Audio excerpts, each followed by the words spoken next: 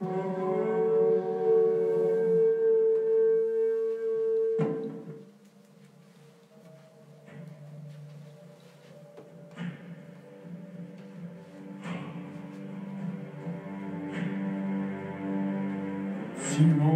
مرغی است که به جهت داشتن صفات اهورایی و سیمای اساطیریش در فرهنگ و ادب ایران زمین از دیرباز حضور داشته است. سابقه حضور سیمرغ در فرهنگ ایرانی به پیش از اسلام برمیگردد.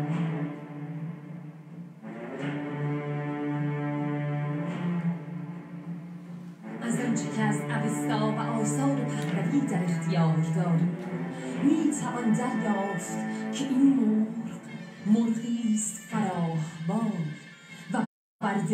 درمان بخش که در بردارنده تخم همه گیاهان است. آشیان دارد. سیمرغ مرغی است الهی و مقدس و آنچنان که در شاهنامه می‌بینیم این مرغ در سرنوشت قهرمانان و حوادث اساطیری نقش دارد.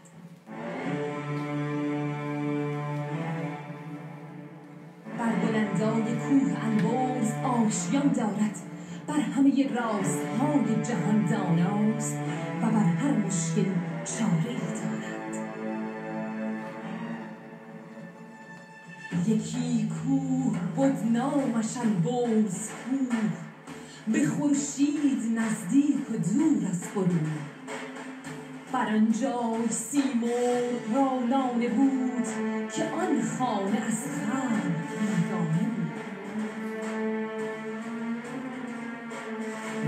پای سیمرغ را در منطقه طی عطار نیز می‌توان یافت. آن زمان که همه پرندگان گرد هم آمدند تا از هدهد دانا رهنمود خواسته رهبری برای خود انتخاب کنند مجمعی کردند مرغان جهان. هرچه بودند آشکارا و نهان. جمله گفتند این زمان در روزگار نیست خالی هیچ شهر از شهریار. از چه رو اقلیم ما را شاه نیست. بیش از این بیشاه بودن راه نیست. هدهد با بیان این موضوع که پادشاه پرندگان مرغی است با نام و سیمرغ کوه قاف را مکانی جهت یافتن سیمرغ عنوان می کند و تذکر می دهد که برای دیدار با پادشاه پرندگان هفت وادی را می بایست سپری کرد. گفت ما را هفت وادی در ره است. چون گذشتی هفت وادی درگه است. نخستین وادی اشاره به جایگاه طلب است. وادی دوم عشق و استقامت. وادی سوم کسب فیض و دانش. وادی چهارم بیاعتنایی به وابستگی های دنیوی و مادی. وادی پنجم وحدت و یکپارچگی وادی ششم وادی غیرت بدان معنا که فردیت فراموش شده و هر کس خود را در قالب گروهی از مرغان می‌دید که هر لحظه به هدف خود نزدیکتر می‌شد. از این روی در وادی هفتم پس از گذر از مسائل سختی های بسیار تنها سی مرغ از خود فانی و با پیوستن به یکدیگر باقی و جاودان شدند و آنجا بود که این حقیقت آشکار شد که پادشاه پرندگان و یا همان سیمرغ موجود موجودی نبود جز سی پرنده که بال به راهی بس پرخطر فرسوده بودند و در آرزوی یکی شدن دره به دره زخم برداشته همز عکس روی سیمرغ جهان چهره سیمرغ دیدند آن زمان چون نگه کردند این سیمرغ زود بیشک این سیمرغ آن سیمرغ و امروز دگربار سیمرغ اساطیری ایران زمین سر از خاکستر افسانه بر می دارد و بال بر جستجوی آزادی می گستراند برنامه رستاخیز سیمرغ همچون هدهد خردمند جوانان آزادی خواه را که هر یک از شهر و دیاری گرد آمده تا در وادی وحدت و یک پاچگی ایرانی آزاد و سربلند را به نمایش بگذارند به سوی یافتن سیمرغ سوق خواهد داد. جاوید شاه پاینده ایران. رستاخیز سیمرغ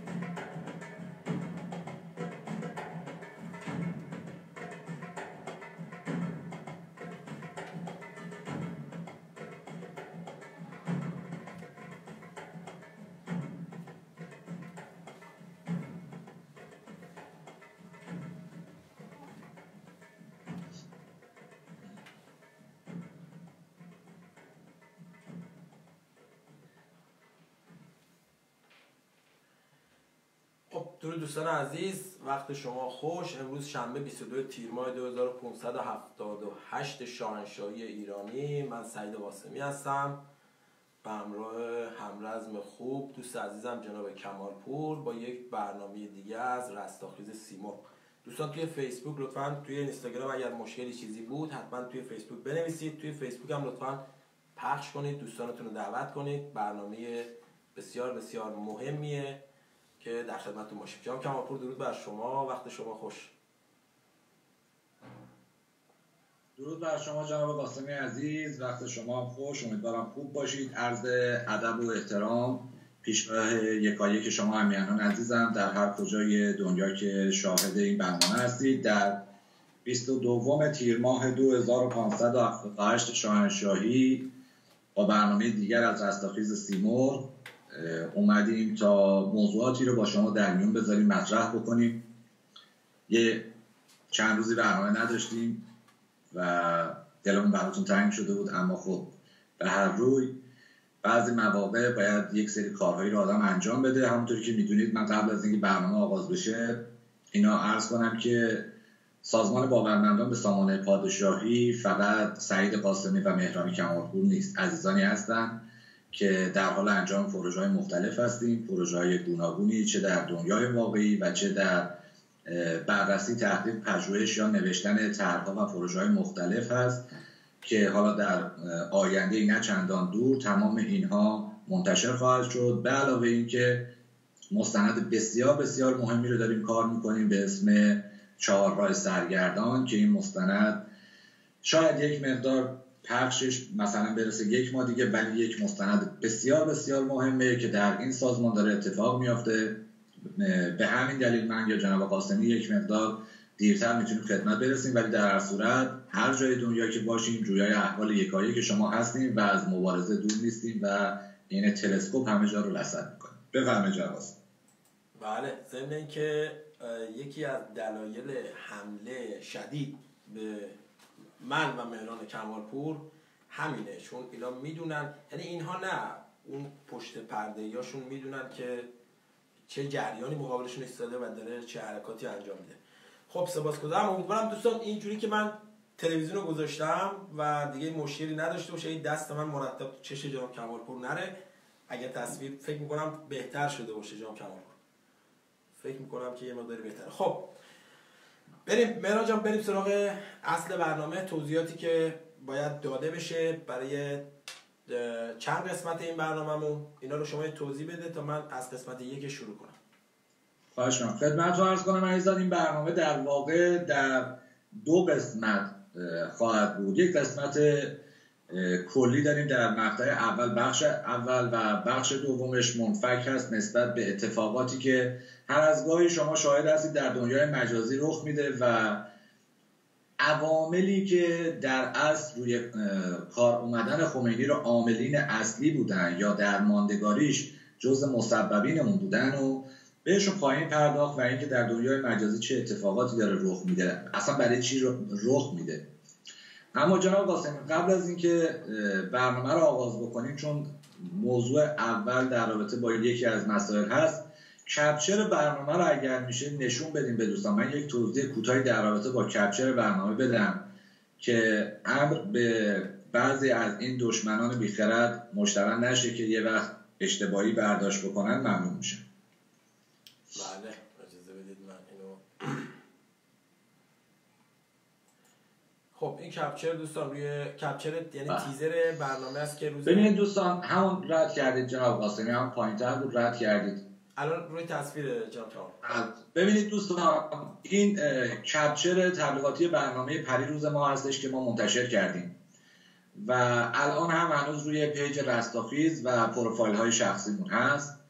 ساعتی که ما این بنر رو تبلیغ کردیم و بر- زدیم توی پیج ساعت 18 و 16 دقیقه عصر هست. و موضوعات هم همه توش نوشته شد. همون لحظه دوستانی که مهر دارن و زحمت کشیدن شیر کردن دیدن. اینو به چه دلیل میگم؟ موضوع اولی که در این کپچر زده شده عدم همراهی مردم توسط ورزشکاران و هنرمندانه در همون روز ساعت هفت هفت و نیم حالا هفت برنامه شروع میشه برای آیا مایون ایشون از ساعت حدودا هشت به بعد به موضوع ورز- ورزشکاران و هنرمندان پرداخت. و حالا نمی‌خوام بگم مثلا کپی برداری کرده ولی اینی که ما امروز می‌خوایم توضیح بدیم چون می‌دونم که این عوامل می‌خوام بگم فوری ما داریم کپی برداری می‌کنیم به ساعتی که ما موضوع رو نوشتیم و منتشر کردیم دقت کنید همه اینها چون در تاریخ پروفایل ها ثبت میشه. به همین دلیل اینو خواستم یه توضیح بدم که این بیخردا اگر خواستن حرفی بزنن اسناد و مدارک هست و بیهوده اه، زیاده گویی نکن. این توضیح بود حالا شما می‌خواید جناب قاسمی آغاز کنید در خدمتتون هست بله یه فقط من یه چیزی اضافه کنم که آقای شهرام عبدالحمید همایون در حقیقت اومدن و این هنرمندان رو دقیقا مثل کاری که قبلا هم انجام داده راجع به نفوذی هایی که فرستاده شدن اومدن تطهیر کردن. و اومدن حق به این هنر. برعکس چیزی که ما امروز در موردش می‌خوایم صحبت کنیم ایشون اومدن گفتن آقا اینا چاره ای ندارن و توی سیستمی دارن زندگی می‌کنن که باید به اون شرایط اون جامعه یا به اون قوانین. البته 85 درصد اینجوری بود صحبتی که شراب همایون کرد که اینا گناهی ندارن و بگذرید ازشون چیز خاصی نیست. این فرق اساسیش. خب یه بحث خیلی خیلی مهمی که جناب کمالپور چند وقت ما خیلی جالبه دوستان. حالا بچههایی که برنامه رستاخیز رو دنبال می‌کنن چه تو تلگرام چه توی یوتیوب چه اینستاگرام چه فیسبوک و چه ارتباطاتی که دوستان دارن می‌دونن همیشه ما توی برنامه مطالبی رو اومدیم مطرح کردیم که شاید پنج ماه شیش ماه یا یه موقع یک سال زمان ببره تا اون اتفاق بیفته. ولی هر مطلبی رو که عنوان کردیم و بیان کردیم اسنادش هم ارائه دادیم بدون استثنا همشون اتفاق افتادن. چون بازی های این پشت پرده این جک و مافیایی رو به خوبی می‌دونیم و می‌دونیم چجوری دارن بازی می‌کنن حرکت بعدیشون چیه. یکی از این اتفاقایی که قبلا در موردش صحبت کردیم شاید هم زیادم دور نه شاید فکر می‌کنم یک ماه یک ماه و نیم پیش در دو سه تا برنامه در موردش صحبت کردیم. این قسمت از ماجرا بود که اپوزیسیون دستسازی جمهوری اسلامی در خارج از کشور داره. که این اپوزیسیون دستساز همیشه باید به دادش برسه. اون دقایق حساس دقایق 90 باید به دادش برسه. و بازی های دیگه ای که انجام میده توی این فاصله برای به قول معروف پیشبرد اهدافش و شناسایی مبارزان داخل داخل کشور. که حالا یه قسمتش هم میشه این 14 محسوم 12 محسوم به اضافه اون دو تنی که بهشون اضافه کردن به زور. قسمت اصلیش در حقیقت این بود. زمانی که ما اومدیم داستان سروس. خیلی مهمه. شاید بعضیا به کلمه سروس دیگه حساسیت پیدا کرده باشن بعدشون بیاد ولی واقعیته. همین اخیرا دو ساعت دو هفته پیش هم بود که سروس با یک تاجر گردن کلفت دیگه آمریکایی اومدن یهودی آمریکایی اومدن و این قابل توجه اون دوتا توده که برن این یتکر دوباره کات کنن ببرن بذارن توی فضای مجازی. اومدن دست به دست هم دادن ثروت هاشون رو گذاشتن رو هم بر علیه سیاست دولت آمریکا. در حقیقت برای پیشبرد اهداف خودشون در منطقه خاورمیانه مخصوص منطقه خاورمیانه هست خبراش هم هست. و یک شاخه خیلی خیلی کوچولوش هم قرار شد که مأموریتش رو این نایاک تریتا پارسی و امثال این موجوداتی که مدتها برای جمهوری انگلنشان آخوندی لابی کردن و کمک کردن به این قسمت از اینها داده بشه. در حقیقت بذارید من یه چیزی رو اصلاح کنم. هوشنگ امیر احمدی چند بار تو برنامه شرم شارلاتان برگشت گفتش که نایاک رو من درست کردم. یعنی هوشنگ امیر احمدی درست کرده. در حقیقت اینجوری نیست. نایاک اینو امیدوارم یه روز آقای حسن دایی بیاد و این مسائل رو برای ملت بگه. نایاک رو کمپانی سروس درست کرد. قبل از آی ابتدا با نایاک این کار رو انجام می‌داد. اگر برید رو سایت خود سروس اینو جناب قلمی زحمت کشیدن رفتن ترجمه کردن. در برنامه های گذشته ما گذاشتیم. تعداد آدم هایی که برای این کمپانی و برای این جریان کار می‌کنن ایرانی ها کشورهای مختلف افغان و جاهای دیگه همه اینا هست با مشخصات و پول هایی که گرفته شدن. و نایاک رو در حقیقت سروس درست کرد. حالا یه قسمتش رو وظیفش دست تریتا پارسیه و اون مجموعه بود. یه قسمتش دست امیر احمدی و این جریان کنار بود. اینو خواستم یه رو آقای امیر احمدی رو هی به باقالیا می‌زنه خودشو به در دیوار می‌زنه اینجا اصلاحش کنم که اسنادش هست. اما یه قسمت دیگهش این بود که کمپانی سروس آیوسمی اون جلساتی که در واشنگتن گذاشته شد و یک بحثی به اسم ائتلاف بزرگ. اگر خاطرتون باشه دوستان یک بحثی رو مدت ها تلویزیون ایران آریایی کوروش رادمنش سعید شمیرانی سیاوش امانی از این ور علیرضا نوریزاده از اون ور تلویزیون پارس مهرداد پارسا و چندین نفر دیگه می یک بحثی رو مدام مطرح می‌کردن تحت عنوان ائتلاف بزرگ ائتلاف بزرگ اپوزیسیون. در این ائتلاف بزرگ اپوزیسیون که بعد یکی از قسمت های کوچولوش شد آریاس به باوند که مج... حالا به شما اینا رو دارم میگم که این به قول معروف زمینه فکری آماده بشه. آیوسمی و ائتلاف بزرگ که یه قسمتش میشه آریاس به باوند قسمت کوچولوش جلسات متعددی در آمریکا و این گذاشت که یکی از جلساتشون انقدر دیگه شور شد و گندش در اومد که خودشون به تیپ رو در واشنگتن و اون کریم عبدیان بود نمی‌دونم عبدی بود کی بود؟ اون شخصی که میگه من اهوازو می‌خوام با اره ببرم برم واسه خودم. و اون مانیفستی که اینا داده بودن اون اساسنامه‌ای که داده بودن تمام بر حکومت فدرال یک جمهوری فدرال در ایران با به قول معروف داشتن حق استقلال خودگردانی خودمختاری و از این مزخرفاتی که سالهای سال اینا دارن تکرار می‌کنن.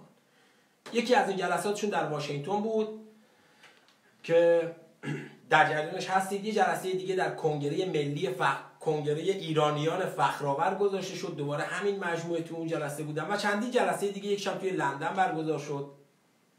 اما توی این تمام این جلسات یا توی تمام این سناریوها وقتی شما نگاه می‌کنی چند مهره اساسی هستن که این مهره همه جا هستن. یعنی خودش حزب داره به اسم حزب دموکرات دموکرات کردستان مثلا یا حزب دموکرات کردستان ایران یا کمله یا از این مزخرفات. یه سری حزبا رو اینجوری دارن بعد یه سری کنگره ها تشکیل میدن مثل کنگره ملیت های ایرانی اتحاد برای ایجاد دموکراسی و فدرالیسم در ایران و و و و انواع و اقسام جریاناتی که فقط اسم فقط اسم با یک مانیفست. تای هر کدومش هم که میری می‌بینی که در نهایت آرزوی جمهوری انگل نشان آخوندی رو اینا دارن بهش می‌خوان جامعه عمل بپوشونن که همون تجزیه و نابودی ایران. مثلا در, در مورد دریای کاسپیان یا در مورد جزایر در مورد خلیج فارس یا دریای عمان یا بندر چابهار اینا همه خفه خون گرفته. اصلا کاری ندارن به این مسائل. فقط در مورد اینه که آقا این میگه من کردستان یک کشور باید باشه اون یکی میگه خوزستان یک کشور باشه اینم میگه سیستان بلوچستان باید یک کشور باشه. یه سری مهرات توی اینجا هستن. مثل عبدالله معتدی مثل مصطفی هجری که اینها در لباس کردی. خیلی جالبه. اینا کرد نیستن دوستان. هیچ هموطن کرد ما داخل ایران دنبال تجزیه و نابودی ایران نیست. هموطنان داخل ایران فرق نمی‌کنه. کردش فارسش لورش عرب زبانش یا بلوچش اینها دنبال زندگی کردن و دنبال اینا که به حقوق شهروندی خودشون دسترسی پیدا کنن. متا در خارج از کشور آدمهایی رو این مافیا در لباس لوری کردی آذری و و و و به قول معروف بزک کرده. که اینها هم خودشون مدام نماینده ملت ایران هر کجایی که میرن البته نه نماینده ملت ایران نماینده ملت اون قسمت های خودشون به قول خودشون خودشون معرفی می‌کنن. یکی مثلا هم معتدی گفتم مصطفی هجری حسین بر شرفکندی و یه سری آدمای دیگه. اما در, در بین این آدم های مختلف یک مهره ای هم هست که این مهره همیشه داره لابلای اینا زیگزاگ میره. که حالا بهشم می‌رسیم به اسم خبرنگار مستقل علی ناجوان مردی که همه جا با اینها هست و تمام فرامین کمپانی سروس که منتهی خواهد شد به تجزیه ایران دیده. اگر اینا بتونن موفق بشن رو عمل می‌کنه و پیاده می‌کنه. چه تو صدای آمریکاش چه توی بقول معروف رسانه‌ای که اون مافیا در اختیارش توی فضای مجازی گذاشتن. اتفاقی که چند روز پیش افتاد ما تو اون برنامه همه اینا رو توضیح دادیم که آقا اینها یعنی این این افرادی که پشت این احزاب هستن اینها ساخته دست مافیایی هستند که جمهوری اسلامی رو سال 57 توی ایران به, به گرده ملت ایران سوار کرد. و پلن بی بعد از جمهوری اسلامی این افراد هستند هدفشون نتیجهشون تلاششون هم پروارشون کردن پول به حلقشون ریختن برای اینکه ورق دوم جمهوری انگلستان آخوندی رو بزنن که همون جمهوری فدرالی و نابودی ایرانه. اصلا نه تعارف داره نه شوخی داره. حالا چند روز پیش در یه خبری در فضای رسانه ها مخصوصا بی بی سی صدای آمریکا حجت الاسلام رادیو فردا منتشر شد که این خبر داشت از یک اتفاقی پرده برداری می‌کرد که در اروپا نمایندگان یا رهبران این احزاب در پیتی غالب شده به اسم اقوام ایرانی با نمایندگان شورای امنیت ملی جمهوری انگلستان ملاقات داشتن و دیدار کردن. در قسمت وطن پرستان یا ایرانگرایان واقعی اندک افرادی اومدن و به این پرداختن. خیلی کم تک و توک. خیلی انگشت شمار اومدن و به این مسئله واکنش نشون دادن. در قسمت اون یکی اپوزیسیون آبدوغ خیاری و مالکش جمهوری انگلستان آخوندی مثل نوریزاده مثل شهرام شارلاتان مثل میبودی و دیگرانشون اینها یه جورایی خفه خون گرفتن و اصلا از این خبر خیلی زیرکانه و ماهرانه جاخالی دادن و رفتن توی باقالی ها بهش اشاره نکردن.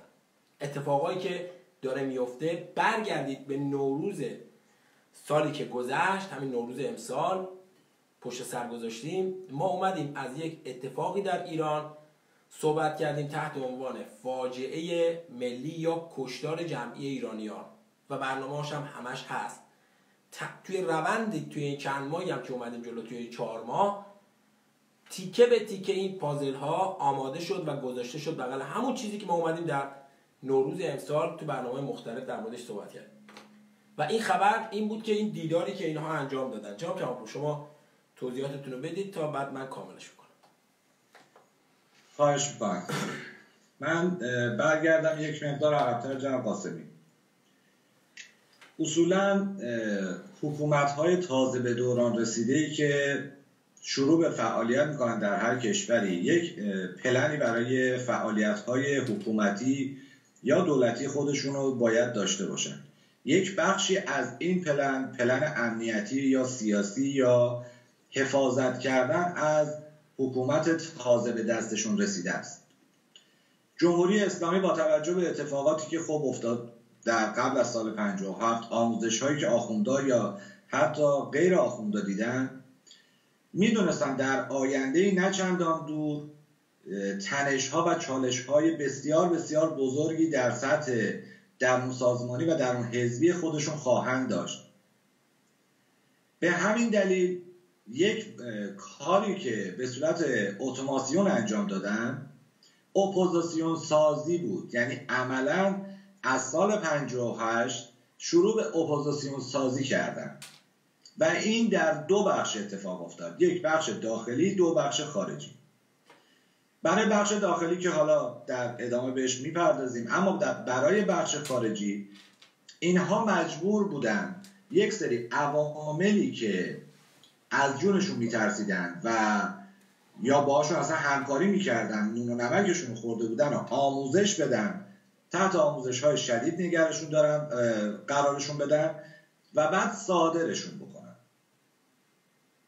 در بخش داخلی با مرور تاریخ و زمان و رفته رفته پس تقریبا اواخر جنگ 8 ساله با عرب اپوزیسیون های داخلی شکل گرفته بودند بسیاری از افرادی که باهاشون مشکل داشتن از سر راه خودشون ور داشتن و اون دسته ای که مونده بودن عملا سرند شده و قربیل شده بودن و می‌دونستن دارن چیکار می‌کنن و بعد از مرگ خمینی باید به کجا برسن؟ در طول برنامه هایی که داشتیم بارها بارها نقش جورج سوروس یا مؤسسش آی او ای رو در روند ماندگاری جمهوری اسلامی بهش پرداختیم. اما یکی از بخش های مهم جمهوری اسلامی که عملا از سال 74 شروع به شکلگیری کرد و در سال 76 به ثمر نشست اصلاح طلبان بود که این میوه کامل و پخته شده جورج سوروس و آیو بود. و نتیجه اونو شما می‌تونید در سال 78 و درگیری های کوه دانشگاه و اون اتفاقاتی که افتاد مشاهده کنید. حالا فارغ از دوم خوردادی ها و نمی‌دونم طرفداران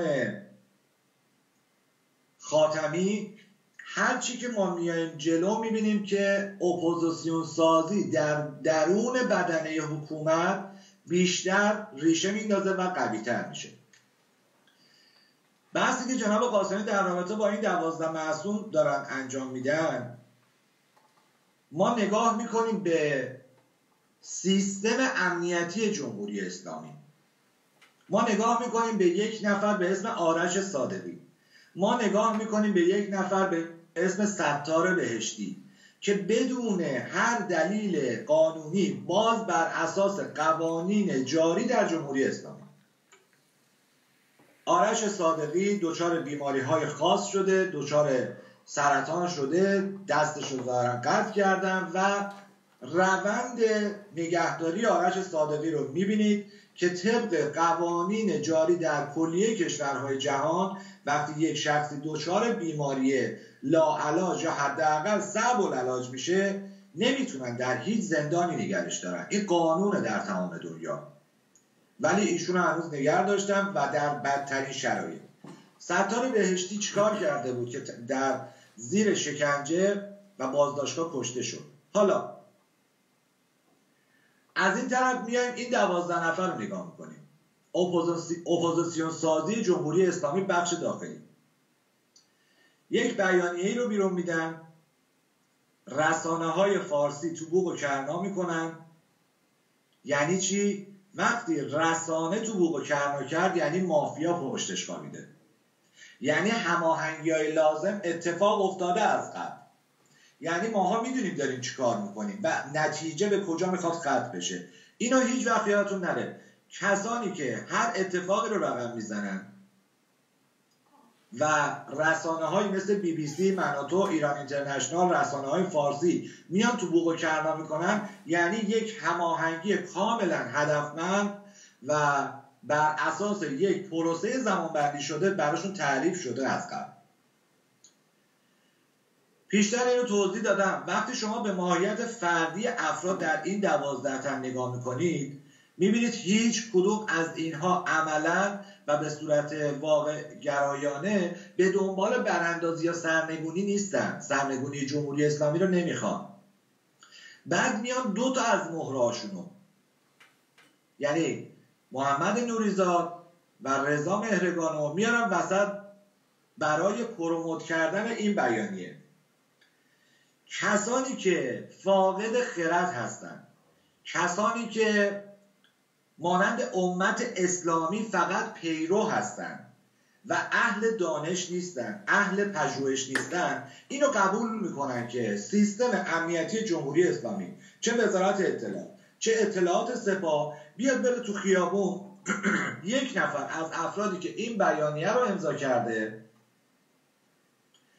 تو خیابون بگیره بزنتش با شوکر بزنه تو خیابون. جایی هم نبره این افراد قبول می‌کنن. اما وقتی در بدن قضیه وارد بشید و ببینید که جمهوری اسلامی در طول این بیش از چهل سال با مخالفین خودش با مخالفین مقطعی خودش مثلا در سال 88 عوامل حکومتی که به بدنه حکومت چسبیده بودن رو باش چه رفته؟ باشون چه رفته کردن شوخی نکردن باشون. بعد حالا بیاییم ببینیم با رضا مهرگان یا محمد نوریزاده میان شوخی می‌کنن. میبرنشون قلقلکشون میدن. میگن اه بیانیه امضا کردین دنبال سرنگونی مثلا. حالا به گفته خیلی از این افرادی که فکر می‌کنن اینا دنبال سرنگونی هستن. اشکال نداره. حالا بیا یه خورده قلقلکتون بدیم ناز و نوازش بکنیم. این بچه بازی های سرشار از سخره گرفتن و به شعور مردم ایران توهین کردن کار یک روز و دو روز جمهوری اسلامی و یک سری از افراد نیست. اگر خواسته باشیم ما نسبت به همین ماهیت دوازده نفر نگاه کنیم به شخص شاهزاده رضا پهلوی شاهزاده رضا پهلوی به عنوان بالاترین نماد و جایگاه سیاسی هر صحبتی رو نسبت به هر طیفی نسبت به هر گروهی بکنن آزادن. ولی اینکه یک سری از افراد بیان سو استفاده بکنن بهره برداری سیاسی بکنن یعنی دارن مردم رو می‌برن به سمت سیاه نمایی به سمت نخود سیاه دارن سوق میدن. شرایط موازی سازی اپوزیسیون سازی انحراف تفکر و ایجاد خطای دید در جمهوری اسلامی برای مردم ایران چه در داخل و چه در خارج یک سابقه چهل ساله داره. پس ما در این شرایط باید یک چیزی رو در نظر بگیریم. اولا در طول این چهل سال اپوزیسیون مدعی جمهوری اسلامی کجا بوده کجا هست و کجا خواهد بود. در طول این چهل سال این اپوزیسیونی که در زمان شاهنشاه فقید حالا ویدیوشو دوباره پخش می‌کنیم که شاهزاده رضا پهلوی در رابطه با همین افراد یا احزاب چی میگن؟ این اپوزیسیون کجا بودن کجا هستن؟ چه کار مثبتی رو برای مردم ایران انجام دادن؟ چه کار مثبتی رو برای سرنگونی انجام دادن؟ و در مقاطع مختلف در بزنگاه هایی که جمهوری اسلامی در گوشه رینگ گیر کرده بوده همین اپوزیسیون ها که مدعی هستن چطور اومدن به داد جمهوری اسلامی رسیدن؟ چطوری اومدن کمکش کردن؟ شرایطی که اپوزیسیون باید داشته باشه چیه اصلا؟ اینها رو ما در مقاطع مختلف توضیح دادیم. الان خیلی خلاصه از این تاریخ گفتم به واسطه دوازده نفری که جناب قاسمی صحبت کردن. جناب قاسمی بفرمایید بقیه با شما. ارز کنم جناب کماپور نه دوازده نفر یه تئوریسین دارن در داخل ایران به اسم محمد چیچیفر. اون شخصی که چند چی؟ مهدوی فر. دقیقا. محمد مهدوی فر. بذار خبر بدم. پس به شهرام شارلاتان و دیگر عرازل و باششون که محمد مهدوی فر تئوریسین یعنی یکی از تئوریسین های این جریان اسحال طلبان که سرش سروس ببینید جورج سروس خواست کمپانی سروس و مافیای سروس اینه که علی خامنه ای و ولایت فقی نظارت استثمامی و این آتاشخاناشون رو بذارن کنار جمهوری اسلامی بمونه. منتها نه دیگه جمهوری اسلامی. جمهوری ایرانی یا جمهوری فدرال ایرانی. این خواسته این هاست که دست به ترکیب حکومت زده نشه. رژیم سر جاش بمونه. علی خامنه ای و یه دو تا از این قوانین توی قانون اساسی جمهوری اسلامی برداشته بشه. بعد یه پوست اندازی بکنن. حالا یا بشه ریاستی یا بشه پارلمانی. یا بشه همون جمهوری فدرالی که در, در حقیقت اون چیزی که اینا می‌خوان در قانون اساسی آینده ایران به خیال خودشون بگنجونن همون چند که یکی از مهمترین بنداش فدرالی کردن ایرانه. حالا تئوریسین های این جریان داخل ایران ما تو برنامه گذشته گفتیم. مثلا یکی کسی مثل ابوالفضل قدیانی و چندین تن دیگه داخل ایران خارج از کشور محسن سازگارا اکبر گنجی شیرین عبادی محسن کدیور عبدالله مومنی و چندین تن از صادراتی هایی که اومدن و یک اسم و رسم کاذبی رو همین اپوزیسیون احمق براشون درست کرد و یک جایگاه والایی به اینها داده مثل اکبر گنجی و محسن سازگارا و دیگرانشون. اینا خواستشون اینه در حقیقت. خروجی این مطالب بارها و بارها توی نامه های ابوالفضل قدیانی شما اگر توی گوگل search کنید نامه های قدیانی به خامنه ای رو می‌بینید. اول نامه بسم بسم بسمه تعالی نوشته. دو تا فوش به شاه داده. برید نگاه کنید. و بعدش هم گفته که علی خامنه ای تو باید برید و از سمت خودت باید استفاده بدی. خواسته خواسته همونه خواسته خواسته محسن چریک و رفراندوم چیاس و همون مجموعه هایی که در موردش بارها بارها صحبت کردیم. اما از این دوازده نفر می‌زنه بیرون و اینها هم در طول این حداقل بیست و چند سالی که جریانی به اسم اصلاح طلبی در ایران شکل گرفته توسط سروس این مهره ها مدام در حال بازی برای این مافیا و برای این سناریوها بودن. از پشمک الله تبرزدیش بگیر تا حسن شریعت مداریش در خارج از ایران یعنی در آلمان بزنه بیرون یا نوریزاده و بقیه این مجموعه ها یعنی در حقیقت جنگ کمپانی سروس و جنگ سیاستی که سروس داره نمایندگیشو کنه سروس به عنوان شخص شاخص این جریان و الا جریان های دیگه مافیایی با سروس همراه هستند. در آمریکا الان دو تا جریان هست. یکی جریانیه که ترامپ داره رهبریشو می‌کنه. یکی جریان چپیه که امثال سروس ها دارن رهبریشو می‌کنن و کاملا هم در سیاست هاشون مخصوصا در مورد خاور میانه بر علیه همدیگه است.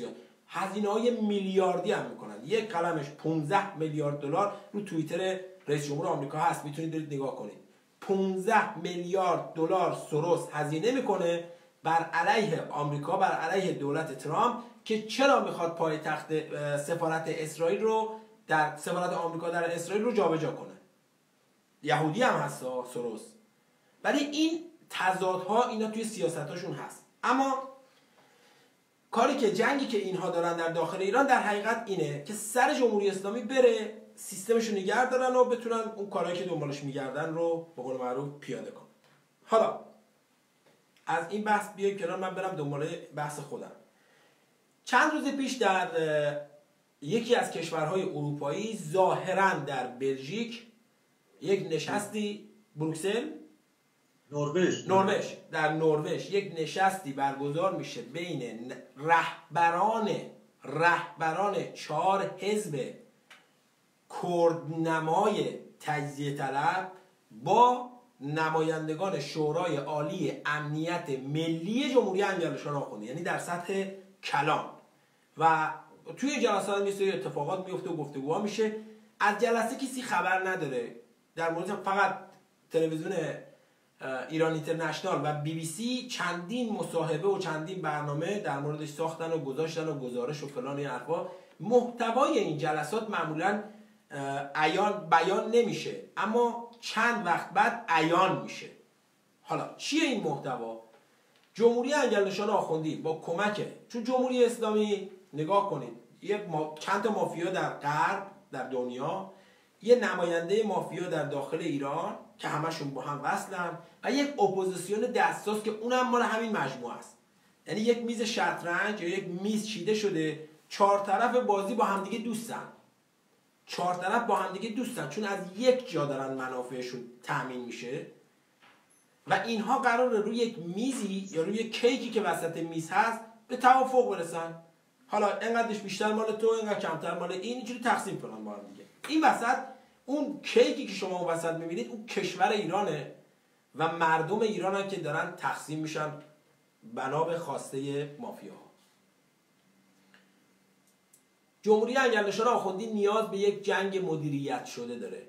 جنگ مدیریت شده که بتونه هم دست آمریکا رو باز بذاره هم دست اسرائیل رو باز بذاره هم خودش یه مقداری راحت باشه بتونه ملت رو سرکوب کنه. همین که اون اصل کاری ها به اون نتیجه که دلشون می‌خواد برسن برسن. نتیجه یا نقشه نقشه اسرائیل بزرگ رو فراموش نکنید. اینا دنبال این مسائلن. منتها باید یه بهانه ای داشته باشن که یک کام جنگ یک کاملا جنگ مدیریت شده هم توی دست خودشون داشته باشن. یادتون باشه این افرادی که خودشون رو به عنوان کردهای عراق کردهای ایران کردهای ترکیه یا کردهای سوریه میان و وصل می‌کنن به احزابی مثل احزاب چهار حزب کردنمای ایرانی. اینها آلت دست دو تا مافیان. یک اسرائیل دو انگلستان. یعنی مهره های این مافیا هستن برای اینکه بتونن سناریوهاشون رو در خاور میانه پیاده کنن. یعنی در حقیقت اینجوری میشه گفت. مورچه های زحمتکشی هستن. به خیال خود من نمی‌خوام چیز کنم که بعدا یه سری بیان کات کنم بگم آقا این به فلانی هم تو این کرد.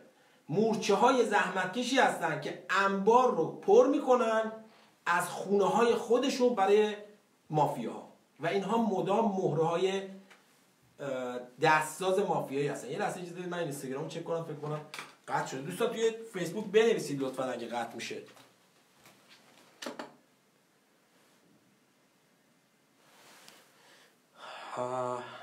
جناب که شما اگه توضیحی داری ادامه بدید من بیام. صحبتتون رو تموم بکنید که وسط صحبت قیچی نخوره. تقصیر این اینستاگرام نمی‌ذاره دیگه این میپره.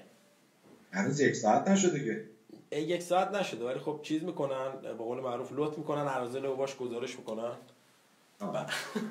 خیلی جالبه دوستان من پرانتز بذار باز کنم. یه سری افرادی هستن در اینستاگرام که جمهوری اسلامی فرستاده مافیایی که در موردش فکر می‌کنم یا صحبت کردیم یا اشاره هایی کردیم و بعدا باید در موردش کامل صحبت بشه. دیدید توی اینستاگرام طرف میاد دختره میاد live می‌ذاره فلان می‌کنن. همه کاری جلوی دوربین اینستاگرام انجام میدن. بیننده هم همه الا ماشاءالله همه بالای چند هزار تا. هیچ کار بکنشون نداره صفحاتشون هم سر جاشونه فلان. بعد مثلا یه page ی مثل page رستاخیز سیمرغ که همیشه هم مستند هم داره صحبت می‌کنه اما چوب لای چرخ مافیا می‌کنه وقتی یه پست می‌ذاره بلافاصله این پست برداشته میشه توسط اینستاگرام. واسه صفحه اینستاگرام رستاخیز و کانال خودمون که می‌دونید مدام دارن بهش فشار میارن.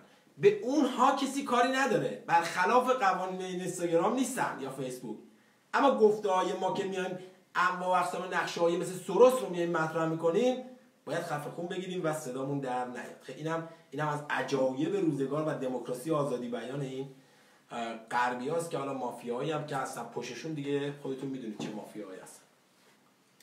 صحبتم به اینجا رسیده بود که این افرادی که در اون منطقه هستن آلت دست اسرائیل و انگلستان هستن برای پیشبرد اهداف خودشون. نمونهش رو در عراق دیدید. در ترکیه دیدید در سوریه دیدید و حالا اینها می‌خوان همه این اتفاقات رو در ایران هم پیاده کنن. وقتی جلسه گذاشته شد شما دو روز سه روز بعدش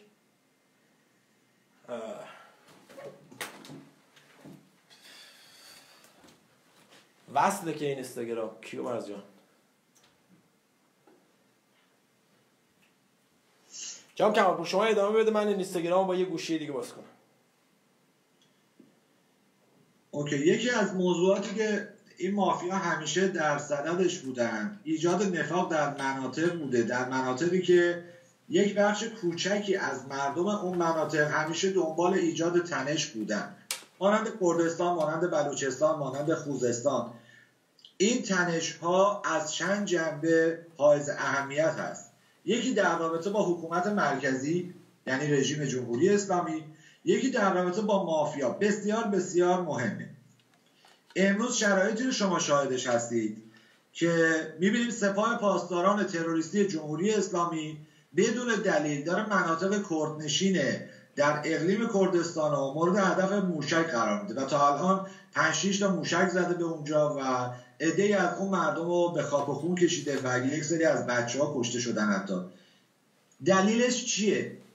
دلیلش تحریک کردن یک قسمت از کشوریه که مثل گاز معلق در هوا آماده اشتعالن تحریک کردن نیروهای خارجی مخصوصا نیروهای آمریکایی با برنامه و هماهنگی. این هماهنگی ها رو یادتون نره. جمهوری اسلامی برای بقای خودش برای ماندگاری خودش نیاز به یک چالش بزرگ به اسم جنگ داره.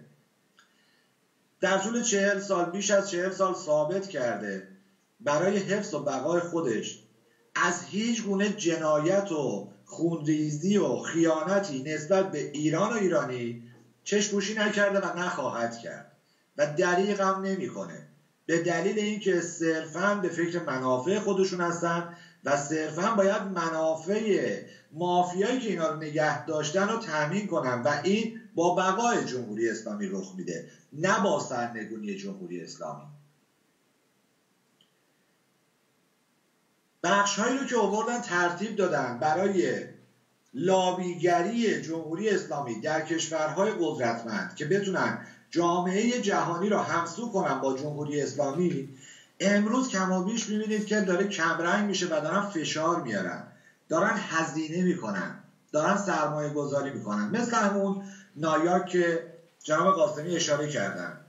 هزینه های هنگفتی که در نایاک شکل گرفته و شما وقتی اعضای در این گروه ضد ایرانی رو می‌بینید در نایاکو تماما افرادی هستن که زیر مجموعه جمهوری اسلامی هستن و سر سفره جمهوری اسلامی نشستن دارن نوم می‌خورن. و اصلا نه ایرانه نه ایرانیه نه به فکر قارت کشور هستن نه به فکر تجزیه ایران هستن نه به فکر فلاکت و بدبختی مردم ایران هستن. به هیچ چیزی فکر نمی‌کنن. تلفیق تمام این سیاست های داخلی و خارجی اتفاقی رو باید رقم بزنه که منافع اون مافیا ببینید برای بار چندم منافع اون مافیا پشت پرده با هماهنگی رژیم جمهوری ایران اسلامی تمیم بشه. این وسط باز من برمیگردونم به سمت دو قسمت نوک پیکانو. یک اپوزیسیون جمهوری اسلامی در این مقطع کجا قرار گرفته دو مردم ایران که امروز زیر شدیدترین و سنگینترین فشارهای اقتصادی فرهنگی هستن از همه نظر تحت فشار هستن امروز کجا هم؟ این مردم کجا هم؟ جامعه ای که از سال 57 تا امروز بیش از چهل سال طبق پلنه کاملا مشخص تبدیل شده به یک جامعه بیمار از هر لحاظ. و خروجی این جامعه بیمار شده خانوار بیمار شده افراد بیمار. از نظر باز اقتصادی از نظر روحی روانی از نظر سیاسی از نظر فرهنگی جامعه بیمار ایران الان اتفاق افتاده که یک چرخه دو طرفه است. هم افراد بیمار می‌تونن جامعه رو بیمار کنن هم جامعه بیمار می‌تونه افراد در اون جامعه رو بیمار کنه و بشه محصول دو طرفه. یک محصول دو طرفه.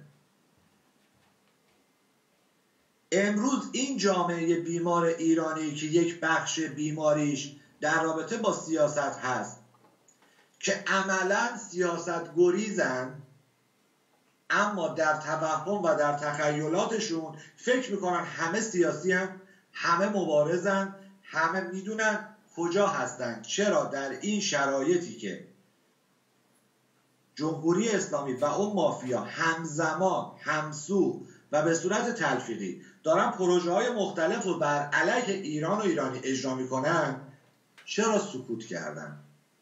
چند بار شاهزاده رضا پهلوی باید بگه بزرگترین خیانت بی تفاوتی است.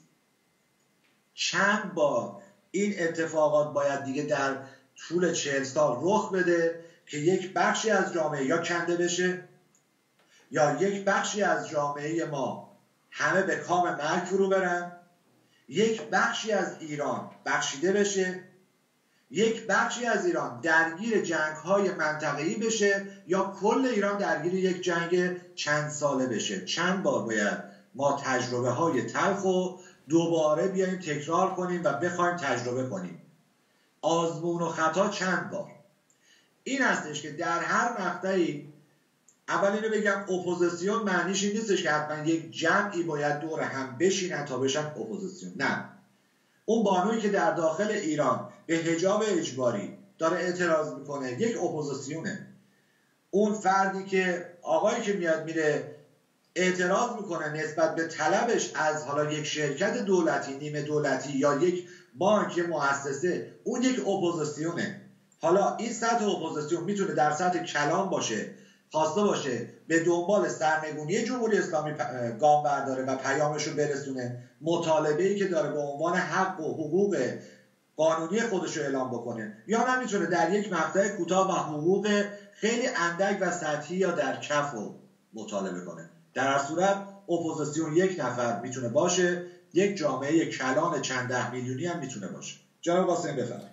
عرض کنم خدمتتون که یک تظاهراتی ظاهرا جناب مهربانی لطفا تاریخ و آدرسش رو بنویسید این زیر یا تاریخ و ساعتش و روزش رو بنویسید. یه تظاهراتی در آمریکا سوم آگوست روبروی ساختمان نایاک در سوم آگوست روبروی ساختمان نایاک در کجا؟ آمریکا واشنگتن باید باشه. حالا آدرس دقیقش رو جناب مهربانی لطفا بنویسید. دوستانی که در آمریکا هستن حتما اگر می‌تونید شرکت کنید. من نمی‌دونم این مراسم رو یا این تظاهرات رو چه سازمانی چه نهادی چه تشکیلاتی پایریزی کرده و داره انجام میده. ولی مهم نیست. مهم اینه که اعتراض بشه جمع بشن ایرانیان بر علیه افرادی مانند جریان هایی مانند جریان نایاک و بقیه جریان ها که شما نماینده ملت ایران نیستید و شما لابی های کثیف جمهوری انگلنشان آخوندی هستید که خودتون رو در پوشش های مختلف در لباس های مختلف به خارجی ها و به غربی ها دارید اینگونه نشون می‌دید که شما دنبال خواسته ملت ایران هستید. در حقیقت اینجوری نیست. نایاک آیوسمی ائتلاف و اپوزیسیون اون ائتلافی که این نوریزاده و اینا همسال صحبت می‌کنن اینا تماما در مسیر حفظ منافع مافیا حرکت می‌کنن و تنها چیزی که برای اینا ارزش نداره واقعا هم ارزش نداره نه ایرانه نه ملت ایرانه نه امکانات و رفاه برای مردم ایران. اصلا در این شک نکنید. برای اینها فقط پول مهمه باز پول مهمه و باز هم پول مهمه در درجه چهارم هم که افتخار این رو داشته باشن که مثلا زیر مجموعه فرض کنید فلان مافیای گردن کلوف باشن یا پرچم انگلستان رو بالا ببرن یا پرچم اسرائیل رو بالا ببرن یا پرچم اینجا من اینجا باز توی پرانتز باز کنم. الان وقتی صحبت ما داریم می‌کنیم راجع به کردنماهای اون منطقه که مورد حمایت یا بازی بازیچه دست اسرائیل هستن حالا یه سری دوباره به خودشون بر نخوره که آقا اوی کجایید بیاید اینها به اسرائیل ستیزی فلان. نه این خبرا نیست. اصلا این خبرا نیست. آدم باید از خواب بیدار بشه. اون کسایی که خودشون به خواب زدن. خیلی جالبه. در مورد جمهوری انگل نشان آخوندی هر حرفی می‌خوان بزنن میگن آقا حساب جمهوری اسلامی از مردمش جداه به درستی. اینا نمیگن آقا ما میگیم باید بگن. اما وقتی در مورد مثلا سیاست های کشور اسرائیل صحبت میشه اینا میگن آو به مردم اسرائیل اینو فحاشی کردن. قاسمی این ببخشید این برنامه رو در 19 همه من تاریخ رو اشتباه گفتم 19 جولای شبکه فرشگر ترتیب داده. در 19 جولای از ساعت 13 تا 15 در واشنگتن هست. آدرسش هم 1629 کا استریت ان دبلیو واشنگتن دی سی 2006 یعنی بله 2306 19 جولای 2019 از ساعت یک تا سه بعد از بسیار عالی. حالا توی ادامه برنامه که کماپورین رو بذارید دم دست تو قسمت دیگه هم حتما در موردش صحبت کنیم. خب برگردیم بریم سراغ این قسمت این دیداری که این احزاب کردی رهبران احزاب کردنمای مثلا ایرانی با پرچم کردستان عراق دیداری داشتن با این نماینده گفتم بیاید اتفاقایی که بعدش افتاد. شما در چند روز گذشته شاهد بودید که سپاه پاسداران سپاه تروریستی جمهوری اسلامی به مواضعی در کردستان عراق حمله کرد. به تب اونها به کردستان ایران حمله کردن و این وسط یه سری آدم ها کشته شدن. فرقم نمی‌کنه مال اونایی که توی عراق بودن از کدوم جریان یا داره دسته بودن. به حال این آدم ها کشته شدن. وقتی این دیدارها انجام میشه یکی از وظایف این احزاب کرد نمایی که اومدن دیدار کردن با جمهوری اسلامی همین بود که اطلاعاتی رو چون مقر این احزاب کرد نماها همشون توی کردستان اقلیم کردستان عراق و چون با هم, هم فامیل و فامیل بازی و قبیله و قبیله بازی دارن خیلی با هم دیگه سراسر دارن. خیلی هم بین خودشون اطلاعاتشون خیلی راحت به هم دیگه میدن و حالا نمی‌خوام بگم میفروشن. یه کارایی با هم دیگه می‌کنن. به هر حال جمهوری انجام نشان آخوندی اینا یه سری اطلاعات به جمهوری اسلامی دادن و این هم از داخل ایران کردستان عراق مورد حمله توپخانه قرار داد. چندین تن کشته شدن ظاهرا و بهتر برعکسش هم به همین صورت. اما اتفاقی که بعد از این میفته مهمه. که روی میز قدرت اونجایی که دارن با ورق بازی می‌کنن اونجا کدوم مافیا می‌خواد حرفش رو بزنه یا می‌خواد برشش رو نشون بده؟ و اون جنگ مدیریت شده که به شما گفتم جمهوری اسلامی نیاز داره بهش که این اتفاق بیفته رو همین احزاب کرد نما با چندین سازمانی که در خارج از کشور هستن با حمایت کامل سپاه پاسداران قدس جمهوری نشان آخوندی که اون هم زیر مجموعه سیاست های اسرائیل داره عمل می‌کنه. و اصلا مال خودشون هست. اینها این وسط یک شامورتی بازی و یک شارتلاقی می‌خوام بندازن. حالا اقدامات بعدیش بمونه توی برنامه‌ای که در آینده صحبت می‌کنیم. اما تمام اینا رو گفتم. می‌خوام برسم به آدمی که این وسط لول می‌خوره که به شما گفتم زیکزاک میره. شخصی به اسم علی جوانمردی. یکی از دستورهایی که در این جلسه به رهبران احزاب کرد نما داده شد تخریب شاهزاده رضا پهلوی بود به خاطر اینکه اینا از دیمای 96 یا برگردیم عقب از آبان 94 تا به امروز شدیدن احساس خطر کردن از اینی که ملت ایران آگاه شدن بیدار شدن و حرفشون رو خیلی راحت دارن می‌زنن و خواستشون هم میگن. توی دهن همه این تجزیه طلبان و فدرالیست خواهان و جمهوری خواهان آبکی مثل حسن شریعت مداری و بنی صدر اینها هم ملت زدن حرفشون رو زدن در داخل ایران توی خیابون. اصلا به سعید قاسمی و مهران کمالپور هم ارتباط نداره. کارگینه شاولایی هم برید بگید. مهم نیست. مردم داخل ایران این حرف رو زدن. خب؟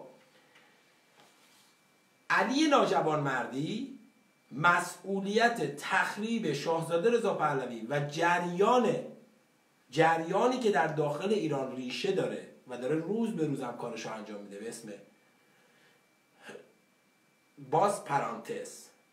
ما اصلا صحبتمون رو حکومت آینده ایران نیست. آقای شهرام شارلاتان آقای علی ناجوان مردی. آینده حکومت آینده ایران به دست ملت ایران رقم خواهد خورد. اما خواسته ملت ایران امروز قبل از سرنگونی جمهوری اسلامی همبستگی مردم داخل ایرانه. چون ایران جمهوری اسلامی تنها رژیمیه که بزرگترین اپوزیسیون رو داره. بزرگترین اپوزیسیون رو جمهوری اسلامی داره اما بی تاثیره و نمی‌ذارن این اپوزیسیون راه بیفته. اپوزیسیون که میگم نه شرقم خانم و زهرا خانم و اقدس خانم در خارج از کشور نه. اپوزیسیون رژیم جمهوری اسلامی در حقیقت 80 میلیون جمعیت داخل ایرانن. اونا اپوزیسیونن. منتها اون جمعیت و اون اپوزیسیون و اون پتانسیل باید از یه جایی رهبری بشه بهش خط داده بشه. یه سری تبادلات انجام بشه که اینا بتونن اون کاری که باید انجام بدن رو انجام بدن. منتها اون پلی که می‌خواد وصل بشه رو افرادی مثل جوان مردی مثل همایون مثل نوریزاد مثل نوریالا و دیگر کسانی که خودتون در جریانشون هستید این وسط مدام هی دارن پیچی می‌کنن پاره می‌کنن پارازیت میندازن لغت می‌زنن و امثال این مسائل. آقای علی ناجوان مردی جان کمالپور چند تا توییت گذاشته بود. اگر دم دستت هست من اون توییت می‌ذارم روی برگه. شما توییت هایی که علی جوان مردی زده رو بفرمایید بخونید. چون من یه دونه پست خیلی جالبه تنها کسی هم که یا تنها کسانی هم که به این شخص اعتراض می‌کنن و تو دهنش می‌زنن یه جورایی فقط بچه های سامان پادشاهی خواه هستن. بقیه ظاهرا خوششون میاد. جا که ویدیو کجاست؟ برای من بفرستش. بله. بقیه ظاهرا خوششون میاد و اصلا براشون مهم نیست. این اون بی تفاوتی است که شاهزاده رضا پهلوی در واشنگتن در لس آنجلس در واشنگتن چند روز چند وقت پیش در یه مهمانی بود گفت ایرانیان خارج از کشور باید به خودشون بجنبن و باید بیان وسط. بی تفاوت نباشید. شما در خارج از کشور که نمی‌خوای رژیم عوض کنی که. نمی‌خوای به رژیم سوئیس و آلمان و آمریکا و سوئد و نروژ عوض کنی که. شما می‌خوای بیا یه کاری بکنی که جمهوری انگلشان آخوندی بر, بر بیفته. حالا عواملی که باعث نگهدارنده نگهداری جمهوری اسلامی میشن در خارج از کشور رو شما باید خفه کنی. امثال من و شما باید این عوامل رو خفه کنیم. اون شخصی که در زاهدان در سیستان و بلوچستان یا در بندر عباس داره با بدبختی زندگی می‌کنه اما میره مبارزهشو می‌کنه میره شعارشو می‌نویسه میره فریادشو می‌زنه میره اعتراضشو می‌کنه میره اعتصابشو می‌کنه اون داره کار خودشو می‌کنه. شما که خارج از کشوری باید سیمهای بلندگوی مافیای رسانه ای رو قطع کنید. باید قطع کنید. باور کنید. ما در خارج از کشور یه بخش خیلی محدودی از این اپوزیسیون داریم که واقعا دلش می‌خواد یه کاری انجام بده و یه کار درستی هم انجام بده که در رأسش هم شاهزاده رضا پهلویه. بقیه رو بریزید دور. آقا هر کسی میگه دموکراسی اینی که یعنی اجازه بدید اینها هم حرف بزنن بگید OK اجازه میدیم حرف بزنن. اما بعد از جمهوری اسلامی قبل از جمهوری اسلامی حرف زدن نیست. زهر ریختن و سم پراکندن. شما توییتر علی جوانمردی رو الان جناب کمالپور براتون می‌خونه. یک کسی که میگه من خبرنگارم. آقا خبرنگار. نه مفسر نه رهبر نه پژوهشگر خبرنگار. ببینید آقای خبرنگار چی داره میگه؟ و خیلی جالبه. این سناریوهای نخ فرستاد جام کمالپور؟ بله بله. توی پیویتونه بله. دوستان می‌تونن توی روی توییتر هم برن توییتشو ببینن همونجا هم بهش پاسخ بدید. بفرمایید جام کمالپور. و یه مسئله مهم هم جناب قاسمی این که اون روزی که در ورشو علی جوانمردی عمدن اون جمله رو اون تهمت رو به شاهزاده رضا پهلوی زد و من از شاهزاده رضا پهلوی دفاع کردم و در واقع از حیثیت طیف پادشاهی دفاع کردم. و خیلی از همیهنان ما که ادعا می‌کنن چه اونایی که تو ورشو بودن و چه الان در طول این مدت بعد از فوریه تا الان دارن میان هنوز جرأت نکردن برن یقه علی جوان مردی رو بگیرن و جوابش رو بدن براشون واقعا متاسفم. کسانی که فقط ادعا و فقط لب و دهنن. یعنی در حد شعار در حد حرف. ولی در یه پستی هم نوشتم اینو به تیم خودمون افتخار می‌کنن که نه زیر بلیت هیچ مافیایی که واهمه داشته باشه و هر زمانی که منافع ایران ببینیم که داره به خطر میافته. برای آینده تا الان که جمهوری اسلامی از تکلیف معلوم بود. و ببینیم به طیف پادشاهی ها داره توهین میشه یا به خاندان ایران ساز پهلوی یا شاهزاده رضا پهلوی توهین میشه بدون کوچکترین واهمه ای جواب میدیم. نه منتظر این هستیم از کسی اجازه بگیریم نه نگران این هستیم روزیمون قطع بشه. جواب میدیم دندون شیکن هم جواب میدیم چون زیر بلیتی کسی نیستیم که خواسته باشیم ازش اجازه بگیریم. بفرمایید جناب قاسمی من توییت رو جناب کماپور می‌ذارم روی برگه. شما چون برای دوستان پیدا نیست شما بخونید. سه تا توییت پشت سر همه. دوستانی هم که توییتر دسترسی دارن توی اینم بگم توی اینستاگرامش یک پست گذاشته بود با یک متن کوتاه. اما همه می‌دونن توییتر یک رسانه فوق سیاسی است. در توییتر با اینستاگرام و فیسبوک فرق می‌کنه با تلگرام فرق می‌کنه. اینستاگرام یک فضای اجتماعی عام جامعه است. ولی توییتر معمولا سیاستمداران خبرنگاران اسم و رسدار و بیشتر مافیاها در توییتر فعالن و می‌بینن همه این مسائل رو. خیلی مهمه. خیلی خیلی مهمه که این پیام ها در توییتر منتشر شده. بفرمایید جناب توییتی که زده نوشته لطفا شاهزاده رضا پهلوی به طور سریع پاسخ دهد. یعنی در مقام بازجویی از شاهزاده برآمده. یا با ما یا با اونا. اونم علامت سوالی. مردم کردستان در مبارزه برای سقوط جمهوری اسلامی و ایجاد یک سیستم دموکراتیک در چارچوب ایران بیشتر از سایرین بها دادند.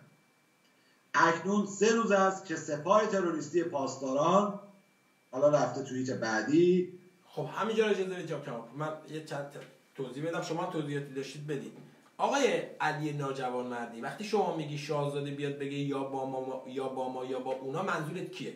ببین شما وقتی میگی شاهزاده یا با ما یا با اونها یعنی منظورت اینه که آقا ما اون اطلاف در رو گذاشتیم این جلسات هم گذاشتیم این اپوزیسیون بزرگ هم انجام شد اما شاهزاده رضا پهلوی با شما کاری نداره. می‌دونید چرا کاری نداره؟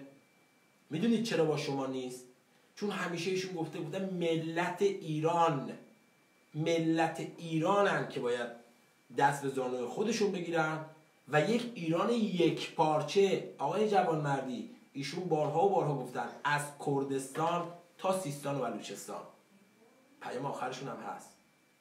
حالا وقتی شما میای میگی مردم کردستان یعنی عملا و علنا داری میگی مردم کردستان ایران. مال یه کشور دیگه مردم تهران مال یه کشور دیگه مردم خوزستان هم مال یه کشور دیگه بعد شما چه نمایندگی از سمت مردم کردستان ایران داری؟ شما چه نمایندگی داری؟ شما خبرنگاری؟ چی؟ این وسط الان الان تکلیف چیه؟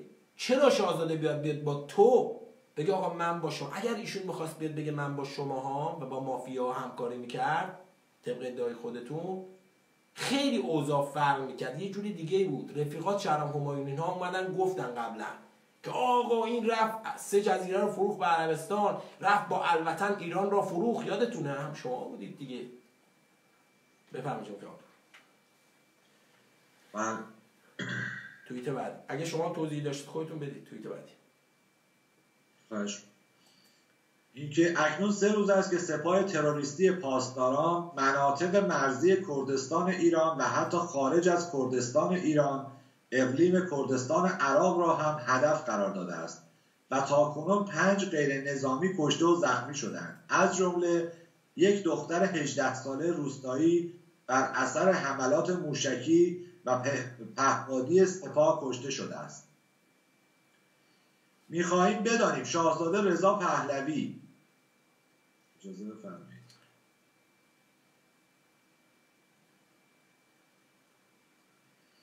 می‌خواهیم بدانیم شاهزاده رضا پهلوی که بسیاری او را به عنوان مرجع اپوزیسیون خطاب قرار می‌دهند چه موضعی دارد؟ شاهزاده رضا پهلوی چرا حملات سپاه را محکوم نکرده است؟ آیا شاهزاده رضا پهلوی کردها را ایرانی نمی‌داند؟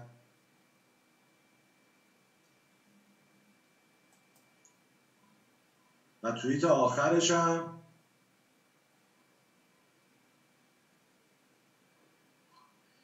آیا کردها نباید در مقابل حملات مسلحانه سپاه تروریستی پاسداران از خود دفاع کنند؟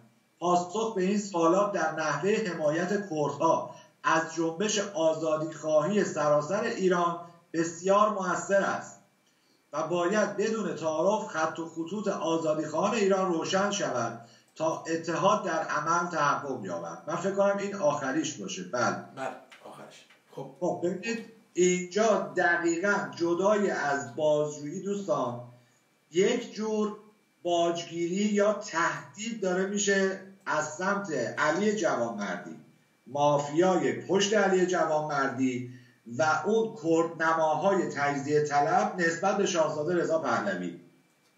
که آقا الان بیا تکلیف رو معلوم کن. تیتر اول با مایی یا با اونا؟ با کیا هستی؟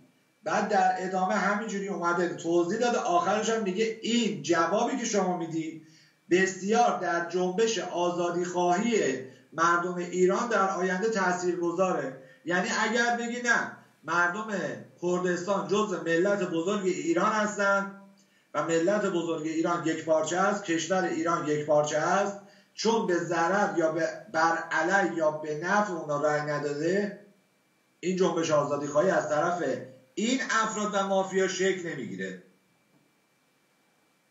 شکل نمی‌گیره. اما اگر بیاد بگه آره ما فدرالیسم رو قبول داریم آموزش زبان مادری رو قبول داریم اینکه شما پرچم داشته باشید چی میگن پارلمان داشته باشید خواسته باشید جدا شید اصلا برید بچسبید به اقلیم کردستان جدا شید اصلا این کردستان بزرگ رو شکل بدید. اون موقع شاهزاده خیلی خوبه. اون موقع شاهزاده فهیمترین فرده الان باید بیاد بازجویی بشه.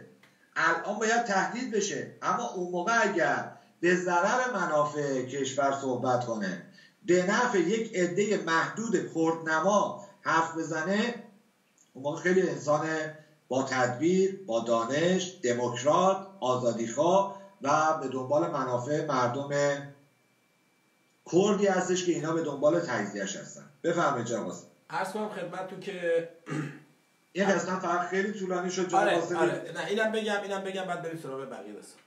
آقای علی ناجوان مردی اولا شاهزاده رضا پهلوی در داستان تکلیفش ایشون روشنه. ایشون تنها شخصیتی است تنها شخصیتی است حتی شهبانو فرح جای خودش. شاهزاده در میدان سیاسی اپوزیسیون. تنها شخصیتی هستند که از روز اول از سال 1357 تا همین الان موضعشون کاملا در مقابل جمهوری انگلستان آخوندی روشن و شفاف بارها و بارها اعلام کردن. در مورد تمامیت ارزی مل... کشور ایران هم همیشه صحبتاشون ایشون انجام دادن.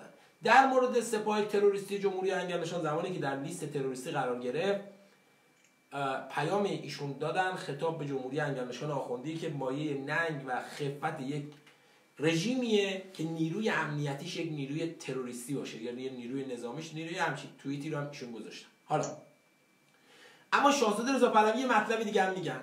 میگن آقا سازش با جمهوری انگلستان آخوندی در هر شکلش یا در هر جریان بازوش کمک به حفظ جمهوری اسلامی است.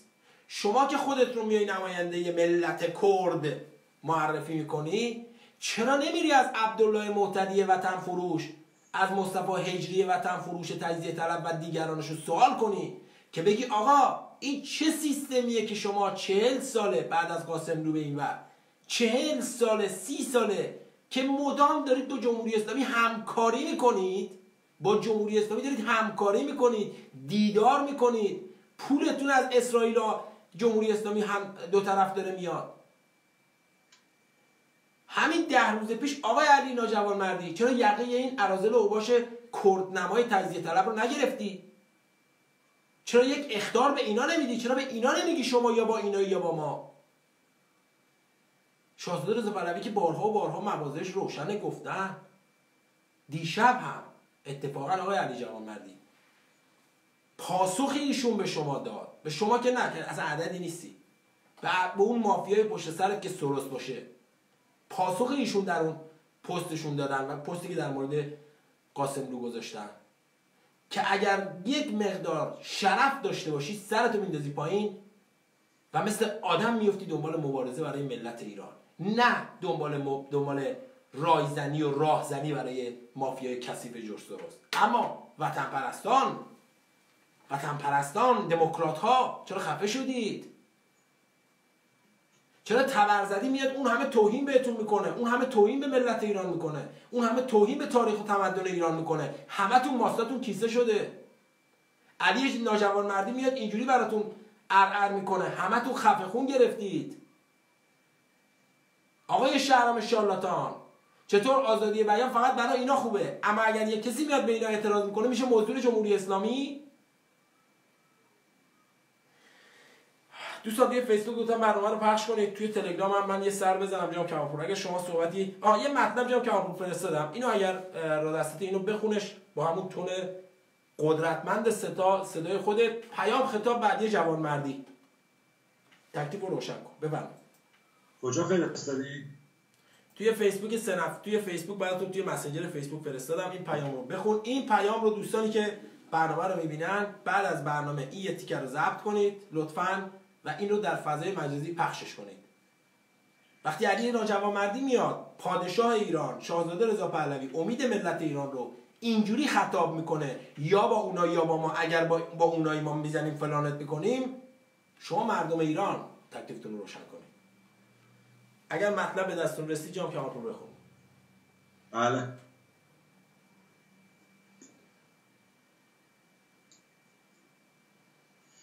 خب خدمت ارز کنم یکی از دوستان من اول این پرسش رو پاسخ بدم که نوشته بودن چرا کردهای تجزیه طلب سراغ ترکیه نمیرن؟ خب قاعدتا از نظر استراتژی کشور ایران بسیار حائز اهمیتتر هست تا ترکیه. اگر اینها بتونن موفق بشن و مافیا اون برنامه بیش از 115 سالی که دارن اجرا می‌کنن و در طول این 7 80 سال گذاشتن پشتش بتونن کردستان رو از ایران بکنن قطعا کندن کردستان از ترکیه و عراق به مراتب راحتتر همونطوری که دیدید در اقلیم کردستان انتخابات گذاشتن و بلافاصله بعد از انتخابات که مردم رأی دادن و قبول کردن. اسرائیل این انتخابات رو به رسمیت شناخت جدایی و استقلال اقلیم کردستان رو به رسمیت شناخت. اما جامعه جهانی رد کرد و قبول نکرد و به رسمیت نشناخت اختار دادن و موفق نشدن. به دلیل اینکه تا تکلیف کردستان ایران معلوم نشونه نمی‌تونن کاری بکنن و این فشارها به خاطر اینه. اما متنی که ارسال شده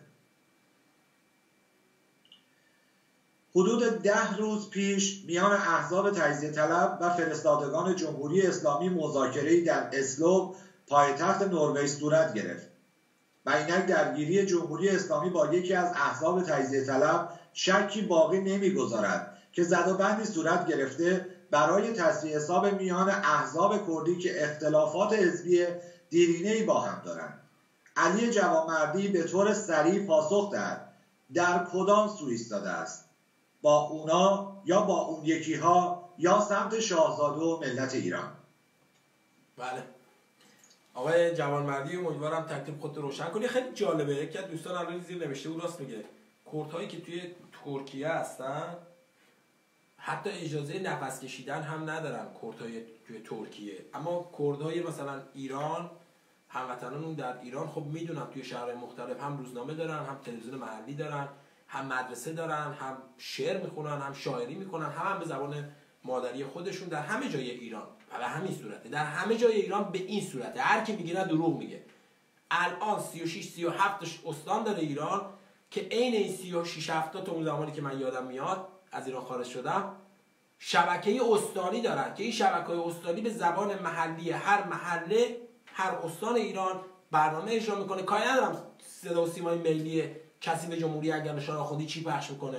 مهم نیست. اما حداقل به زبان اون گویش اون منطقه این شبکه های محلی هست و این مزخرفاتی هم که امثال اقدس اقدس پشگویی و دیگران حسین برو قرو شرفگندی و این افراد میان میگن نه مش مزخرفیه فقط پیرن عثمان به قول خودشون برای پیشبرد اعداش خب من یه سر به تلگرام به اینستاگرام بزنم جام کمال بچه بعدی رو صحبت شروع کنیم که این شما شما زمینش رو بچین بریم جلو. خواهش خدمت رو عرض کنم اصولا وقتی صحبت از نافرمانی مدنی میشه یک سری ابزاری برای نافرمانی مدنی وجود داره. تا برسونه اون جامعه رو به گذار از رژیمی که در اون کشور قدرت رو به دست گرفته یا به دست داره. ابزاری که در نافرمانی مدنی اصولا به صورت نقش کلیدی دارن ایفا, ایفا نقش می‌کنن در از یکی از مهمترینش اعتصابات هست. بعد از اعتراضات اعتصابات مهمترین نقش رو می‌تونه بازی بکنه در سرنگونی یک رژیم به صورت نافرمانی مدنی بدون خشونت. برای رسیدن به اعتصابات سراسری یک سری عواملی هستن در جامعه که اونها می‌تونن نقش پیشرو رو بازی بکنن. در تمام دنیا در تمام کشورهای دنیا مردم مردم عادی به دو خیلی علاقه دارن. یکی ورزشکاران هستند که در تیم‌های ملی بازی می‌کنن در حالا هر تیم ملی. و پیرو اونها هستن و از اونها برای خودشون در تخیل و تفکرات خودشون قهرمان سازی می‌کنن. یکی هم هنرمندان در هر گرایشی و مهمترینشون های سینما و تلویزیون و اینها هستن که مردم باشون در تنهایی خودشون هم صحبت می‌کنن ارتباط برقرار می‌کنن حرف می‌زنن. امروز در جامعه هنری و ورزشی ما در داخل ایران بدتر از جامعه عادی رخوت و بیهستی سیاسی وجود داره. بیشتر از جامعه عادی ما بیمسئولیتی و لاعبالیگری سیاسی وجود داره.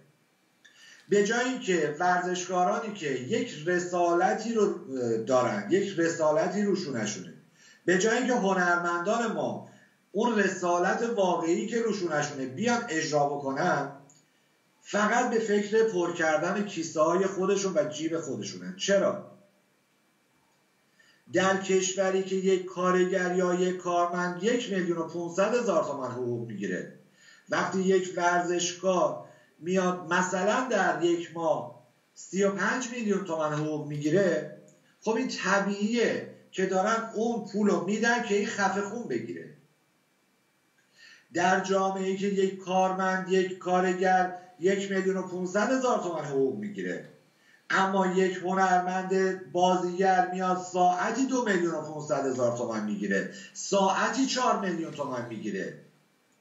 یک کنسرت می‌ذاره خواننده 60 میلیون تومن می‌گیره برای یک شب. یه خواننده میاد 270 میلیون تومان می‌گیره. یه استنداپ کمدی میاد 85 میلیون تومان می‌گیره. این پول پول خون مردمیه که داره پرداخت میشه تا اونها خفه خون بگیرن. تطمیع دارن میشن با اون پول. وقتی میاد در یک فیلم سینمایی از طرف دولت در یک سریال تلویزیونی از طرف دولت ماشین هدیه داده میشه به نقش های اول زن و مرد و کارگردان و تهیه کننده و هر ماشین 450 میلیون تومن قیمتشه. این به خاطر هنر نیست. به خاطر بستن دهن اون هنربنده. نه اینکه بگم تو خیلی هنرمندی نه. میگن دهنتون رو ببندید زاویه هنر اعتراضی و اون کاری که شما باید برای جامعت انجام بدید باید بیای از مردم دفاع بکنی. هنر رو ببری به سمت نشون دادن آسیب های اجتماعی یا مردم رو بدی به سمت اعتراض. مردم رو هوشیار بکنی. دهن رو ببند صدا در نیاد و بشین. بعد از چند وقت ما دیدیم که حالا خیلی از رسانه ها و در یوتیوب و خیلی از اینایی که دوست دارن چیز بکنن یک سریالی پخش شد به اسم گاندو فوری اومدن دست گرفتن. مگه تا قبل از گاندو که اومده سیستم اطلاعات جمهوری اسلامی اونم به صورت مثلا ده درصدش رو داره فاش می‌کنن سر برنامه جیسون رضاییان؟ هیچ پروژه حکومتی اجرا نشده. این آقایون کجا بودن که اون موقع که قلاده های طلا رو ساختن آقای طالبی اومد پخش کرد با اون امتیازات کلان در سینمای ایران بیان اعتراض بکنن؟ چرا اون موقع اعتراض نکردن؟ چرا به هنرمندا اعتراض نمی‌کنن؟ چرا میان هنرمندا رو از این قضیه مستثنا می‌کنن. حالا چه فرق نمی‌کنه؟ چه در وادی بازیگری چه در خوانندگی چه در آهنگسازی چه در تئاتر چه در نقاشی مجسمه سازی هنرمند هنرمنده و یک سری پیرو پشت سرش هستن. چرا میان اینا رو تطهیر می‌کنن؟ چرا اینا رو میان یک بخشی به عنوان تافته جدا بافته از جامعه ایران قلم داد می‌کنن و سعی می‌کنن به زور به ذهن مخاطب عام ما که عرض کردم عام به چه معناست با سرنگ تزریق کنن که شما نمی‌تونی از اینا ایراد بگیری. چرا نمیشه ایراد گرفت؟ اگر امروز هنرمند ایرانی که در داخل ایران داره بازی می‌کنه ورزشکار ایرانی که در داخل ایران داره پولهای کلام می‌گیره به فکر جامعهش نباشه پس کی باید باشه؟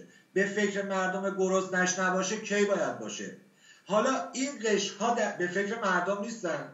مردم ما هم که به فکر خودشون نیستن. یه برنامه ما داشتیم مدت سه سال پیش اینا رو مطرح کردم. دوستان برن در فیسبوک من. هستش مربوط به دو سال و نیم یا حدود سه سال پیش در رابطه با ورزشکاران هنرمندان و ارتشیان مردم که به فکر خودشون نیستن. ورزشکارا و هنرمندان که به فکر جامعه به فکر ایران به فکر کشور و مردمشون نیستن. بخش عمده از جامعه امروز ایران قشر جوان ایرانیه. که به دنبال آینده خودش داره میدوه. حداقل این قشر که می‌تونه به فکر خودش باشه. قشری که داره میره تو سینما بلیت 8500 تومانی بعضی از فیلم ها 25000 تومانی رو داره می‌گیره. قشری که داره میره بلیت 270000 تومانی کنسرت رو به صورت سیاه می‌خره. و اصلا به فکر این نیستش که این پول از کجا باید تامین بشه. آیا نمی‌تونه تمام اینها رو بایکوت بکنه. آیا نمی‌تونه سینما نره تئاتر نره کنسرت نره تلویزیون رو نگاه نکنه؟ نمیشه. توی خیابون نمی‌خواید بیاید. اعتراض بکنید و واهمه دارید. از کتک خوردن از شکنجه از مرگ میترسید. اشکالی نداره. تو خونه خودتون که مشکلی ندارید که. تو خونه خودتون بشینید. تلویزیون رو خاموش کنید. سینما نرید کنسرت نرید استادیوم نرید هیچ جا نرید. نمی‌خواید از این فلاکت نجات پیدا بکنید؟ نمی‌خواید زمانی که میرید استادیوم در یک دنیای آزاد وارد استادیوم بشید مثل تمام مردم دنیا. زمانی که میرید سینما زمانی که میرید تئاتر زمانی که میرید کنار دریا. مثل بقیه مردم دنیا در یک جامعه آزاد باز همراه با دموکراسی و یک کشور قانونمند. برید به زندگیتون به تفریحاتتون به هنرتون به عشق و علاقتون به اون چیزهایی که تو هوبی شما هستش یا فیورید شما هستش بهش بپردازید. چه زمانی؟ ما باید به خودمون بیایم. بفرمایید جناب واسه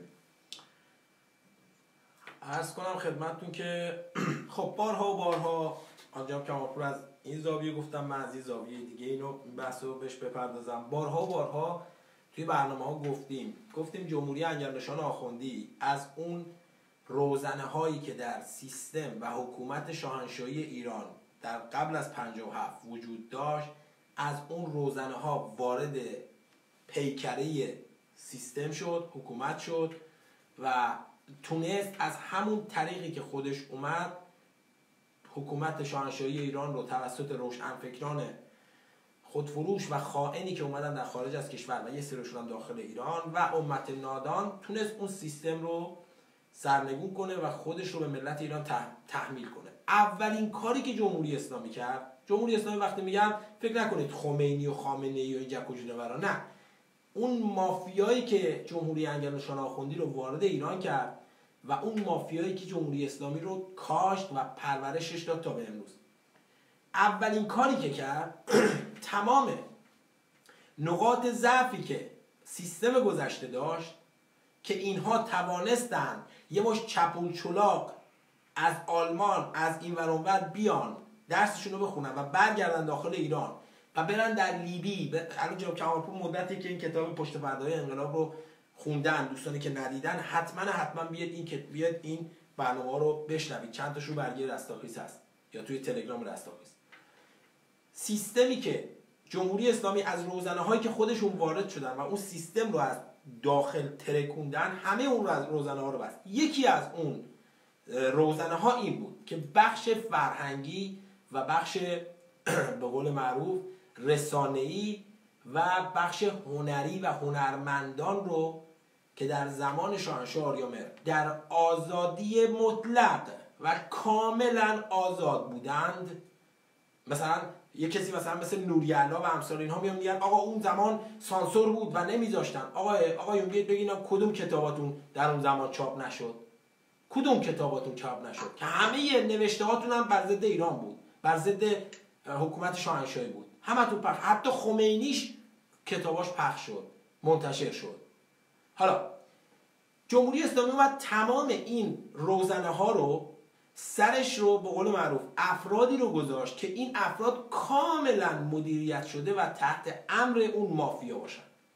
که زمانی که جامعه می‌خواد حرکت کنه و یک دگرگونی و یک انقلابی رو به راه بندازه در برنامه گذشته گفتیم فاکتور اصلی و اون جریان اصلی که باید این کار در جا داخل هر کشوری رقم بزنه جامعه مدنی اون کشوره. این جامعه مدنی یه جوری باید آگاه بشه. چجوری باید آگاه بشه؟ یا باید یک رسانه هایی باشن که با این جامعه مدنی در ارتباط باشن با جامعه باید در ارتباط باشن که توی این رسانه ها افرادی رو می‌خواد که این افراد نقد رو به حکومت وارد کنن بدون تعارف بدون به قول معروف پرده پوشی و خیلی راحت مردم رو در جریان بذارن. این چند قسمت میشه. یا طرف می‌تونه همچه که جناب کمالپور گفت بازیگر باشه. بازیگر سریال فیلم فلان. طرف می‌تونه شومن باشه. اون یکی می‌تونه روزنامه نگار باشه. این یکی می‌تونه مقاله نویس باشه. اون یکی می‌تونه شاعر باشه. در قبل از 57 اینها اتفاقا از این کانال وارد شدن. شما می‌بینید هنرمند کارگردان رادیو تلویزیون ملی ایران اون روز مثلا میشه پرویز کاردان یا امثال این کسا که میاد اون سریال ها رو می‌سازن. مثلا میاد سریال دایجان ناپلئون رو می‌سازن. یا شاعرمون میشه سیمین بهبهانی که اگر شعراشون در اون الان بخونید نسبت به اون روز می‌بینید چه مزخرفاتی گفته بر علیه سیستم شاهنشاهی. یا اون یکی شاعرمون میشه جلال آل نمی‌دونم چی چی احمد. یا پژوهشگر فرهنگی میشه اسماعیل نوری علا یا روزنامه نگار میشه علیرضا نوریزاده. یا روزنامه نگار اون روزه میشه مثلا میبودی. میشه شهرام شارلاتان. حالا شهرام شارلاتان که روزنامه نگار نبود. در قابل قالب روزنامه نگار بود. یعنی چی؟ یعنی همه اون جایگاه هایی که 57 ها داشتند جمهوری اسلامی تمام اونا رو بست که نتونن نفوذ کنن. پس جامعه مدنی چجوری باید آگاهی پیدا کنه؟ میشه تلویزیون رو نگاه می‌کنه می‌بینه سریال ساخته صبح تا شب داره در مورد خامنه ای تملق خامنه ای رو میده و دفاع می‌کنه از تجاوز جمهوری اسلامی در سوریه در یمن در عراق در لبنان و جاهای مختلف. یا هنربندانی مثل گلزار و امثال این جک و مثل پردیز پرستویی و امثال اینها رو میاره و این عمل کثیف جمهوری انگلشان آخوندی طبق خواسته مافیاش که از جمله یکی از این مافیا مافیای اسرائیلی است اینا میان و اینو توجیه می‌کنن. خب پس این جامعه مدنی این قسمت کارش لنگه. این قسمت کارش لنگه. میاد تو قسمت دیگهش که رهبری جامعه مدنی باشه که قبلا در موردش توضیح دادم. افرادی رو آوردن در رأس این جامعه مدنی داخل ایران گذاشتن. مثل نوریزاده مثل نوریزاد مثل شیرین چیه؟ نرگس محمدی مثل نسرین ستوده و دیگرانی که اینها هم مهرهای خود جمهوری اسلامی هن که به زمانش باید نقش عوض کنن پس جامعه مدنی داخل ایران هم مثل ملت خارج از کشور که یه اپوزیسیون در به داغونی داره می‌بینه اون جامعه هم بلا تکلیفه. کاری که سال 57 کردن جامعه مدنی رو همراه با اون هسته هایی که در لیبی و لبنان و فلان و فلان آموزش چریکی دیده بودن آموزش تروریستی دیده بودن حتی داخل سیستم داخل کشور ایران سازمان مجاهدین آموزش داده شده بود جامعه مدنی به این هسته پیوست و اون فاجعه 57 اتفاق افتاد. حالا ملت می‌خوان حرکت کنن. جامعه مدنی لنگه. چون اون اطلاعات رو نداره اون بینش رو نداره اون نقد رو هنرمند بهش به قول معروف نداده بازیگر بهش نداده شاعر اومده شاعری کرده برای خامنه ای و آخوند نویسنده اومده مزخرف نوشته برنامه ساز اومده مزخرف درست کرده. اپوزیسیون خارج از کشور رسانه ها یکیش میشه شهرام شارلاتان یکیش میشه تلویزیون پارس یکیش میشه علیرضا تازی زاده و اون یکیش هم که قارقار فقط. این ور جریان بی بی سی تمام قدرتش رو به کار گرفته برای تجزیه ایران. ایر من و تو داره همین کارو می‌کنه ایران اینترنشنال داره همین کارو می‌کنه. میمونه کی؟ میمونه یه فضای مجازی. فضای مجازی هم جان همایون هم داره همین کارو می‌کنه آره گفتم شهرام شالاتان فضای مجازی هم تمام این رسانه هایی که بودن صحبتش کردم افرادی رو فرستادن در فضای مجازی که این ابزاری هم که باعث این شد که آگاهی در یک سطح بسیار بسیار بالا به داخل جامعه ایران تزریق بشه و از آبان 94 استارت خورده بشه و در دیماه 96 اون انقلاب و اون شکوه اون قیام ملی مردم ایران آغاز بشه این ابزار فضای مجازی باید از دست این ملت گرفته بشه. یه شاخش افرادی هم که به شما گفتم جمهوری اسلامی فرستاده در ترکیه کانادا این ور و میان live هایی می‌ذارن توی اینستاگرام و فلان. شرط بندی کازینو سایت معرفی می‌کنن میلیاردی پول جابجا می‌کنن. و اعمالی هم که پشت live اشون انجام میدن که اصلا می‌تونید خودتون اصلا برید کلاتون رو بذارید به دیوار. و یک سری از مردم ایران و جامعه اجتماعی مردم ایران رو این افراد تو دست گرفتن. برید نگاه کنید یارو هیچ مثل همین پرویز و پونه مثالی هست یه ویدیویی هست من بارها گذاشتم. با قول یارو هیچ هنری نداره هیچ چیزی نداره ولی مزخرفاتی رو که جلوی اون دوربین اون کارایی انجام میده افکار عمومی رو جذب خودش می‌کنه.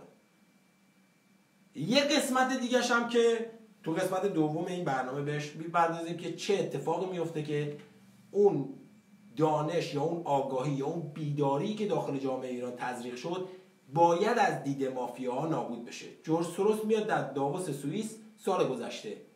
با بی بی سی مصاحبه می‌کنه هست روی سایت بی بی سی می‌تونید برید نگاه کنید. و میگه فیسبوک عاملی شده برای اینکه ما نتونیم دموکراسی رو در بعضی از کشورها پیاده کنیم. جلسه در مورد ایرانه و فیسبوک هم ابزار دست ایرانیانی نظیر ما بودن که حالا پرونده این شخص رو برای دوستان باز کردن بنابراین الان می‌بینید هر نیروی راستی هر نیرویی که دنبال ملیگرایی و ناسیونالیسم ایرانی مخصوصا باشه از طرف فیسبوک محدودیت های بسیار بسیار شدیدی بهش تحمیل میشه. به لطف عراض باشی که در قسمت دوم برنامه بهش خواهیم رسید. خب جام کمال شما توضیحاتی اگه هست بدید تا بریم سراغ قسمت در بخش بعدی که جناب قاسمی اشاره کردن همین روشنفکرها خب یه بخشی از این روشنفکرها همیشه تو بخش هنرمندا بودن. حالا چه نویسنده باشه چه هر چیز دیگه. اما یک سری از این روشنفکرها اساتید دانشگاه هستن معلم ها هستن اینها الان کجا هستن؟ چرا اینها اقدامی نمی‌کنن؟ ببینید بعضی میگن اتحادیه یا سنف معلمی.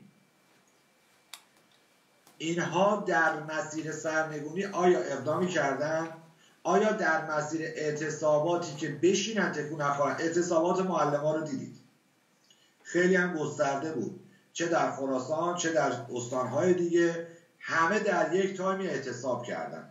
بارها بارها اشاره کردیم اگر اعتصابی میشه باید همه با هم به صورت دراز مدت بشینن. یعنی یک ماه.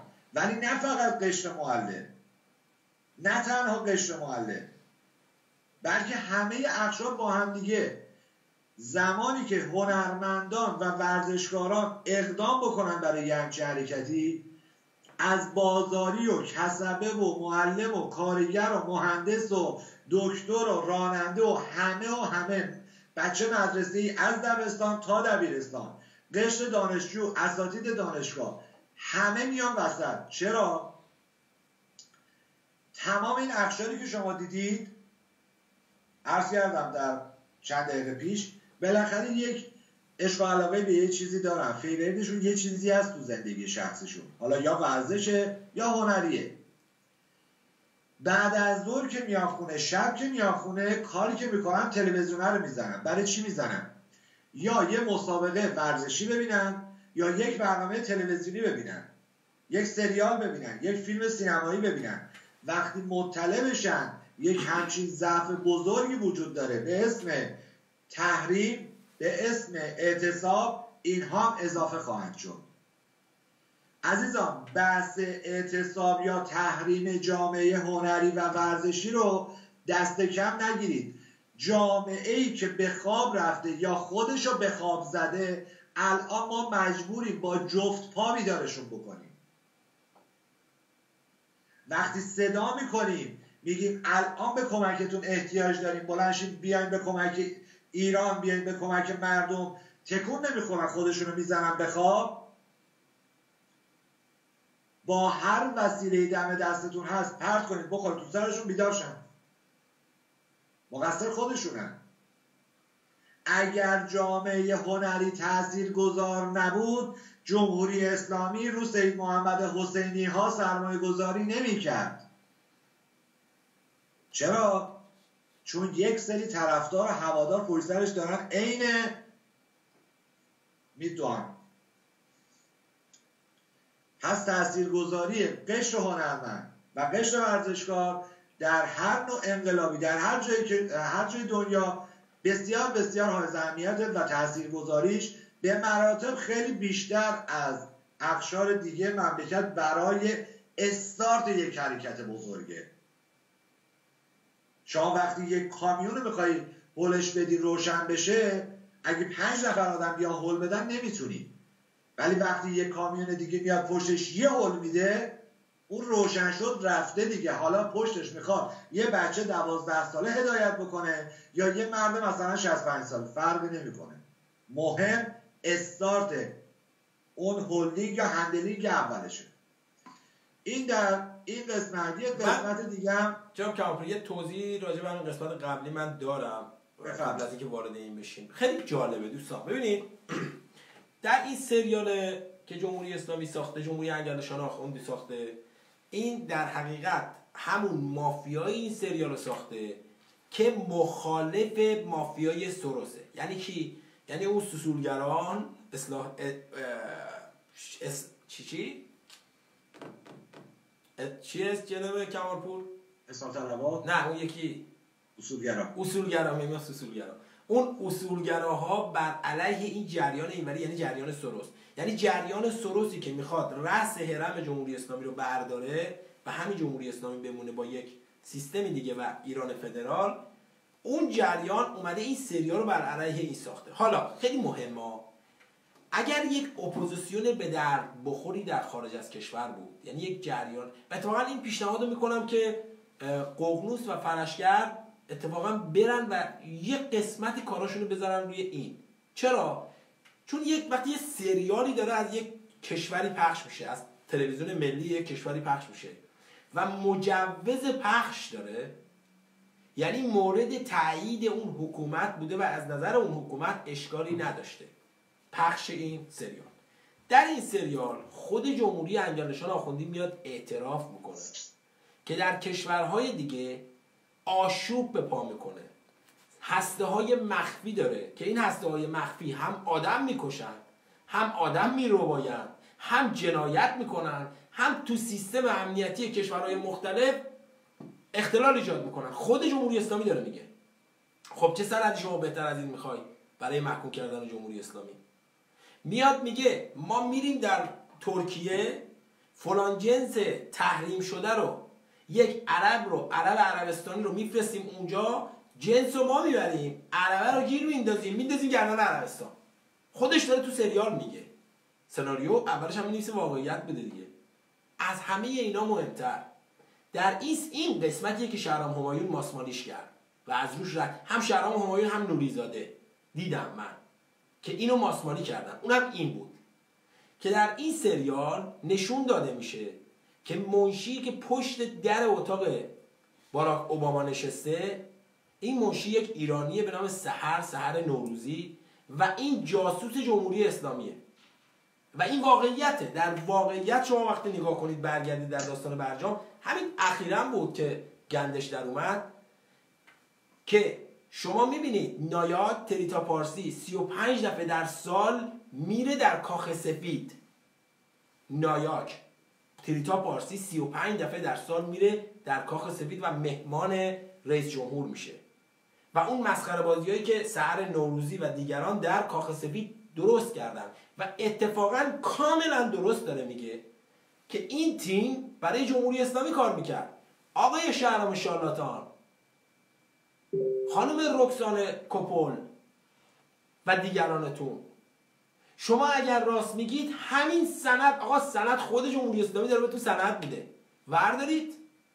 وکیل و مکیل هم که آقای شهرام همایون تا دلت بخواد تو دم دستگاه هست. برای که پول ملت رو بدزدی دزدها رو که می‌خوام پولا رو بدزدن بیای بهشون اقامت بدی. الان جدیدا توی ترکیه دفتر زدی با تلفن لس آنجلس.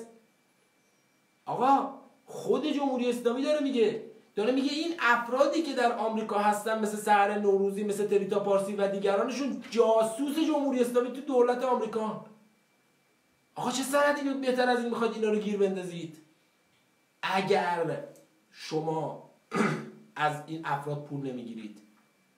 یا اپوزیسیون به در بخور می‌خواد دیگه. یه تیم بذارم. آقا این سریال خود جمهوری اسلامی داره میده. این اصلا ربطی هم به کسی نداره. خود سیستم داره میده. میگه آقا اینو اینو اینو این این مجموعه جاسوس ما هستن توی آمریکا. آقای علی جوان مردی یه کمپین می‌ذاری برای آقازاده ها میری پولتو می‌گیری. میری کمپین می‌ذاری برای آقازاده ها میری, میری پول می‌گیری. خب چه ایرادی داره؟ بیای روی این جریان کار کنی. آقا اصلا ما میگیم این سریال گاندو تمامش واقعیت. خب جاسوسا رو شناسایی کنید. محاکمهشون کنید. به همین سادگی. مرا جان رفتی؟ کجا رفتی؟ خب بریم دوستان. تا جام کمالپور بیاد. لطفا دوستان عزیز توی فیسبوک برنامه رو پخش کنید. توی اینستاگرام هم اگر دوستان مشکلی چیزی بود لطفا یکی از عزیزان بیاد توی فیسبوک برای من بنویسی که من درستش کنم ظاهرا قطع شده. یه لحظه اجازه بدید.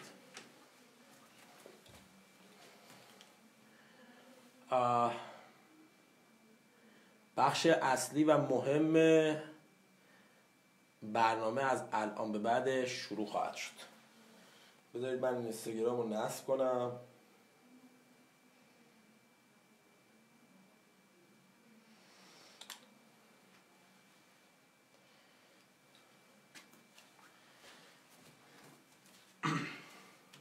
تا شما اینستاگرام بحث بکنید من یه قسمت رو توضیح بدم. ببین نه براجان یه لحظه اجازه بده یه لحظه اجازه بده این این درست نیست. شما بری راحت سیگار تو بکشی تلگرام نوشتم. من ندارم ببخشید. می‌خوای یه آهنگ گوش کنیم بعد بریم سراغ چیز؟ من یه قسمت رو بگم چون می‌خوایم بریم قسمت دوم. این یه خیلی کوتاه اینو بگم. آره بگو از قبل جا افتاده.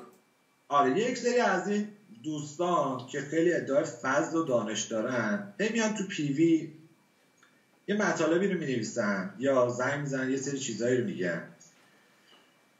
در رابطه با کرکس و خرکس و پرستو و این چیزا. اولا اینکه من و سعید قاسمی بچه کلاس اول نیستیم. جفت اونم شکارچی های ماهری هستیم. در طول این چند سالی که داریم فعالیت می‌کنیم کم از این پروژه ها رو ما اتفاق نیفتاده.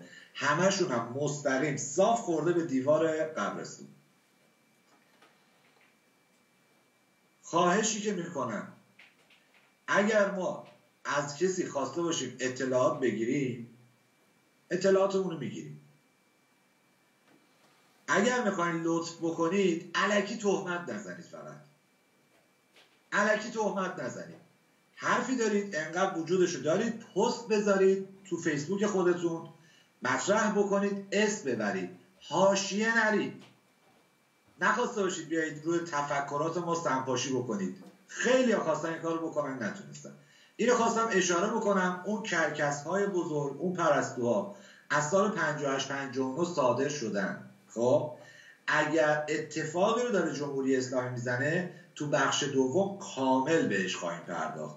این موسیقی رو گوش کنیم بریم وارد بخش دوم بشیم. بخش بسیار زیباتری خواهد. چاپ یک آهنگی شاروخ داره جدیدن داده بیرون توی تلگرامشه. برای من اگر اینستاگرام تلگرام شاروخ داری فورواردش کن. چون من توی بله. چون من توی گوشیم گوشی من باش اینستاگرام گذاشتم. یا آهنگی جدیدن آپلود کرد توی تلگرامش. یس yes, اون برای من بفرستید لطفا. خب دوستان توی فیسبوک لطفا برنامه رو پخش کنید. با اجازهتون یه آهنگ می‌ذاریم. من برم از داخل یوتیوب هستش. چه آهنگ یوتیوب. مشکلی نیست بفرستید من آهنگ شارخو می‌ذارم یه چند دقیقه یه تنفس بدیم برمیگردیم. جایی نرید همینجا باشید. الان میایید با اصل داستان. اون افرادی هم که پشت درش بخش ببخشید بخش دوم خیلی زیباست. تقریبا سیزده قسمت بشینید نگاه کنید. هم به قول آقای همایون که آخونده فیض دنیوی اخروی ببرید. بفرمایید واسه عرض کنم خدمتتون که آهنگ شاهرخ رو بشنویم برمیگردیم. مرا جان شما اگه میخوایی استراحتی بکن استراحت بکن الان برمیگردیم. دوستان هیچ کجا نرید همینجا باشید. توی فیسبوک هم پخش کنید. اون کسایی هم که پشت در نشستن بیاید داخل. کاری باتون نداریم. بیاید لاغت شاید چهار تا چیز یاد گرفتید. خیلی جالبه. ببخشید آقای شاروخ یه لحظه اجازه بده.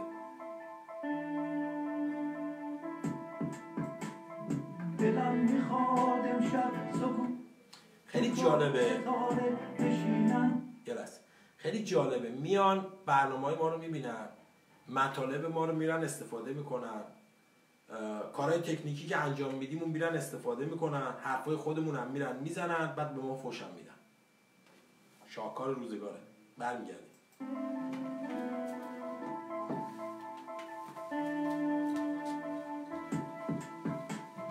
دلم می‌خواد امشب سکوت و ستاره بشینم تو ریمون کنار دوباره. دلم می‌خواد امشب که با تو بشینم با دستات و محکم تو دستان بگیرم خاطر سازی کنم. موهای تو خیرشم خیرشم به چشمای تو ترانه سازی کنم.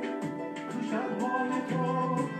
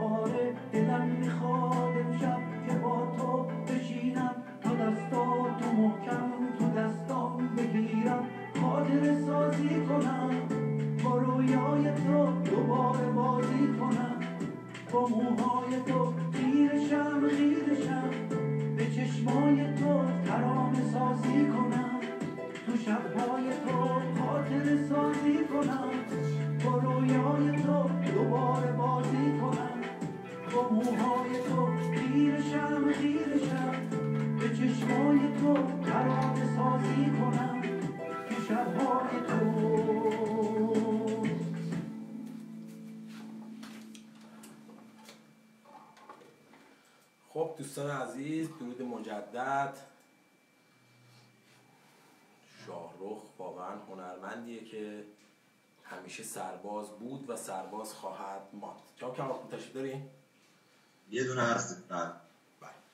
خب بریم سراغ قسمت دوم برنامه. قسمت دوم که نه در حقیقت قسمت دومه. ولی قسمت مهم برنامه است.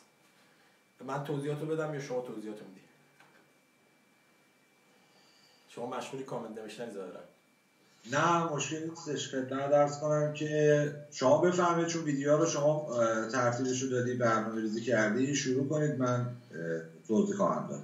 خب دوستان عزیز از توی صحبت قبل رسیدیم به یه جایی که این ابزار یا فضای مجازی که در دست ملت ایران هست این توسط مافیا باید مصادره بشه یا به لجن کشیده بشه. در حقیقت شاید اون کسایی که فضای مجازی رو اومدن به قول معروف ابداع کردن و در موردش زحمت کشیدن تلاش کردن افرادی بودن که بعدا در اختیار همین مافیا قرار گرفتن. چون هیچ کاری رو شما در این سطح نمی‌تونی خارج از محدوده این مافیاها انجام بدی. بنابراین همیشه سعی می‌کنن که همه اینا رو کنترل کنن. اما اتفاقی که افتاد این بود.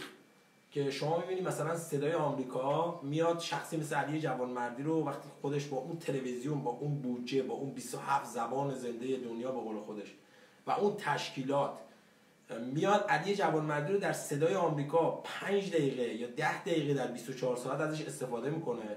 اما در فضای مجازی مرتب عین 12 ساعتش رو داره ازش کار می‌کشه. صدای آمریکایی که پشتش جک و جونورایی هم مثل سوروس مثل مثل ستاره درخشش و امثال اینها و همون جریانایی که یا پشت پشت مجاهدین خر هستن یا پشت جریان اصلاح طلبان. می‌بینید علی جوانمردی رو یا اون یکی کی اسمش؟ معصوم قومی رو در فضای مجازی رهاش می‌کنن و کمکش می‌کنن پروپاگاندا واسش درست می‌کنن که فضای مجازی هم در دست اینها باشه. یعنی در حقیقت صدا و سیمای ملی جمهوری اسلامی که در اختیار مافیاست در اختیار مافیاست همین مافیای غرب اشتباه می‌کنن کسایی که فکر می‌کنن هر چی صدا و سیما داره پخش می‌کنه و خواسته آخونده یا عقل آخوند به این چیزا می‌رسه خواسته خواسته مافیاست برای مغزشویی. رسانه های خارج از کشور هم که در اختیار مافیا هستن که اینو در موردش بارها و بارها صحبت کردیم. رسانه های مافیایی خارج از کشور که در رأس شاخه اقتصادی این رسانه ها شخصی به نام منوچه ساشمشی یا همون منشه امیر که بارها و بارها در موردش صحبت کردیم و چغندر ناقل از قلب تلاویب به قول معروف مشتری حمال اسرائیل و دیگرانشون شروع کردن به جفتک اندازی در مورد این شخص و این شخص هم توضیحی که باید می‌داد رو نداد. پس رسانه های داخل در اختیار مافیا رسانه های خارج از کشور هم در اختیار مافیا. فضای مجازی میمونه. این فضای مجازی هم مافیا باید یه جوری مدیریتش کنه. یه قسمتش شد افرادی که فرستاده دارید می‌بینید اکثرا هم در ترکیه هستن. شرطبندی های میلیاردی ماشین های فراری لامبورگینی پورش و امثال اینها دیدید احتمالا توی اینستاگرام دوستانی که هستن می‌دونن من چی رو میگم. مثلا یه برنامه سیاسی باید 50 نفر 60 نفر live ببیننش ولی اون افراد بزک شده جمهوری انگلشان آخوندی که فرستاده شدن رو ده هزار نفر پنج هزار نفر 15 هزار نفر بعضی و 50 هزار نفر آنلاین باید اینا رو ببینن. اینا همش خواسته اون مافیاست. محتوایی هم ندارن به جز مزخرف چرندیاتی که جین تیوی در حقیقت داشت داخل ایران تزریق می‌کرد. میمونه یک قسمت از فضای مجازی. این قسمت از فضای مجازی هم باید در اختیار مافیا قرار گرفته بشه. چجوری در اختیار مافیا قرار گرفته بشه؟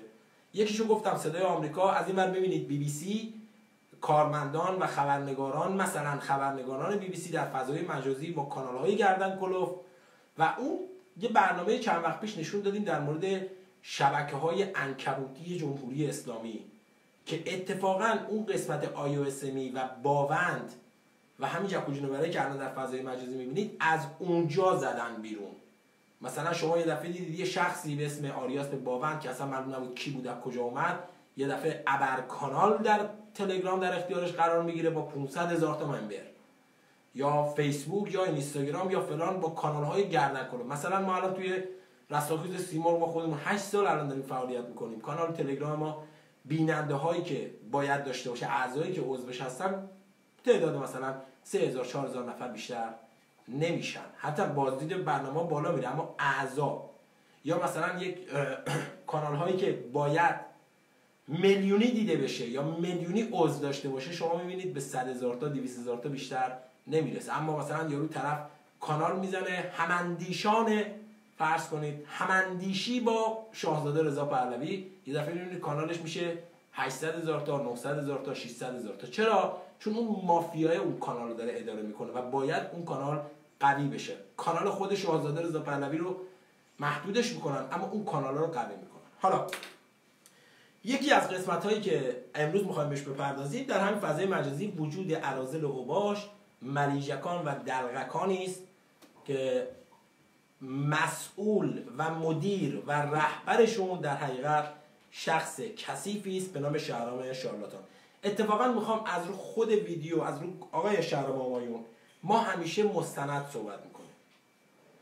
یکی از خصوصیات اصلی و بهترین خصوصیت رستاخیز سیمور همیشه همین بوده.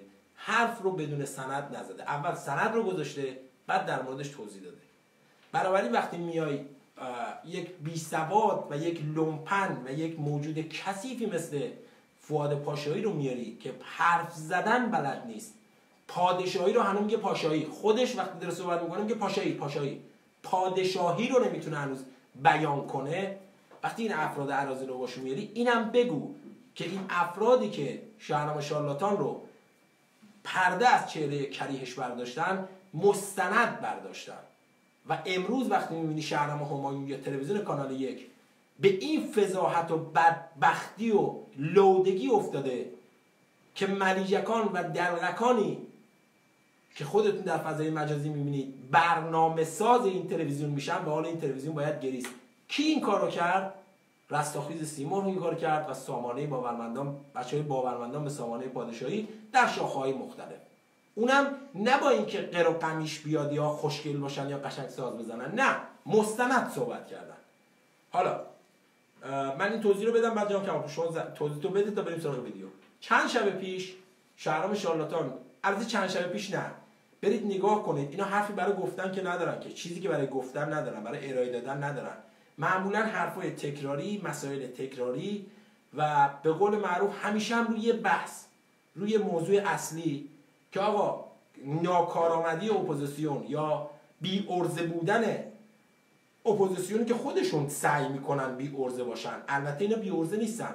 در جهت مقابل که مسئولیت دارن در جهت اصلی که مسئولیت دارن کاملا موفق بودن و کاملا روی حساب کتاب تا امروز جلو رفتن. اما این ور داستان که باید اون پل ارتباطی بین مردم ایران جامعه مدنی داخل ایران و خارج از کشور هماهنگ بشه و این دوتا بال مبارزه همزمان با هم زده بشن این افراد مرتبا سنگ اندازی کردن یا رنگ عوض کردن یا مثل چرخدنده های هرز اون جایی که نباید هرز چرخیدن و اون جایی که باید به داد جمهوری اسلامی برسن رسیدن الان بهش می‌رسیم توی ویدیویی که همین دو سه شب پیش گذاشته اصلا بقیه اون صحبت که در مورد انتقادهای یکی از دوستان آقای جوان ویدیوشو گذاشته و اون انتقادات آبکی که شهرام همایون مثلا پاسخ آبکی که به اون انتقادات داد همه اسنادش هم موجوده و خود همایون هم می‌دونه که تمام اون مزخرفاتی که بعد از اون صحبت انجام داد چرند بود و همه اسنادش هم ما داریم. اما با اوناش کاری ندارم. من فقط برنامه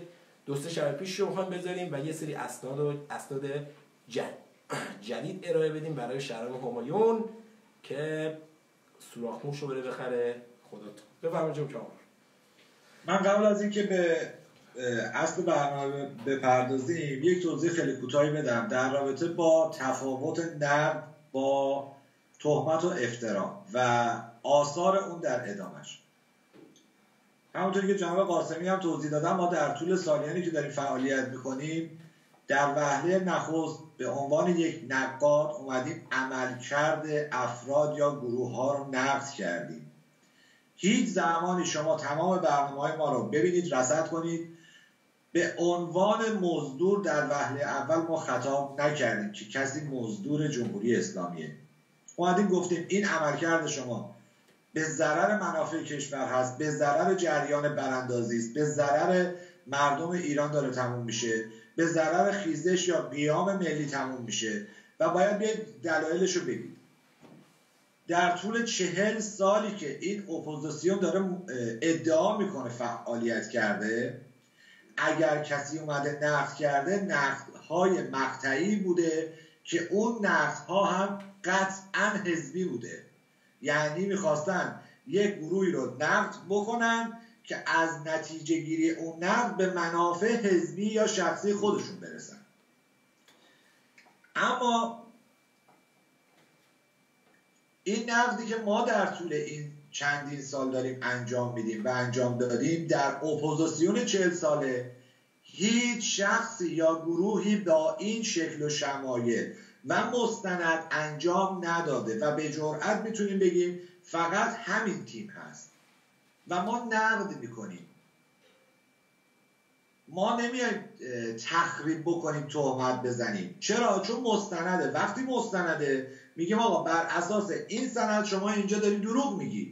بر اساس این سند داری سر مردم و کلا می‌ذاری. بر اساس این سند داری خلاف منافع ملی حرکت می‌کنی.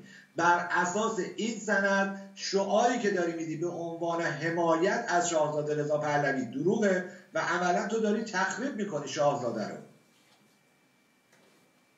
منفعتی که جمهوری اسلامی می‌بره. اولا که از نظر خود من شخصا افرادی مانند آقای همایون یا دیگران اینا مزدور نیستن. مزدور تعریف داره. بارها بارها در طول این چند سال من این یه تیکه معنی مزدور در سه بخش رو بیان کردم. اما امثال شهرام همایون ها در قالب مزدور گنجونده نمیشن. امثال امید داناها امیر عباس فخرآورها اینا مزدور نیستن. اینها عوامل هستن. شما نمی‌تونی بگی, بگی علی خامنه ای مزدور جمهوری اسلامیه. خب به هر کی بگی میخنده به شما نمی‌تونی بیای بری بگی صادق لاریجانی مزدور جمهوری اسلامیه. به هر بچه بگی به پوزخند می‌زنه. نمی‌تونی بیای بری بگی فرمانده استفا مزدوره به همین دلیل هیچ وقت شما نمی‌تونی بگی که شهرام همایون مزدوره چون عامل یک پایه است. منش امیر پایه است. ستونه. برای حفظ جمهوری اسلامی. پس به همین دلیل ما هیچ وقت حتی نه تنها خطای تاکتیکی مرتکب نمیشیم خطای لفظی هم مرتکب نمیشیم که به این افراد بگیم مزدور. اما وقتی ما میایم در جایگاه نقاد چون نقد سازنده است وقتی نقاد نباشه جامعه پر از خطاست. نقاده که مجبور می‌کنه آزمون و خطا رو به سمت اصلاح به سمت درستی ببره. یعنی همون راستی آزمایی توسط نقاد باید صورت بگیره. خطا رو گوشزد می‌کنه مردم میشنون مطالبه می‌کنن درست شدن اون مسیر وقتی ما میایم نقد می‌کنیم در قبالش پاسخی که باید بگیریم دو اتفاقه. یا شخصی که مورد نقد قرار گرفته گروهی که مورد نقد قرار گرفته باید بیاد دلایلش رو مبتنی بر نقض اون نقد اعلام بکنه. بگه نه این نقدایی که دارید شما میگید بیپای و اساسه اسناد و مدارک شما و اساسه و حرف ما رفتار ما کردار و اندیشه ما اسناد ما مستدل هست و این برنامه پروژه تر فراخان هر چیزی که داریم میدیم درسته. چه از نظر دیدگاه تاکتیکی چه تکنیکی که در یک قالب بهش میگن استراتژی پایده یا باید بیان این کارو بکنن یا نه. عملا این کارو نمی‌کنن. می‌ذارن اینو کنار درشو میبندن بیخیالش میشن میان میگن خب ما جوابی نداریم بدیم به این دو نفر. چیکار باید بکنیم؟ باید بیایم دست بزنیم به تخریب. وقتی شروع می‌کنن به تخریب شخصیتی یا همون ترور شخصیتی که یکی از اصولی ترین و پایه ترین آموزه های سیستم های امنیتی در جهان بوده و از زمان شاهنشاه فرید یا حتی رضا شاه بزرگ شما نگاه کنید این قضیه بوده وجود داشته تا به همین امروز و عمده ترین عناصر این کار هم حزب توده بوده چپیا بودن و توده ها سرآمد این اتفاق کثیف بودن در کشورمون اتفاقی که رخ میده جامعه ایران نقد و میشنوه در قبال پاسخ تهمت میشنوه افترا میشنوه. و برنده کی میشه این وسط؟ از درامیختگی تفکرات مردمی و کلاف سردرگم ساختن برای مردم برنده جمهوری اسلامی میشه. برنده جمهوری اسلامیه. یعنی پایه های اساسی حافظ جمهوری اسلامی چه از نظر سیاسی چه از نظر مبارزاتی چه از نظر رسانه‌ای به جای پاسخگو بودن با دست به ترور شخصیتی و تهمت و افترا و تخریب. اون هم بدون پایه و اساس که امشب دیگه بهتون ثابت می‌کنیم که اینا هیچ سند و مدرکی ندارن. باعث این میشن که مردم کلاف سردرگم بشن. طرف بدون که ما دو نفر رو ببینه یه نفر دو نفر نه. فکر می‌کنن که ما دو نفر واقعا مزدور جمهوری اسلامی مأمور سپاهیم نمی‌دونم آی فلانه. الان میلیون ها دلار و یورو اینا پول در حسابای ما بلاک شده بسته شده داریم خرجش می‌کنیم و و و از سر شکم سیری نشستیم اینجا داریم عراجیف میبافیم. ولی امشب در ادامه برنامه با اسناد و مدارک دوباره بهتون ثابت می‌کنیم که تماما اینها فاقد کوچکترین سند فاقد کوچکترین خرد و تماما تشکیل شدن از یک سری پارادوکس های گفتاری و رفتاری و کرداری. جناب قاسمی بفرمایید. بله من یه مطلبی رو بگم. ببینید دوستان خیلی جالبه. الان یه ویدیویی بود نمی‌دونم جناب کمال فکر کنم شما اون رو داشتی که صحبت حسن روحانیه و اومدن میکسش کردن با یه سری جوکای مهران مدیری و امثال اینا. اگه دم دست اون اون برای من بفرستش لطفا. خیلی جالبه دوستان. اگه در دستت بفرستش یا تلگرام یا اه، اسکای تلگرام بفرست ببینید. و الان مثلا خیلی جالب. آخوند روحانی یا دیگرانشون یا خامنه یا بقیه جمعشون میان علنا جلوی دوربین یا پشت تریبون یا پشت تلویزیون رسما به ملت دروغ میگن. در کمال پررویی میان به ملت دروغ میگن. و چون این کانال یک طرف است این تریبون یک طرف است و داخل هم اجازه صحبت به کسی داده نمیشه اینا همیشه در خیال خودشون پیروزن. چون همیشه دارن حرفشون رو می‌زنن و کسی اینجا حرفشون رو نگرفته. حالا چرا ما مثلا به این توی این برنامه همون به یه شخصی مثل شهرام همایون معمولا صحبتشون می‌کنیم؟ چون به این اعتقاد داریم. طبق اسنادی که توی این چندین سال بوده برنامه که خود ما گذاشتیم. شبکه ای مثلا مثل شبکه بی بی سی یا صدای آمریکا یا جانوری و امثال اینها اینا دستشون برای ملت ایران بازه. یعنی وقتی علی جوان مردی میاد میره در یک جلسه یه تجزیه طلبان شرکت می‌کنه و وقتی میاد برنامه می‌ذاره و میگه آقا در آینده ایران فدرالیست خواه هم باید حزب داشته باشه تجزیه طلب هم باید حزب داشته باشه مجاهد خلق هم باید حزب داشته باشه اما پادشاهی نه. خب این تکلیفش برای ملت ایران روشنه.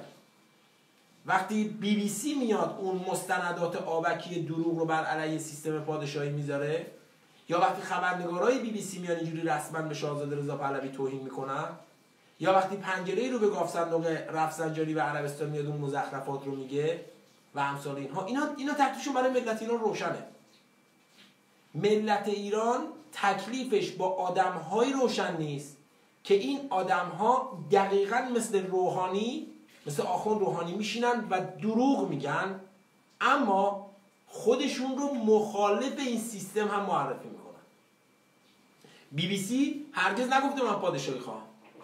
بی بی سی هرگز نگفته من از شاهزاده رضا پهلوی حمایت می‌کنم. بی بی سی هرگز نیومده به اسم خاندان پهلوی سکه حلبی بفروشه به ملت. بی بی سی هرگز نیومده به اسم خاندان پهلوی مردم جمع کنه ببره نیویورک کلاه بذاره سرشون صدای آمریکا این کارو نکرده. علیرضا تازیزاده این کارو نکرده. پارس این کارو نمی‌کنه.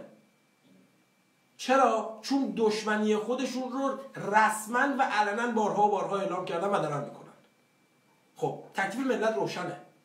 تکلیف مردم با جنتی روشنه. تکلیف مردم با حسام الدین آشنا و سعید قاسمی داخل ایران و مصطفی تایزاده و زیبا کلام و بقیه این جکوجونه برای روشن. آقا کیه که تکلیفش روشن نیست با اینا؟ ما هدفمون اینه که آقا اون جهات رو دید دارید یه دشمن گردن کلوف دارید نه شهرام همایونا. یک جریان گردن کلفته. که این جریان گردن کلوف پوستینی بر تن داره.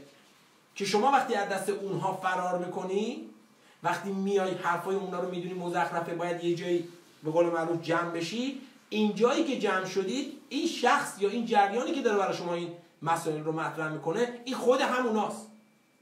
همون گرگست در لباس میش. و شاخصترینش هم شیاد و کلاهبرداریه به اسم شهرام همایون. حالا اتفاقا این قسمت از فضای مجازی که در موردش صحبت کردم هم مأموریت شخص کسی به شهرام همایون با دستور مستقیم منوچهر ساشمشی ملقب منشه امیره که باید فضای مجازی ایرانی پاک بشه. از دید اونها از دید اقدس پشگویی که من و مهران کمالپور میشیم مزدور. باید فضای مجازی از وجود امثال ما پاک بشه حالا این به طرق مختلف. یا گزارشت می‌کنن یا صفت می‌زنن یا حکت می‌کنن یا برات ویدیو درست می‌کنن یا نمی‌دونم خرکس مثل شکوه میرزادگی برات میفرستن یا امثال این جکوجین مرایی که دارید می‌بینید. حالا بریم سراغ برنامه چند شب آ من ویدیو ش... روحانی رو بذارم. چرا کمال چرا میخندی؟ من اون ویدیو رو نذاشتم شما داری میخندی. نکن این کارا رو دیگه. میکروفونت بسته است. میگم اگه ناراحت میخندم می‌خوای نخند.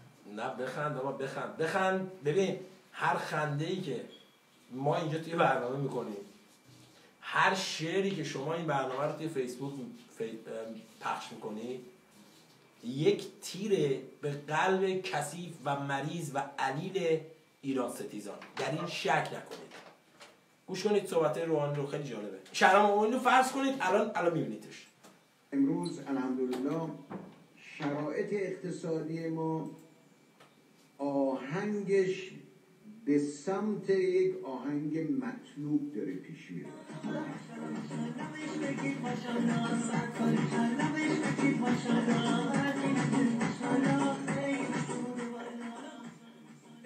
مردم ما از شش ماه پیش از یک سال پیش آرامش بهتری دارن.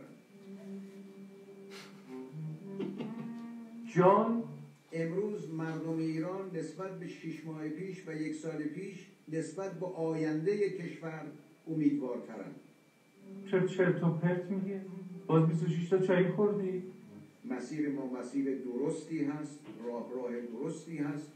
چرا اینقدر بیشوری؟ چرا نمیمیری؟ چرا تموم نمیشی؟ پاشو برو بمیر پاشو برو. وجدانن اینو نگاه کنید خب حالا برنامه شهرام همایون من این یه تیکش الان براتون می‌ذارم دیگه می‌خواید صحبت کنید اگر چیزی کمتر از همین حسن روحانی داشت بیاد من به شما جایزه میدم. مهران اگه صحبت داری بفرما اگه سراغ میکروفون بسته است. نه میکروفون هم باز. چیزی ندارم برای گفتن بدون شهر بودیم بدون شهر خب بذار من اینو تنظیم کنم که هم شما رو روی صفحه داشته باشم. همین شیاد شارلاتان همایون پشمکیان رو. دوستان لطفا برنامه رو توی فیسبوک پخش کنید. فراموش نشه. من یه سرم به اینستاگرام بزنم. بزنم قطع بشه حیف بچه ها می‌خوام ببینن داخل. یه جوری تنظیم کنید که شهر همایون زیر من زیر تاثیر من نباشه. شرمانه زیر زیر اذیت نکن جناب کمالپور من این موقع یه چیزی میگم بعد دوباره این جکو جونور تو فضای مجازی من چیزی میگم شما ذهنت منطلقه چیکار آخه جدیدن جدیدن چند تا بچه چیز پیدا کرده همایون فرزند خونده داره البته معامله که پشت پرده کرده با با اون چیزایی که خودتون می‌دونید. چند تا فرزند خونده داره. اسم شهرام همایون که میاد انگار مثلا آخه شما بعد درست کردین یا خب من دارم می‌بینم دیگه نه دیگه الان خب شما ق... چیز رو دیدی. بذار صبر کن دیگه مهران جان بیا. من این چون هم اندازه کوچولوش هم کافیه. زیاد بیشتر از این هم نمی‌خوام باشه. ای دوباره چیز شد برگشت. خب به گوش کنیم. دارنده. ما در خارج از کشور سه تا جریان داریم. یه جریانی داریم که عمل می‌کنه در حدی که می‌تونه یه جریان بی تفاوت داریم که تو کنسرت هست یه جریان بازدارنده داریم. یعنی هر کس هر کاری بکنه هر کی.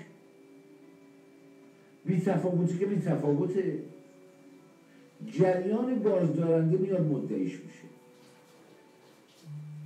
ظاهرا جمهوری اسلامی هم اینجا حضور نداره. من امروز یه حرفایی می‌خوام بزنم که خیلی متفاوت بود در اون که شما شنیدید. چون در نظام جمهوری اسلامی برای ایرانیان خارج از کشور یک اتاق فکری وجود داره دوستان کدا رو توجه کنید. یه اتاق فکر. این اتاق فکر چی کار می‌کنه؟ این اتاق فکر میگرده میگرده میگرده آدم بی سواد آدم جاهل. آدم جاه طلب رو پیدا می‌کنه. یعنی وظیفه اول این اتاق فکر اینه که بگرده تو ایرانی خارج از کشور آدم بی سواد جاهل. بی سواد با جاهل فرق می‌کنه. اینا متفاوتن. بی سواد جاهل جاه طلب. پیدا پس جمهوری اسلامی از نظر شخص شراب شارلاتان من اینا رو توضیح بدم تیتربندی بشه که بریم سراغ اصل داستان. جمهوری اسلامی میاد یک اتاق فکری تشکیل میده برای اپوزیسیون که این اتاق فکر معمولیتش اینه طبق ادعای خودش آقای شهرام همایون تمام اینا مستنده ها. تمام اینا مستنده. از صحبت خودت من می‌خوام بذارم. میاد. جمهوری اسلامی اتاق فکر تشکیل میده. آدم های جاهل بی سواد جاه طلب قاچاقچی دزد و روانپریش و روانی رو در اختیار خودش می‌گیره و بهش امکانات و ابزار میده. راست به اتاق فکر گفتی آقای شهرام همایون در برنامه. برنامه گذشته دوستان یادشون هست. شخصی رو ما در برنامه آوردیم. از یاران و نزدیکان خود کسافتت که در برنامه تلویزیون خودت بارها و بارها ایشون رو به عنوان برادر بزرگتر خودت ازش یاد کردی در مصر دست راست مریم عزیزی مریم حسینیان. این آقا بود دست چپ شما بودی. ویدیوهاش هست عکسش هم بارها منتشر کردیم. داستان دیازه ها رو که فراموش نکردیم خب و اون شخص اومد در برنامه ما اعتراف کرد. گفت آقا ما یک اتاق فکری داشتیم که در این اتاق فکر سربازان گمنام امام زمان بودن. یکی از اون سربازان خود آقای صابر بابایی بود و اون دیگرانشون شما بودی که بهتون خط می‌دادن. پس اتاق فکری که داری ازش صحبت می‌کنی کاملا داری درست میگی. اون اتاق فکر تشکیل شده است هست و شما در اون ارتباط داری. یه چیزی هم بگم. شرام همایون و دیگران معمولا اینجوری. میان سناریویی که خودشون دارن اجرا می‌کنن بهشون دستور داده شده رو مو به مو به مو به مو تعریف می‌کنن. کاملا درست. همش رو تعریف می‌کنن. متا نقش آدم ها رو عوض می‌کنن. یعنی اگر مثلا اون وسط توی اتاق فکر صابر بابایی هست اونو ور میداره سعید قاسمی رو می‌ذاره جاش. خیلی جالبه. این تکنیک شارلاتانیزم شهرام همایونه آدمای بی سواد جاهل نادان قاچاق فروش دزد روانپریش و جاه طلب در اختیار جمهوری اسلامی. بله. و این آدما رو بدون اینکه خودشون متوجه باشن تقویت می‌کنن. خب. حمایت شما توضیح میدی من بدم؟ یه قسمت هم بگم این اتفاقات رو دوستان در نظر داشته باشید. جناب قاسمی هم یه اشاره داشتن. تو تیترم اومده. تمام مشخصاتی که شهرام همایون داره اعلام می‌کنه کاملا منتصب به خودشه. یعنی چی؟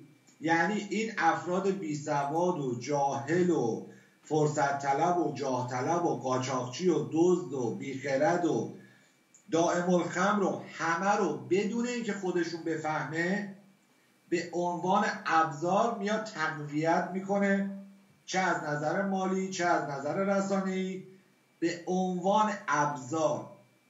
یعنی چی؟ اینا میشن ابزار شهرام همایون. شهرام همایون ابزار مافیاست. به صورت پلکانی هر کدوم از اینا دارن سرویس میدن به نفر بالادستی خودشون. و این اتوماتیکوار چه اتفاقی رو رقم می‌زنه؟ همون چیزی که تو بخش قبل گفتیم. هم رسانه رو به گند می‌کشه برای جامعه درون ایران که دارن میشنون می‌بینن. هم اپوزیسیون رو به هم میریزه. هم فرصت رو داره برای جمهوری اسلامی مهیا می‌کنه. یعنی همون چیزی رو داره شهرام همایون انجام میده منش امیر انجام میده که جمهوری اسلامی از خداشه قفلت مردم ایران چه در داخل؟ چه در خارج سردرگمی نفاق تفرقه در مردم ایران. چه در داخل و چه در خارج؟ نه اینکه شهرام همایون نفهمه. این عواملی که به عنوان آدم های بی سواد طلب و قاچاقچی اینا هستن اینها نمی‌دونن تو دام شهرام همایون افتادن. بفرمایید. خب من اینو پلی کنم. من جا که روی توی اون مسنجر رو چک کنید من آدم جاه طلب رو پیدا یعنی وظیفه اول این اتاق فکر اینه که بگرده تو ایرانی های خارج از کشور آدم بی سواد جاهل. بی سواد با جاهل فرق بله. اینا متفاوتن بله. بی سواد جاهل جاه طلب پیدا می‌کنه. و این آدما رو بدون اینکه خودشون متوجه باشن تقویت می‌کنه. خب. حمایت می‌کنه. به طور اینکه این آدما امر بهشون مشتبه میشه که آقا من آنم که رستم بود پهلوان. خوب. آقای شهرام آمایان پس اتاق فکری که الان شما کاملا درست گفتی یک اتاق فکر دو آدم های بی سواد و جاهل و نادان و قاچاقچی و دزد و بنگی و منگی و نمی‌دونم روانپریش و روانی رو پیدا می‌کنه و اینها رو بهشون امکانات میده. جمهوری اسلامی بهشون امکانات میده. امکانات دو تا, دو تا مدل داره. یا از نظر مالی تقویتشون می‌کنه یا امکانات رسانه‌ای چون کسی که می‌خواد این کار رو انجام بده که به قول تو یابوورش داره فکر کنه آباد خرابه خبریه خب نمی‌تونه تو کل خونش بشینه که یه کاری بکنه. باید یک رسانه‌ای در اختیارش باشه. حالا جمهوری اسلامی پس به این عرازل اوباش بی سواد نادان فلان و فلان باید امکانات بده. اینا رو خوب دوستان دقت کنید اینا مشخصات عوامل جمهوری اسلامی از زبان کسی که خودش داره این سناریو رو پیاده می‌کنه به نام شهرام همایون در فضای مجازی است. حالا سوال. الان تو بهش می‌رسم با بعدیم. پس یکی از این امکانات چجوری پوله؟ مثلا یارو تولد می‌گیره مثلا یه قاچاقچی. مثلا حالا یک جوجه اردک زشت. تولد می‌گیره بعد لیموزین میفرسته فرودگاه که مهمان هایی که دعوت کرده یعنی اون روانپریش و روانی و دیوانه که دعوت کرده عرازل باش رو اینا رو با لیموزین بیارن توی هتل. یک شخصی که پناهنده هم نیست بلا تکلیفه. و پول بهش داده میشه. شغل شریفش هم که قاچاق قاچاق فروشی و دزدیه. حالا از طرف دیگه امکانات دیگه امکانات رسانه‌ای به این افراد داده میشه.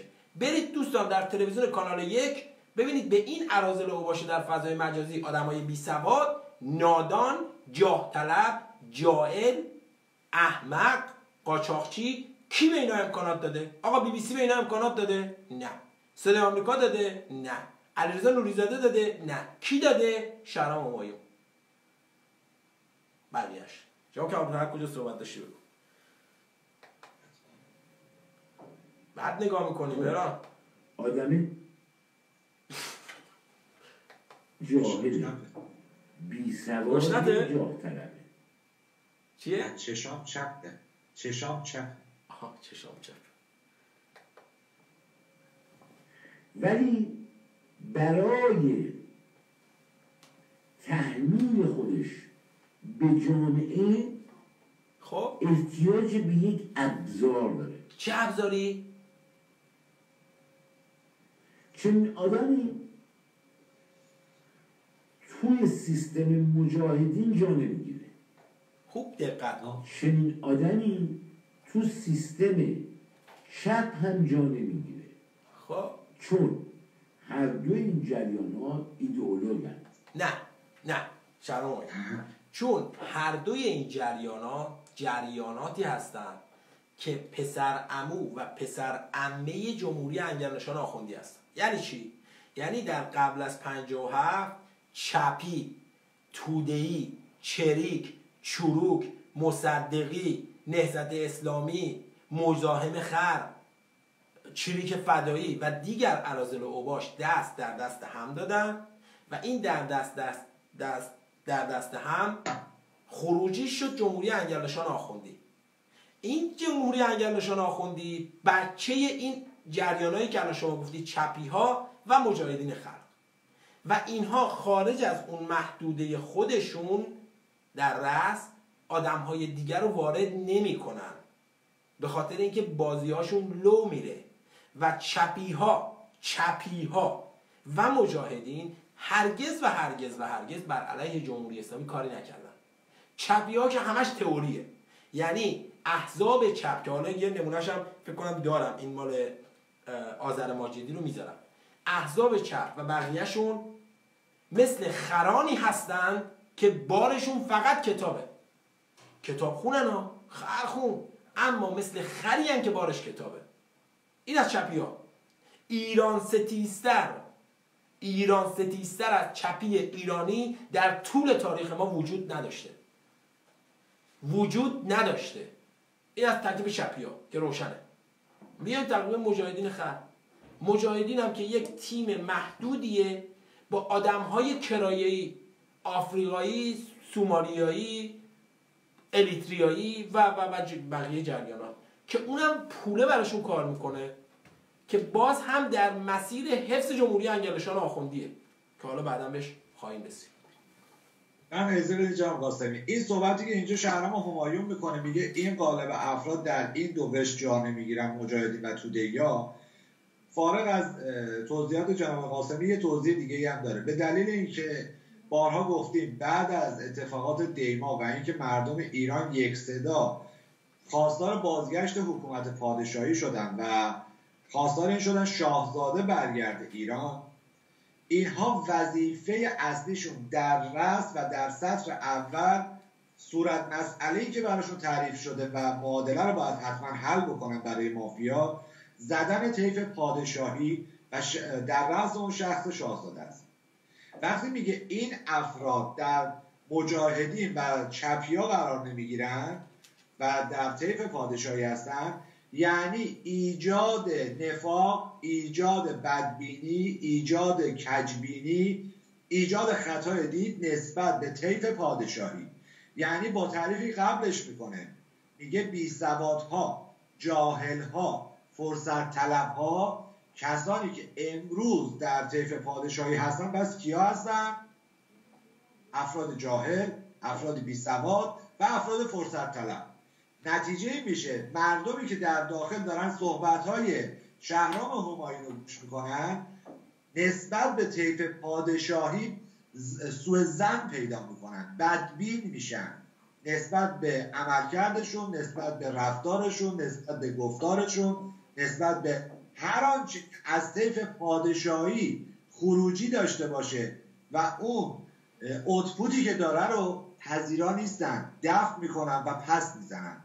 این یکی دیگه از اون قسمت های مهمیه که تیم مافیای حافظ جمهوری اسلامی به عنوان ابزار از شهرام همایون و دیگران یا منش امیر دارن استفاده می‌کنن این تفکرات رو تزریق کنن به مردم.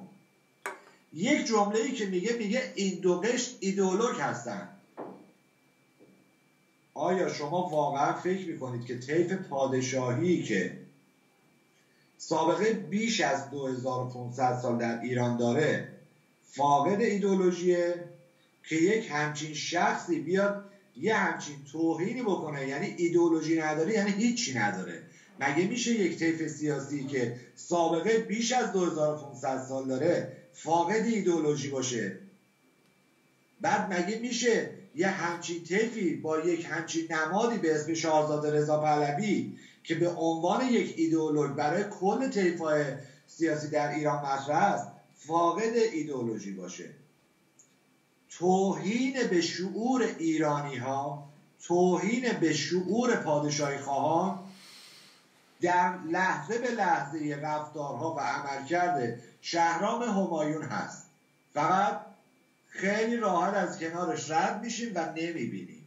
بفرمایید جناب من یه توضیح بدم. یکی از دوستان اینجا نوشته که اینجوری که من متوجه شدم خیلی از دوستان آدم حسابی در این پیج بلاک کرد نه دوست عزیزم این پیج رستاخیز یه قوانین خاص خودشو داره. کسی لینک بذاره لینک بذاره قطعا توسط ادمینا بلاک میشه. اصلا در این شهر هر کی می‌خواد باشه. مگه اعلام بشه لینک فلان رو بذارید که دوستان بیارن بذارن. چون خیلی از این کارا می‌کنن میان لینک بذارن بعد طرف میره توی اون لینک یه سری داستانا براش درست میشه. یا کسی خارج از محدوده بیاد یه سری مزخرفات رو مرتب بخواد تکرار کنه قطعا بلاک میشه. حالا این دوستانی که شما میفرمایید من نمی‌دونم کی هم ولی امیدوارم اسامیش رو بنویسید. ادمین ها بعدا از بلاک اگر بلاک شده باشن در میارن. ولی توی برنامه های توی پیج رستاخیز توی فیسبوک وقتی بلاک هم طرف باشه می‌تونه ببینه و نمی‌تونه کامنت بنویسه. حالا شاید نمی‌دونم منظور شما کیه. اما یه چیزی کاملش کنم من صحبت جناب کمال پور رو اینم اینجاست.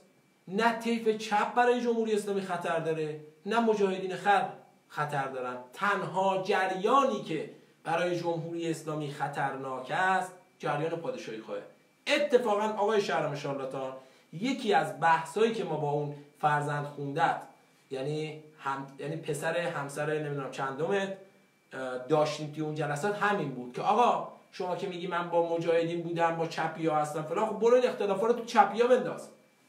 برو اونجا این مسائل رو مطرح کن. چرا دست از سر پادشاهی خواهان بر نمیدارید چرا توی یه جریان راست دارید انقدر توطئه می‌کنید و اختشاش می‌کنید؟ و اونم جوابش می‌دونی چی بود؟ شهر همایون؟ هست جوابش. عین جوابش هست. گفت من مأموریت دارم. یه تی ویدیوشو می‌ذاریم صداشو. گفت من مأموریت دارم. هر جریانی که دارای قدرت باشه و بر علیه جمهوری برای جمهوری اسلامی ایجاد خطر کند را منحل کنم. صداش هم هست براتم می‌ذارم. همون کسی که تو فرزند خوندگیشو قبول کردی. خب بریم بقیه‌شو گوش کنیم. دوستان لطفا توی فیسبوک برنامه رو پخش کنید فراموش نشه یعنی پایبند به ایدولوژی یعنی شما وقتی می‌خوای بری توی مجاهدین یه سیستمی وجود داره.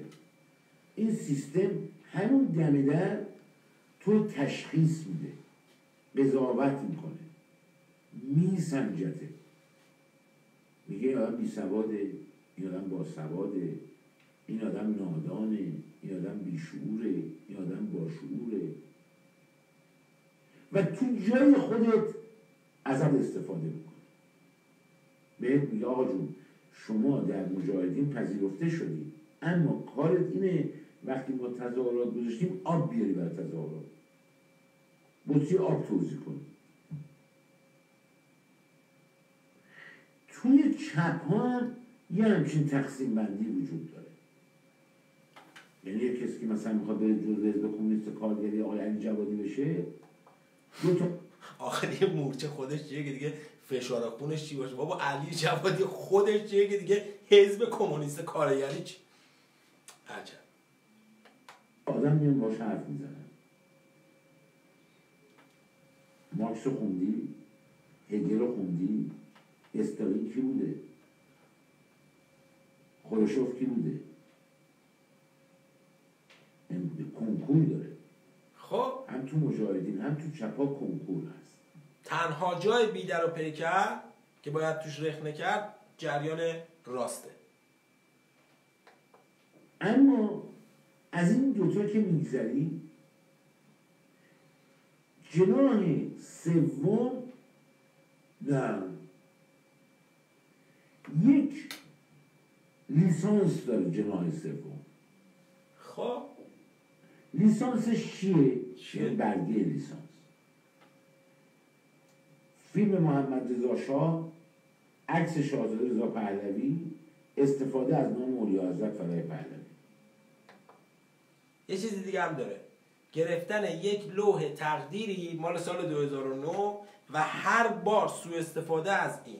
آقا یه بار دیگه نه بی بی سی از اسم خاندان پهلوی سوء استفاده می‌کنه. اونا اونا دشمنن و ضربه می‌زنن. نه صدای آمریکا نه دیگر. اینا تنها کسانی که تنها جریانی که از نام خاندان پهلوی سوء استفاده می‌کنه. همین لیسانسی که داره ازش صحبت می‌کنه شخص کثیف و شریف شریف که نه کثیف شرم همایونه.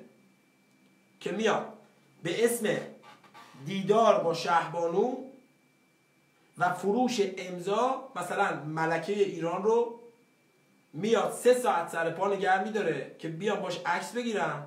بعد این عکس رو دونه به دونه میفروشه به اون کسایی که شرکت کردن. یعنی اون کسی که اومده پول داده رفته سفر وقتی می‌خواد این عکسش عکسش با شهرمان رو بگیره باید پول بده به شهرام همایون که شهرام اون عکس رو بهش برگردونه یا ویدیوشو بهش بفروشه. این یه قسمت کاره. یه قسمت دیگه هم که فروش سکه ها به نام خاندان پهلوی حلبی به جای طلا به ملت ایرانه. و از همه مهمتر پیاده کردن سناریوهای کثیف جمهوری اسلامی در قالب و در برنامه‌ای که داره ادعا می‌کنه طرفدار خاندان پهلویه. که این کجا کجا اتفاق میفته فقط در تلویزیون شهرام شارلاتان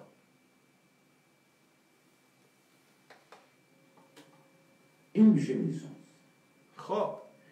تونده مردم دلسوخته علاقمند هم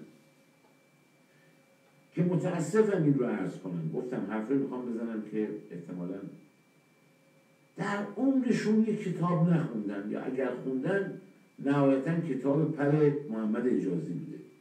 یه رمان بوده. یا آقا این عکس محمد رشاد داره نشون بده. سود شاهنشاهی داره پخش می‌کنه. موجه پس لیسانس رو داره. نگاه نمی‌کنه سواد داره یا نه.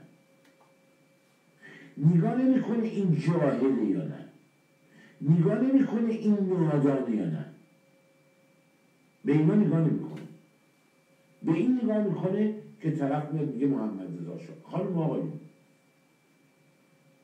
این جمله من رو به خاطر بسپارید. جمهوری اسلامی براش اصلا مهم نیست که بهش فوش بدید. خب. جمهوری اسلامی اصلا براش مهم نیست که شما اپوزانش باشید. خوب دقت کنید. جمهوری اسلامی براش مهمه که به اهدافش کمک بکنه. من یه جا که شما اگه توضیح داری اینجا بده من می‌خوام الان یه ویدیو بذارم اینجا دوباره در پاسخش. مایکت بسته است. آقای حمید صنعتی هم این پایین دارن از علاقهشون تعریف می‌کنن. شما آزادی اینقدر از آقای همایون تعریف اصلا مشکل نداره. آره. شما خودت با تفکرات خودت. اینقدر تعریف کن ازش اصلا مشکل نداریم ما اون چیزی شرط بلاغت می‌گوییم. خواه کوچ گیر خواه ملا اما اینکه آیا همایون اونایی که میگی اون دوتا طیف کنکور دارن اما این طیف یه لیسانس داره که اینا رو در نظر گرفتی مشخصات رو اختصاص دادی به طیف پادشاهی با دارا بودن پرچم و تصاویر یا فرزوهای اولیا حضرت و شاهزاده رضا پهلوی و شاهنشاه فرید و سرود ملی کشور و اینا. یادت رفت اینه بگی که طیف پادشاهی به خاطر اینکه حکومت پادشاهی حکومت ملی و مردمی ایرانه. یادت رفت بگی که مردم ایران با توجه به سابقه ای که از حکومت پادشاهی در ایران سراغ دارن وارد میشن. یادت رفت بگی اون افرادی که شما دارید نام می‌بری برای ضربه زدن دارن میان و از طرف خودتون دارن میان. شما به از سعید قاسمی و مهران کمالپور بیا تو برنامه پنج نفر رو نام ببر.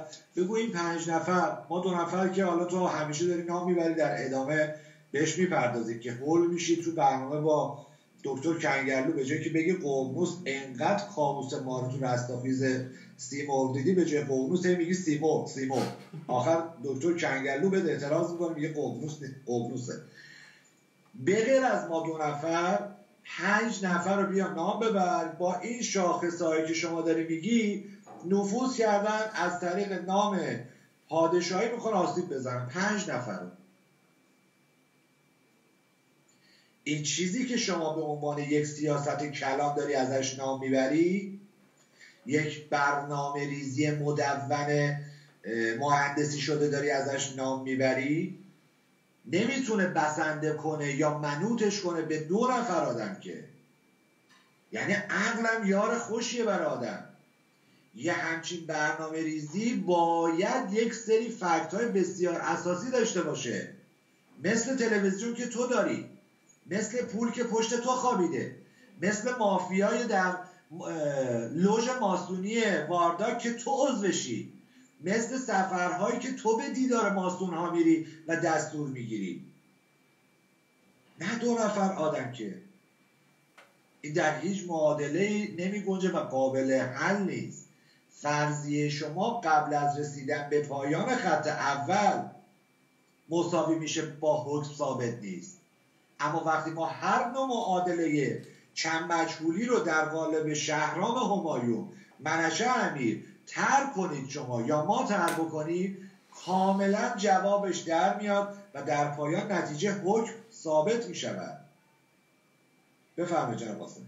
ارز کنم که مران دو تا ویدیویی که شما رفتی رو خطشو بذار دم دست که بعد از این یا توی فرصتی بهتر در موردش صحبت کنیم.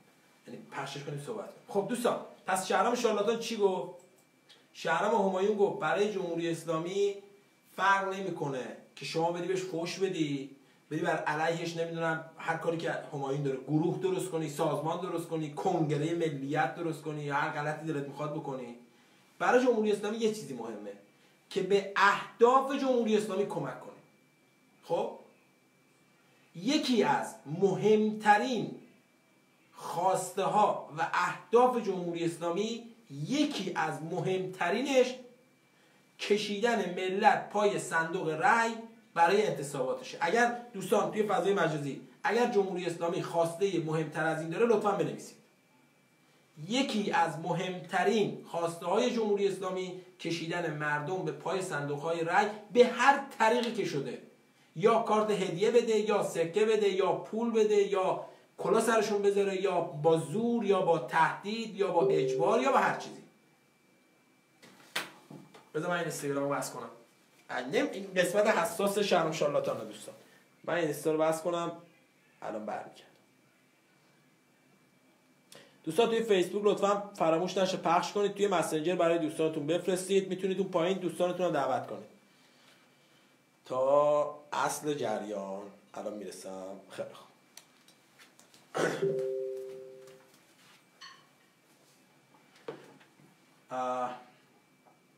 حالا ببینیم انتصابات جمهوری اسلامی مخصوصا دوره گذشته حسن روحانی که ترامپ اومده بود توی کاخ در موردش بارها صحبت کردیم.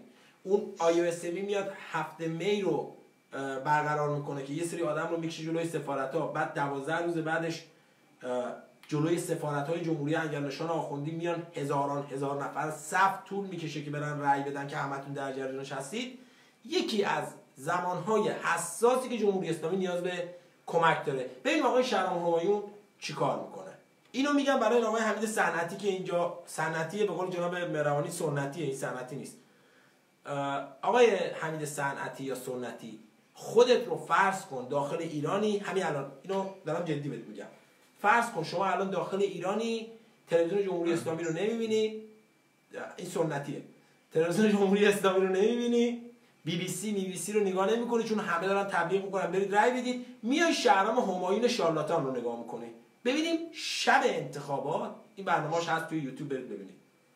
البته توی یوتیوب بعضیشون رو نیست برداشته ولی ما آقای همایون هر کدوم برنامه خاصی آرشیو داریم. ببینید چی میگه. نه همایون باشه بقیه‌شون هم. هر کدوم خواستید ما داریم. گوش کنید. دوشی آقای تاجزاده که معاول از کشور بود و مدت هم زندان بود یه سخنرانی ازش من دیدم یه جمله گفته جمله خیلی درسته. خیلی. خیلی جملهش خیلی درسته. گفته اگر آقای رئیسی به قدرت برسه حکومتش چهار ساله نخواهد بود چهل ساله خواهد بود. من شهرام همایونم اینو به شما میگم مردم. ها. اگر رئیسی به قدرت برسه یعنی جانشین بالقوه رهبری که مورد حمایت سپاه و قوه قضاییه و بنیاد مستضعفان و آستان قدس رضوی هم هست. کار سخت میشه ها. دقت کنید کار خیلی مشکله. اما اگر روحانی به قدرت برسه که داریم می‌بینیم این اختلافات وجود داره. با مقرب قوه قضاییه همین امروز گفته. گفته آقا شته ما میگیم قوه قضاییه باشه. اصلا ما میگیم همین ما خیلی شبازی قول این دوست اینجا نوشته خیلی شبازی از یه تریبون بزرگ داره اعلام میشه که آقا قوه قضاییه خیلی قانونی رو عمل می‌کنه. این جایی که میگه اصلا ما میگیم خیمه شب بازی اونجاست که جمهوری اسلامی میگه به من فش بده. از هر چی دلت می‌خواد بگو. اما بیا بگو مردم اگر رئیسی بشه رئیس جمهور روحانی نشه پدرتون در میاد. این اون تاکتیک و تکنیک شارلاتانیزمیه که شهرام همایون داره. لولو هلو لولو میشه رئیسی هلو میشه حسن روحانی.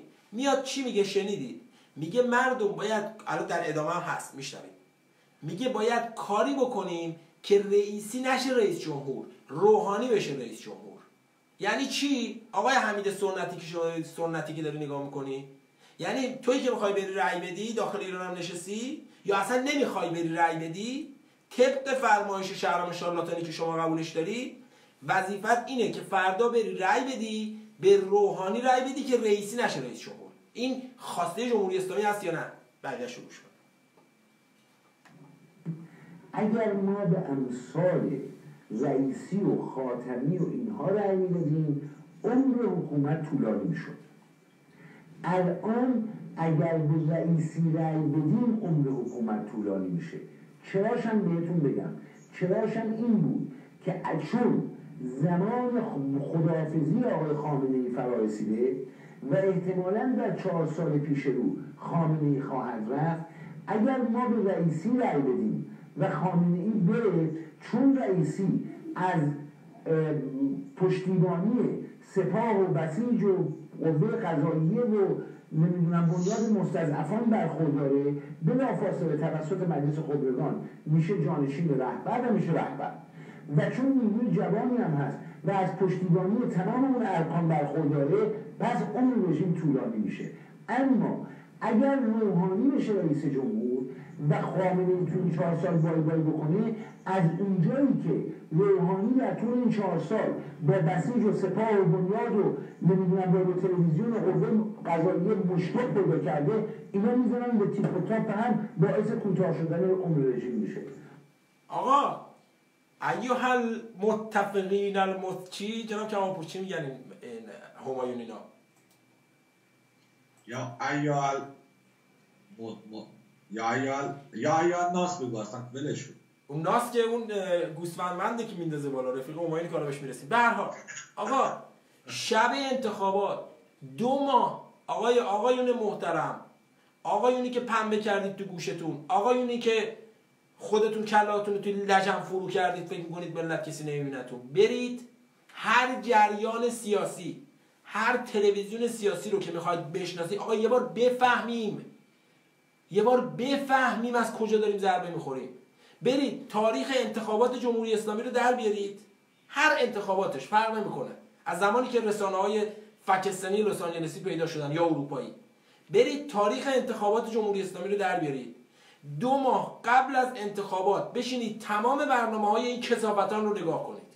ببینید چجوری دارن تشویقتون می‌کنن برید در سیرک انتخابات جمهوری اسلامی شرکت کنه. دیدید الان؟ این نه edit بود نه فتوشاپ بود نه از غیر اومده بود نه تقلید صدا بود. خود شخص کثیف شهرام همایون چی داره میگه؟ میگه جمهوری اسلامی دو تا گزینه گذاشته. رئیسی روحانی. نظر خود جمهوری اسلامی روحانیه. چون چهار سال بوده چهار سال دیگه هم باید باشه. پس باید این لولوه رو بذاره. علیرضا نوریزاده بیا. آقا من یه ویدیویی هست روی ورقه رستاخیز. به خدا اصلا بشنوید. گوشتون سود می‌کشه. میگه نه خامنه ای جنایت کرده. علیرضا نوریزاده. نه خامنه ای جنایت. دقیقا شب انتخابات. هم تو همین تاریخ. نه خامنه ای جنایت کرده. نه رفسنجانی جنایت کرده نه احمدی نژاد جنایت کرده نه روحانی جنایت اینا دستشون به خون ملت آلوده نیست. تنها شخصی که دستش به خون ملت آلوده است از نگاه علیرضا نوریزاده فقط رئیسیه. ویدیوش هست روی برگه رستاخیز گذاشتم برید نگاه کنید. خب اون تکلیفش روشنه.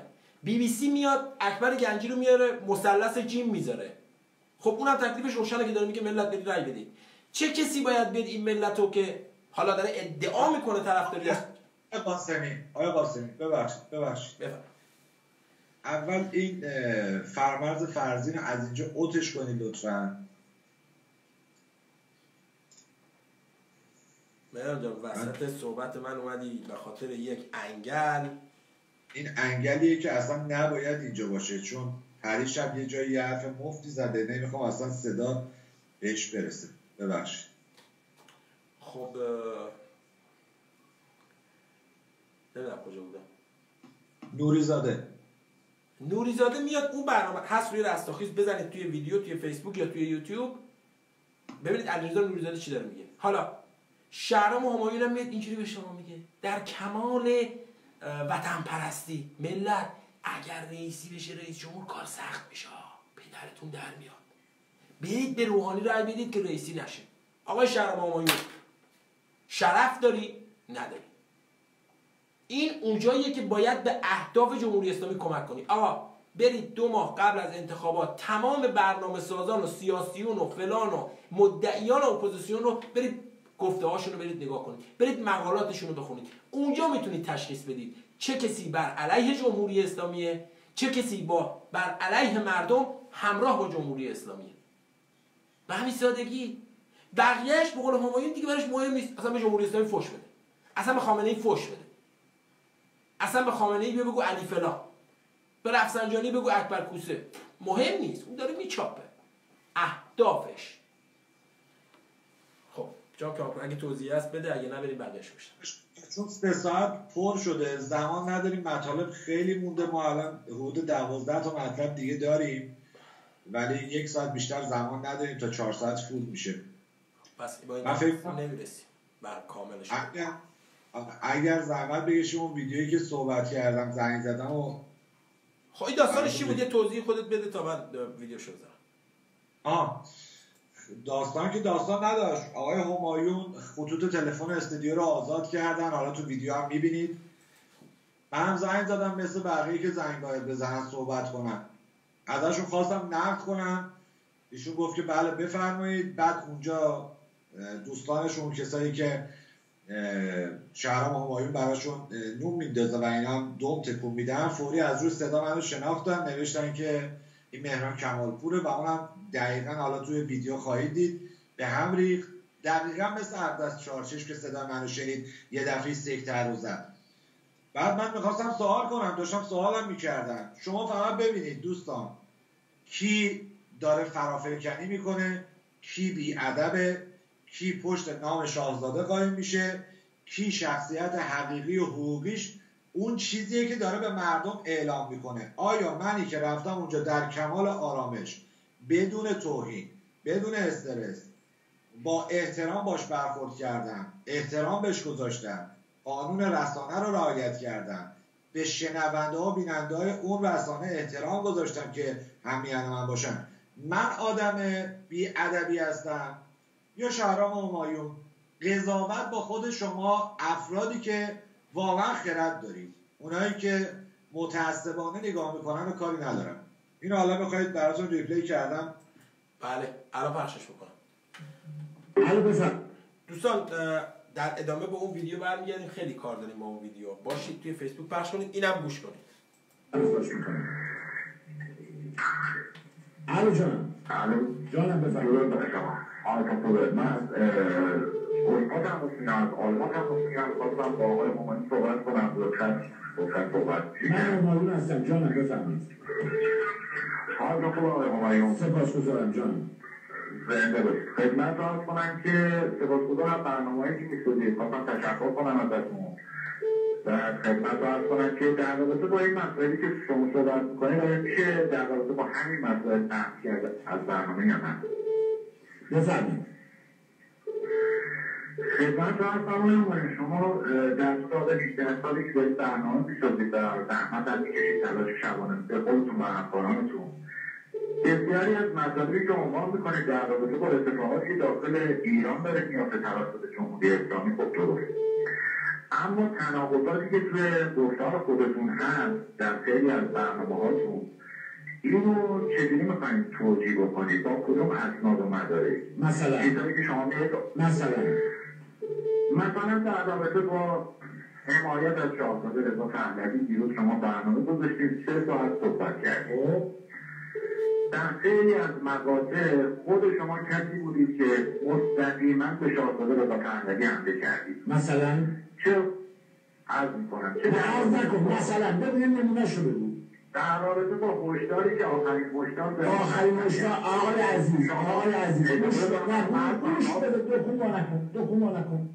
من کجا از هشدار حمایت کردم؟ من منتقد اون قضیه بودم. اما رخسان گنجی علی بفرمایید. خب اینجا جناب کمال پرو قطع کرد. من من توضیح بدم مران جواب بعد شما توضیح بده اینجا جناب کمالپور رو قطع کرد و در کمال شارلاتانیزم و دموکراسی آزادی بیان و هم مبارز. جناب کمالپور رو قطع کرد و گفت من کجا؟ و- استرس و به هم ریختگی به هم ریخت اصلا دست پاش گم شد. دست پاش که نه تصویر اونجا نبود چون تبلیغاتش بود من تصویرشو نداشتم الان تصویرش میاد. و آقای شرم همایون می‌دونی کجا؟ زمانی که شما اومدی عکس شاهزاده رضا پهلوی عکس موسوی عکس همین عبدالله معتدی عکس مریم رجوی و یه نفر دیگر رو گذاشت رو سایتت و گفتی ملت بیاید رهبرتون و محبوبیتتون رو انتخاب کنید. زمانی که شما در سری بعد اومدی عکس مریم رجوی و شاهزاده رضا پهلوی رو گذاشتی به عنوان محبوب ترین چهره سیاسی در بین ایرانیان و اون فان اون رأیگیری شارلاتانی که اومدم روی خطت و خودت اعتراف کردی رو گذاشتی و محبوبیت شاهزاده رضا پهلوی شد 31 درصد محبوبیت مریم رجوی شد 68 درصد. زمانی که شما اومدی سناریوی آخرین هشدار رو پیاده کردی. زمانی که اومدی اون داستان مصاحبه با الوطن و ملوطن و اون مسائل رو اومدی به دروغ با دروغ شیش ماه تمام شیش ماه تمام تمام آرشیوت هست شهر همایون. وقت تو گذاشتی برای زدن شاهزاده رضا پهلوی. زمانی که سه سال تمام وقت تو گذاشتی برای زدن شورای ملی. من کاری به شورای ملی ندارم. برای اون جریانی که تا اون روز شاهزاده رضا پهلوی ریاست اون جریان رو داشت. به هر شکلی. زمانی که شما فرامرز فروزنده رو آوردی توی تلویزیونت که حمله کنه به شاهزاده رضا پهلوی که شاهزاده رضا پهلوی دستور داده مرا از تلویزیون بندازم بیرون. زمانی که امیر عباس فخرآور رو آوردی توی تلویزیونت بر علیه شاهزاده رضا پهلوی و شهبانو اون مزخرفات رو در حضور خودت بگی و هزاران هزار زمان دیگه. یادت طرح حکومت ملی رو شهرام همایون؟ شانس آوردی من پیروز تلفنم شارژ نداشت. هرچند تو جرأت صحبت کردن با ما رو نداری. تو هم عین آخوندی. عین جمهوری اسلامی. که حاضر نیستی پاسخ باشی مثل علی خامنه ای پدرت. که سی سال ایران رو داره میچاپه. یک مصاحبه با یک خبرنگار خارجی نکرده. یک مصاحبه اصلا با یک خبرنگار نکرده. تو هم همین جوری منوچهر ساشمشی هم همین جوریه بقیهتون هم همینید. چون می‌دونید دستتون باز میشه. چون ما از این طریق دست شما رو بارها و بارها شخص خود من و جناب کمالپور باز کردیم. یادت رفته پنج تن آل عبا رو سیخ کردی؟ گفتی آقای رضا پهلوی یا تا سه ماه دیگه میای جلوی ما دلا میشی؟ اینو گفتی شهرام همایون. یا پنج تن آل عبا رو ما می‌ذاریم به جات و شما برو کنار. یادت آذر ماه 95 یادت اومدی از محسن چریک که حمله کرده بود به اون شاهزاده و اون حرف زد من چریک میشم. اومدی توی کسافت از محسن چریک چریک حمایت کردی. یادته؟ یادت توهینایی که زم و مجموعه جمهوری اسلامی از کانال زم به شاهزاده و شهبانو اون فحاشیایی که به شهبانو و شاهزاده کردن که خود جمهوری اسلامی هم همش رو پخش کرد. شما اومدی به اینکه به آقای رفیقت بچه آخوند همخونت حمله کنی یا اعتراض کنی لاقل اومدی ازش حمایت کردی. میگی چقدر جنایت چقدر خیانت چقدر کسافت. اون وقت میای میگی رکسان گنجی شاهده. خب رکسان گنجی خودش کسی بود که این بیانیه آخرین هشدار رو امضا کرده. منوچهر گنجی خائن پیش دست داریوش و خائن بره به زودی کسی بود که این بیانیه رو نوشته بود امضا کرده بود. کلاق نژاد رو یادته شهرام همایون. حشمت رئیسی؟ چه کسانی رو آورد؟ جناب قاسمی چه کسانی رو آورد؟ همینو دارم میگم. پیروز قفارپور و حشمت رئیسی و بردیا پارس و همه اینا رو بگید همین رو دارم میگم. آقا یادت رفته اینکه آقا چی فکر می‌کنی مردم رو؟ حالا بقیه آقا شما ملت یه فوش دیدید اینجا جناب کمالپور بیادری بکنه. از هر گفت درود بر شما. و می‌خواست با ایشون صحبت کنه. حالا ادامهشو من این قسمت دوم پخش کنیم من توضیح میدم. آره، شما توضیح زحمت برید بقیه‌شو گوش کنید همون جان جواب میدون در خدمت دور بر شما زنده باشید جناب آقای، شما که میفرمایید افرادی هستن که موضوع جمهوری اسلامی هستن یا ممنون جمهوری اسلامی هستن فرض بفرمایید که الان دارید با علی خامنه‌ای صحبت می‌کنید. فرض بفرمایید با حسن روحانی دارید صحبت کنید واقعی که ندارید با این افراد صحبت کنید؟ دارید؟ نه چرا؟ فرق می‌کنه. بسیار عالی. گوش بده گوش بده گوش بده. علی خامنه ای میاد میگه من علی خامنه ای ولی مثلا آقای کمال نمیگه من خامنه ای هستم. میگه من مخالف خامنه ای هستم اما حرفم اینه. فرق می‌کند بین کسی که خودش رو اصالتا و ذاتا درست معرفی می‌کنه اما کسی که پشت نقاب پنهان میشه. اون آدمی که پشت کردید که مثلا من کی هستم؟ بله قربان منم ندونم شما کی هستی؟ الان گل به گل دارم برام پیام میفرستن اسمتونم گفتم. خب چرا چرا باهمی دارید برای اینکه ارزش گفتگو کردن نداریم. برای اینکه طبق گفته شاهزاده رضا پهلوی آدم فحاش رو من باهاش صحبت نمی‌کنم دوستان اینو تو پرانتز داشته باشید. ببخشید کنم الان میذارمش. توی پرانتز یادداشت کنید شهرام همایون طبق گفته شاهزاده رضا پهلوی من با آدم فحاش گفتگو نمی‌کنم. این گفته شهرام همایونه. اینو داشته باشید تا بعد باش کار داره به همین سادگی. عجب. علی خامنه ای بیاد اینجا من باش تو پاسدارم من بارها و بارها شده کسایی اومدن به طرفداری از جمهوری اسلامی من اینجا باشون جدل کردم 20 دقیقه یک ساعت. اما کسی که میگه من مخالف جمهوری اسلامی هستم من طرفدار رضا پهلوی هستم اما درست نقطه مقابل رفتار و گفتار رضا پهلوی عمل می‌کنه با این من گفتگو نمی‌کنم.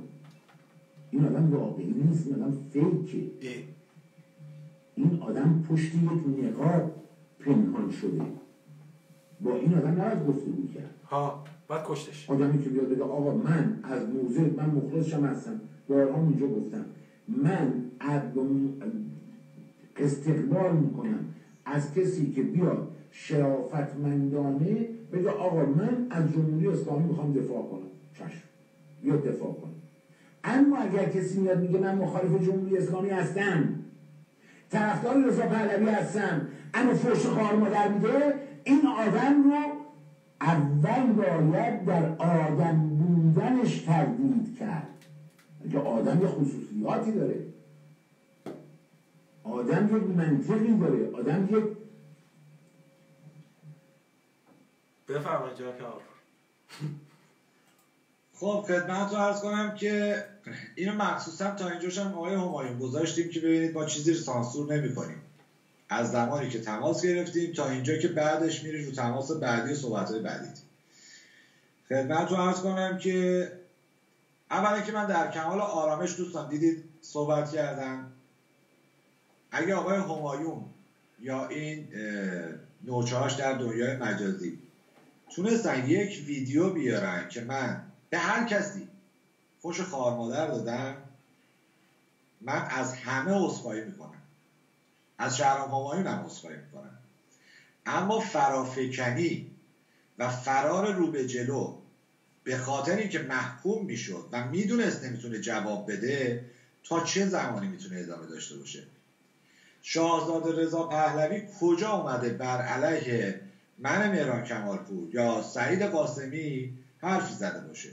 این که شما با شارلاتانیزم با اوباشگری با شامورتی بازی یکی مثل اقدس چارچشمی که پرونده خودش اصلا سرشار از انواع کسافت هاست بیاد خواسته باشه به زور تلقیم بکنه برای شاهزاده رضا پهلوی که بر علیه این دو نفر بیا بیانیه صادر کن و دیدید شنیدید اون بحثو. تا دقیقه آخرش هم شاهزاده رضا پهلوی حرفی نمی‌زنه تا میکشونه بحث رو به دکتر سعید سکویی کجا بر علیه ما چیزی صادر شده؟ یک دو چیزی صادر بشود آیا به ضرر ماست یا به ضرر شماست؟ آقای همایون وقتی صحبت های شما بر اساس و بر پایه دروغ و بدون مستندات هست و نمی‌تونی ثابت بکنی که در ادامه امیدوارم زمان برسه بتونیم اینا پخش بکنیم به ضرر خود تمام میشه. این صداقت و رو راستی ما رو نشون میده که ما میایم با سند میگیم آقا شما اینجا رو گفتی و الان هم ترسیدی بیای صحبت کنی. ما اومدیم تو حریم خودت اومدیم تو جایگاه خودت صحبت بکنیم. نکشوندیمت بیاریم تو محله خودمون تو برنامه خودمون. اومدیم اونجا تو تلویزیون خودت. خیلی معدبانه در کمال آرامش پرسش کنم و پاسخ بگی- بگیرم. تا کی فکر می‌کنی که مردم متوجه نمیشن؟ تو فرار کردی. و تا کی فکر می‌کنی مردم تو رو می‌شناسن ما رو نمی‌شناسن؟ خطای تاکتیکی مرتکب شدی. آقای همایون. بریم جناب قاسمی ویدیو بعدی. یکی از این جک و جونورای شهرام همایون اومده بود این زیر توی کامنت دنبال باباش میگشت. این هم ظاهرا از اون کساییه که مثل آقا- آقای جوجه اردک زش کلاق قاچاقچی با مادرش مادرش رو به قول معروف به عقد طرف در آورده که ده دقیقه بهش توی تلویزیون کانال یک برنامه. قاسم اینو بگم. آقای همایون شما که انقدر رو حرف شاهزاده تاکید داری و اصرار داری می‌کنی که شاهزاده علیه ما حرف زده چیزی رو گفته که شما بر پایه اون داری مستند عمل می‌کنی و استناد می‌کنی که این کارو نکنی چطور گزینشی صحبت شاهزاده رو میشنوی؟ اینم دوستان یکی از بیماری های یا اجتماع بیمار ما همینجا سرایت کرده به صورت مصری به برخی از افراد جامعه که گزینشی هر جایی رو دوست دارن انتخاب می‌کنن برمیدارن آقای همایون این قسمتی که اصلا وجود خارجی نداره می‌سازه ورش میداره. اوکی. اون قسمتی که شاهزاده رضا پهلوی در رابطه با رسانه های فکستنی گفتن در لس آنجلس اونجا رو چرا نمیشنوی؟ اون قسمتی که شاهزاده رضا پهلوی اومدن گفتن که این افراد 34 سال این کارا رو کردن این حرفا رو زدن اینها اگر غیرت داشتن ایران رو به دست خمینی نمی‌دادن اینو چرا نمیشنوی؟ چرا روی اینها اصلا حساسیت نداری؟ به نفع نیست. اینجا که می‌رسه هم کر میشی هم کور میشی هم لال میشی. آقای همایون حالا اگر چون الان زمان نداریم اون رو دوستان شنیدن؟ نه بذار یه تیکش رو چند چند دقیقه چند دقیقه بود؟ سه دقیقه بود؟ چهار دقیقه خورده ایه. کیفیت صداش بالاست؟ Yes of course. بفرستش برای من توی چیز تا من پخشش کنم اینو. خب. اینو دیدیم. حالا این راست میگه آقای شهرام شارلاتان شاهزاده خیلی چیزهای دیگه هم میگه ولی شما هیچ وقت مثلا در داستان رستاخیز فیروزه ای دوستان یادشون هست که شما چه مقاومتی کردی که تجمعات رو با شال سفید و پیرهن سفید بذاری و انقلاب سفید در راست. یادت دیگه این شامورتی بازیاتو؟ این همون تاریخی بود که شاهزاده در میدان در گفتگوی میدان گفت آقا یه اینجوری شد اینجوری شد از یه کامنتی شروع شد و اون رستاخیز فیروزه ای مال ما بود. بچه های سامانه پادشاهی. و بزرگترین بزرگترین و بزرگترین جریان سیاسی داخل ایران همین جنبش فیروزه‌ای و رستاخیز فیروزه‌ایه. آقای شهرام شارلاتان که از برنامه های ما شروع شد. یعنی از باورمندان به سامانه پادشاهی شروع شد و الان هم کل ایران رو که فرا گرفته هیچ در سراسر جهان هم. هر ایرانی هر کجا بخواد تجمع بذاره در کنار پرچم سرنگ شیر خورشید قطعا نشان فیروزه‌ای هست که این از ساز بچه های سامانه باورمندان به سامانه پادشاهیه که یه دونه از پروژه هاست که ما اجرا کردیم. آقای همایون هم میگی چیکار کردی چیکار کردی؟ یه دونه از اون کوچولو هاست. این یه دونه از این کوچولو هست که اتفاقا ایشون هم حمایت کرد تایید کرد کامنتش هم گذاشت در میدان هم گفت اما چون ما دنبال اون لیسانس جعلیه که تو تقدیرنامه رو داری نیستیم خودمون به قول معروف هویت داریم از خودمون چیزی داریم برای گفتن هرگز ازش سوء استفاده نکردیم و اصلا هم اصلا هم اینو برید نگاه کنید. اصلا هم بهش اشاره نمی‌کنیم در حقیقت اون کمپین و جنبش فیروزه‌ای رو ما را انداختیم. همه اسنادش هم هست. 17 شهر دنیا ما سامانه باورمندان به سامانه پادشاهی رستاخیز فیروزه‌ای گذاشت. تجمع فیروزه‌ای گذاشت که بی بی سی ارباب تو در لندن لرزید. شرم شارلاتان خب بگذاریم. بذاریم من کجا بود؟ کجا فرستادی جام کمالپور چون می‌خوام بریم سراغ ویدیو اصلی. آره تو تلگرام براتون ریپلی کرد آقا آقای شهرام شارلاتان هی از میگی آقا شاهزاده اینا گوش به حرف شاهزاده نمیدن. ببینیم خودت چقدر گوش میدی. گوش کن اینو. دوست داری با دقت گوش کنید مشکل اساسی اه، به وجود داره. بکنیم که امروز که از جوانان مثلا بگیم از پیشنده پایین اینجوری بگم یعنی موقعی که اعتراض بود چهار پنج سال که بیشتر نبود که هیچ که گذشته به عهده نداشتیم مثلا در دیدن تصمیمگیر بودیم ولی می‌خوایم آیندهتون رو آرام بکنیم حالا این ذهنیت باید که جایگزین اون نسلی بشه که تقریبا هنوز دارن سنگ پنجاه شصت سال خود درست نمیدن دارن من اپوزیسیون به هیچ درد سرزیممون نمی‌خوره مزاحمت ایجاد می‌کنن و نمی‌ذارن مثلا کردن خود من اگه شعر بلدم همون شعر رو بگم ولی در همون حد کافی اگه قابلیتی داشتن که به من ارائه می‌دادن بعد رفته بعد از اینکه سی و چهار سال صبر کردم سی و چهار سال همین آقایون بودن در صحنه که می‌گفتن شما خطی تو وارد نشین بشی اول بزنی ما کار رو بکنیم مگه کم بهتون میدان داده شد مگه کم بهتون فرصت داده شد مگه با تمام اینا یک دعوت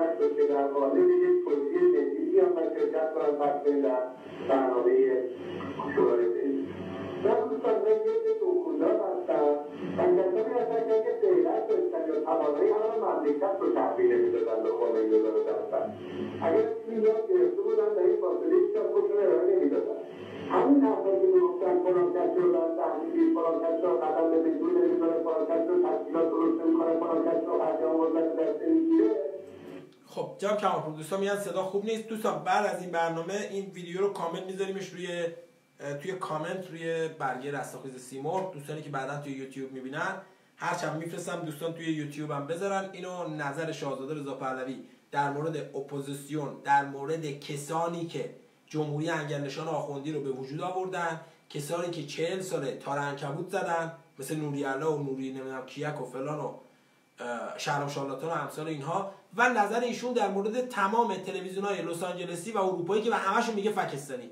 استثنا هم نداره.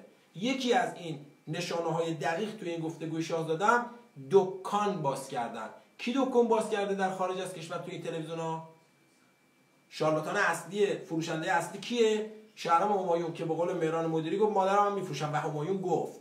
همایون اینو گفت. و داره هم میفروشه. می‌بینید که. حالا اینو بعدا توی کامنت می‌ذاریم. بریم جلو سراغ ویدیو اصلی جناب کمال. نه؟ ویدیو. همین یوتیوب که داشتیم می‌رفتیم دیگه. که وظیفه اتاق فکر جمهوری اسلامی افراد فلان و فلان و فلان رو جمع کنه. خب ببینیم بقیه‌اش چی میگه.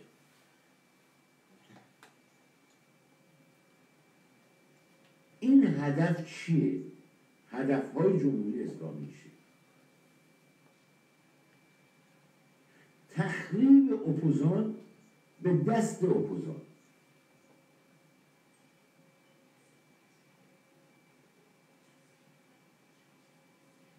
شما به جمهوری اسلامی فوش بده اسم محمد رضا هم بیار قربون محمد رضا هم برو هر کاری می‌خوای بکنی بکن اما تبدیل بشو به عنصری برای تخریب یه بخش دیگری از اپوزیسیون خب یعنی چی؟ یعنی اگر علی ناجوان مردی یا اگر آیا اسمی میاد تجزیه طلبان رو جمع می‌کنه به اسم اپوزیسیون داره به ملت قالب می‌کنه حق نداری بهش نقد کنی. یعنی اگر هوشنگ امیر احمدی لوله آفتابه جمهوری انگلستان آخوندی که تا همین امروز برای جمهوری اسلامی در آمریکا داره لابی می‌کنه داره فلان مالی می‌کنه یعنی همین امیر احمدی که میره میشه کاندیدای ریاست جمهوری در داخل ایران اگر من شهرام شارلاتان آوردمش در تلویزیون و به عنوان یک وطن پرست به ملت فروختم و سناریوشو به مردم فروختم که حفظ جمهوری اسلامی است فقط خامنه ای بره حق نداری بهش اعتراض کنی. اگر بهش اعتراض کنی مزدور جمهوری اسلامی. یعنی حق نداری نقد کنی که آقای اسماعیل نوری علا شمایی که اومدی گفتی خمینی پدیده نوین در عالم تشیع است. چرا از ملت ایران عذرخواهی نمی کنی؟ از سر راه مردم ایران برو بیرون. اگر اینو به نوری علا گفتی یعنی مزدور جمهوری اسلامی. یعنی اگر عبدالله معتدی و جریان تجزیه طلبان رو شهرام شارلاتان آورد مثل عثمان زرقندی سه ماه تمام بهش برنامه داد و بعدش حسین بر و حسین قر و اقدس پشتگوی تروریست شریک رو آورد توی تلویزیون و بهش برنامه داد و با ملت صحبت کرد و اینا رو وطن پرست به ملت چپوند. اگر شما اومدی نقد کردی مزدور جمهوری اسلامی. یعنی کسی که برخلاف نظر من رأی بدهد یا حرف بزند مزدور جمهوری اسلامی است. این دیدگاه شهرام همایونه یعنی اگر اومدی گفتی جاوید شاه امروز کلید رهایی ملت ایران فقط, و فقط جاوید شاه مزدور جمهوری اسلامی. این آزادی بیان و طرز فکر همین چیزی که جمهوری اسلامی میگه. جمهوری اسلامی هم اگر کارگر اومده اعتراض کرده میگه آقا حق بیمه منو بدید میگه توهین مقدسات کردی برو بابات در اومد. راننده اتوبوس اگر میگه آقا من تایر نداره اتوبوسم میگه توهین به مقدسات کردی امنیت ملی برو بابات در اومد. آقای شهرام شارلاتان. مرون توضیح اگه داری. جناب قاسمی اون قسمت ویدیو که در رابطه با ما صحبت می‌کنه مؤسسه حافظ اینا تو همین ویدیوه؟ بله بله الانش می‌رسیم. یکم سریعتر چون زمان نداریم. این دستورالعمل اتاق فکر جمهوری اسلامی است. بعد چه می‌کنه؟ میاد میگرده آدم جاهل بی سواد و جاه طلب. خب. که که لیسانس مذکور رو هم داشته باشه. فکر کنم اگر بخوام بیام اینجا بشینم یه جریان دیگه اپوزیسیون رو تخریب بکنه به نام اینکه من طرفدار جمهوری اسلامی هستم کار نمی‌کنه که. من اگر بیام بگم آقا من عضو جمهوری اسلامی هستم از جمهوری اسلامی حمایت می‌کنم فلان جریان رو می‌خوام تخریب بکنم کار می‌کنه. کار نمی‌کنه نه. باید بیام بگم سال 2009 شاهزاده رضا پهلوی تنها کسی بوده تنها کسی هستم که از شاهزاده رضا پهلوی تقدیر نامه دارم. اینجوری کار می‌کنه باید بیام بگم در مصر که شهبانو چهل سال دارن تشریف می‌برن چهارم و پنجم امرداد ماه و حالا من شرلاتان دو سال از خواب بیدار شدم می‌بینم عجب چیزیه چون باید برم با فراماسون را اون پشت قرار و قرار نداره و بذارم پول بگیرم. باید مدام نام شهبانو نام شاهزاده رو بیارم سوء استفاده کنم فروش کنم به مردم که اون لیسانس رو داشته باشم که حرفم به ملت قبولونده بشه. بی بی سی که نیاز نداره. بی بی سی دشمنه. داره میگه. تو خیلی بر مهمه. بقیه‌شو گوش کنید تا بریم سراغ اصل ویدیو. برای اینکه کار بکنه باید یه لیسانس داشته باشم. لیسانس چیه؟ اسم محمد رضا لیسانس چیه؟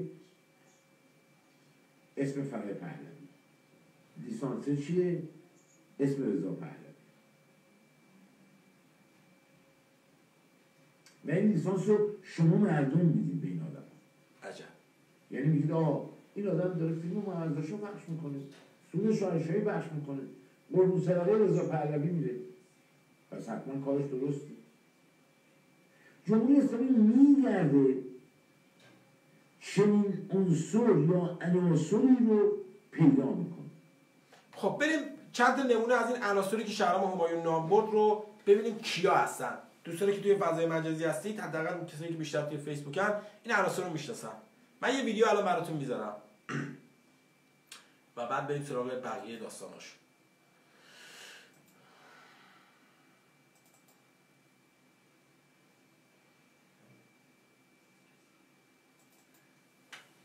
تیم شهرام گرفته. گوش کن. خب آقای سانفیروزی خانم وفی به این نکته خیلی جالبی اشاره کردن. و این که مأموران جمهوری اسلامی خیلی تو این مجموعه فعالن. یه تفاوتی که پیدا کرده اینه. و اون اینه که این بار مأمور جمهوری اسلامی در لباس اپوزیسیون میاد ظاهر میشه. شما هم این رو متوجه شدید آقای سانفیروزی؟ خفه شد بله متاسف خفه شد خب ببینید آقای شهرام همایون نه. چهل سال پیش که شما پسر عمود داریوش همایون و دیگران هم به ایران خارج از ایران صادر شدید اتفاقا به در لباس اپوزیسیون صادر شدید. همین الان شما در لباس اپوزیسیون دارید مأموریت انجام می‌دید برای جمهوری اسلامی. پس این شخصی که اونجا دیدید یه چاقالیه که توی بلژیک نمی‌دونم کجاست. اونو ولش کنید ببینید سرداش حالا اصلا موردی نیست. اما این خانومی که دیدید اینجا حالا بهش می‌رسیم. ببینیم این خانم کیه. می‌خوایم اون آدمای لومپن به قول همایون. بی سواد بی دانش جائل و یه چیز دیگه هم گفت قاچاق فروش و دوست. ببینیم اینایی که اتاق فکر جمهوری اسلامی پیدا کرده اینا کیان؟ و دارن چه مجموعه اون ویدیو همایون خیلی کار داره. اگه برسیم حالا بهش می‌رسیم.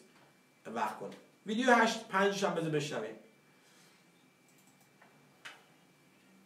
اون آدما.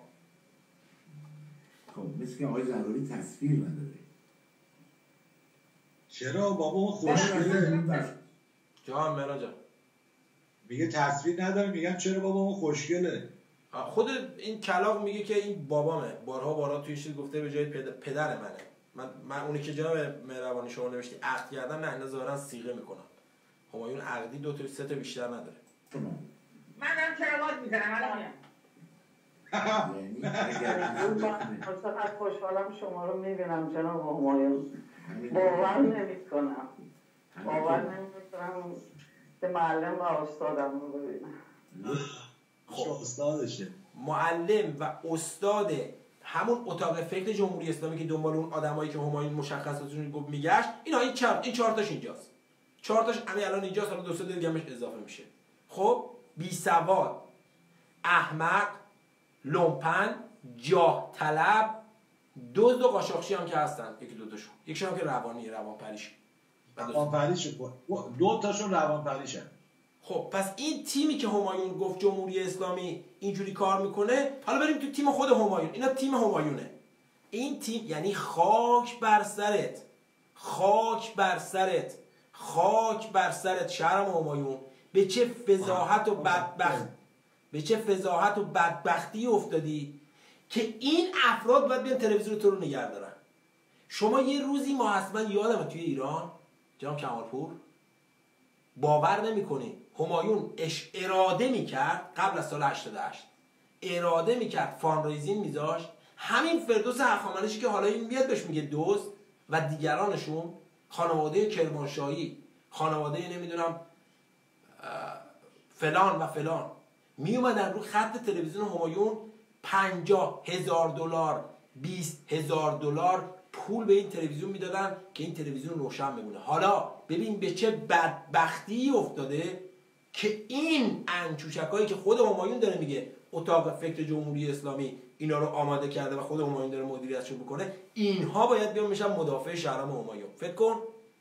ببین یه آدم چقدر باید به یه درجه رزلی و پستی و انتهای سقوط باشه که یک قاچاقچی دزد طبق ادعای خودش بیاد و مدافع و وکیل مدافع این, این مثلا شهرام شارلاتان میشه آقای شهرام همایون به تبریک میگم این جایگاهی که خوشبختانه توسط تیم رستاخیز سیمرغ شما به این جایگاه نائل شدی. رفی این خانم رفی ماشاءالله خودش یعنی گاهی اوقات اصلا اون ویدیو هم نشون بده که بعدش میگه استاد دیگه. همینه دیگه همین الان گفت اولش گفت. گفت خوشحالم که استادمو دارم می‌بینم. آه من فکرم ویدیو بعدیشو می‌خواستی نشون بدی. نه الان اینو نشون میدم. استاده. آقا اینها استادشون شهرام همایونه. همشون هم دارن توی برنامهشون ادعا کردن دیگه. و اون تیمی که همایون گفت همینان. حالا ببینیم کیا. من تعجب می‌کنم که این آدم چقدر یعنی فکر من 24 ساعته همش در حال کنکاش و جست و و آفرین میگم به خانم رفیعی عزیز. آفرین آفرین. خب آفرین بهش میگه به خانم رفیعی. چون که شما صحبت داری بزد تا من شارژر تبلتمو بیارم داره شارژر این قسمتی که میگه استادشه بعد الان شهرام همایون بهش میگه آفرین. اون ویدیو مای رفیعی رو باید براش بفرستیم که انگشت وسطش رو برده بالا میگه از این بزرگتر ندارم. بده بده بده بفرستش همونجا توی تلگرام من براش بذارم. تا من برم شارژر تبلتمو بیارم. تو مسنجر هستش. تو مسنجر دانلود کن دانلود کن بفرست توی تلگرام. چون مسنجر من اینجا باز نمیشه. دانلود نمیشه. بعد چرا دانلود میشه؟ دانلود میشه بزن روش نگه دست بکن تو چشش نگه رو پایین بهت گزینه میده. من شارژر تبلتمو بیارم ببخشید.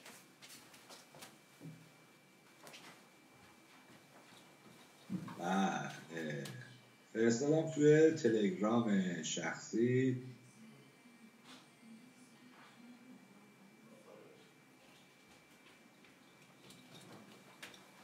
خب جام کمال فرستادی؟ بله بله. تو شخصی رسید. یه لحظه به من اجازه بده من شارژر تبلتم چون داره تموم میشه. دوستان توی فیسبوک لطفا برنامه رو پخش کنید. فراموش نشه. توی پیام برای دوستانتون ارسال کنید و من این شارژر اون یکی گوشی من فکر کنم شارژش بره رو به آخر ببخشید. خیلی اینو بفرست ببینیم استاد ش... استاد شاگرد همایون چی گفته بهش؟ همون دیگه الان تشکر کرد ازش. بعد مای رفیعی هم در قبالش این ویدیو رو براش فرستاد که من براتون فرستادم پخشش بکنیم الان می‌ذارم الان می‌ذارم این.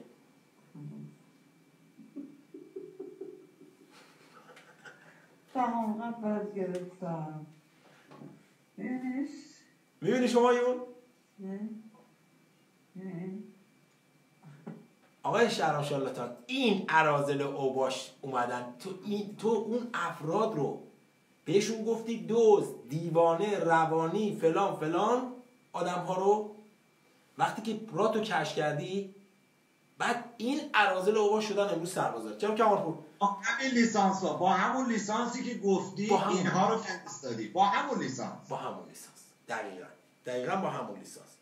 خب من بقیه صحبت ویدیو بعدی هم ویدیو بعدی هم براتون ریپلی می‌کنم که کسی که آقای همایون داره مشخصات میده دقیقا چه کسانی هستن؟ دوستان. اینا رو شما نگاه کنید با همین لیسانسی که آقای همایون داره میگه. من replay کردم براتون. این دو نفر دیگه از لیسانس های آقای همایون هستن. play کنم بشنوم. play کنی بیام کمال پور بله بله play کنید زحمت بکشید. خیلی کوتاه چند ثانیه است. بله بله. گوش. کنید. و اتفاقا بهتون بگم تو دزدی هم آدم موفقی بودم. می‌دونی؟ چرا؟ برای چرا؟ من خوشدلم هم خوشتیپم هم خوشتر و لباسم. هم با تربیتم. هم با ادبم. هم دوز آفریده نشدم. هم آدمی نیستم که هر جا برم هر کی ببینه بگه آ دزده به خاطر همینم وقتی که می‌رفتم تو مغازه اتفاقا آقای کلام اربابت یعنی معلمت که الان به درس دادم همینجوریه. دزدی داره می‌کنه.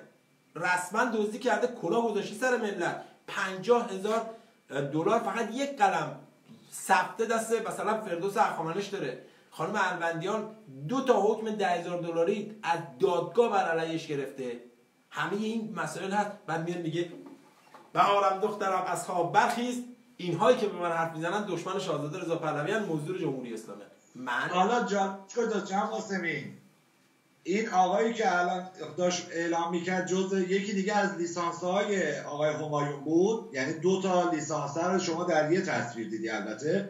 این آقایی که ادعا می‌کنه به دلیل خوشگلی و خوشتیپی و اینا دزد موفقی بوده اینجا خودسانسوری مرتکب شده. و من جملهش رو کامل می‌کنم. ایشون یک دزد موفقی بوده به دلیل اینکه معدب بوده خیلی تربیت خانوادگی بالایی داره. خیلی خوشگله خوشتیپه خوش بر و روه خوش لباسه ناخوناشو مانیکور بتیکور می‌کنه بدنشو کلا اپیلاسیون می‌کنه و کلا یک همچین دزد و آدم با شرف لیسانسی رو آقای همایون بهش اجازه داده از سیستم اطلاعات جمهوری اسلامی در تلویزیونش بره اونجا شکرخوری بکنه. این از این. اما در رابطه با اینو می‌تونید امتحان کنید. ببریدش اینجا لختش کنید ببینید اگر دروغ میگم اپیلاسیون شده خودش همه جا گفته. اگر فکر می‌کنید دروغه برید امتحان کنید. از دوستانش می‌تونید بپرسید. اما اون آقای دیگه که اونجا نشسته ویدیویی هست. باور کنید رومون نمیشه پخشش کنیم. یعنی اگر اون نفرات قبلی لیسانس بودن این یکی پروفسور پروفسور اصلا. نمی‌دونم آیا قاسم من فکر کنم بعدا کلیپشو بزنیم چون برنامه خراب میشه اصلا نه نه نه اتفاقا بذار بذار آقا بذار ملت تکلیفشون رو بدون جناب کمال. من از طرف دوستان من من من از من و جناب کمالپور و رستاخیز از تو معذرت می‌خوام اما این اتفاقایی که بله این این چیزایی جناب قاسم بخشید ولی ببینید همونطوری جناب قاسمی گفتم ما معذرت می‌خوایم. می‌خوایم بگیم آقای همایون شمایی که در قبال منی که داشتم معدبانه باد صحبت می‌کردم. داشتم در کمال آرامش با حرف می‌زدم. اومدی گفتی به گفته شاهزاده رضا پهلوی کسی که فحاش باشه من باش حرف نمی‌زنم و به دروغ به من تهمت زدی که من فحاشی فوش خواهر مادر دادم. حالا ببینیم تو به چه کسی لیسانس دادی که در برنامه شرکت بکنه در تلویزیون حضور داشته باشه و چه ابزاری رو در اختیارشون قرار دادی.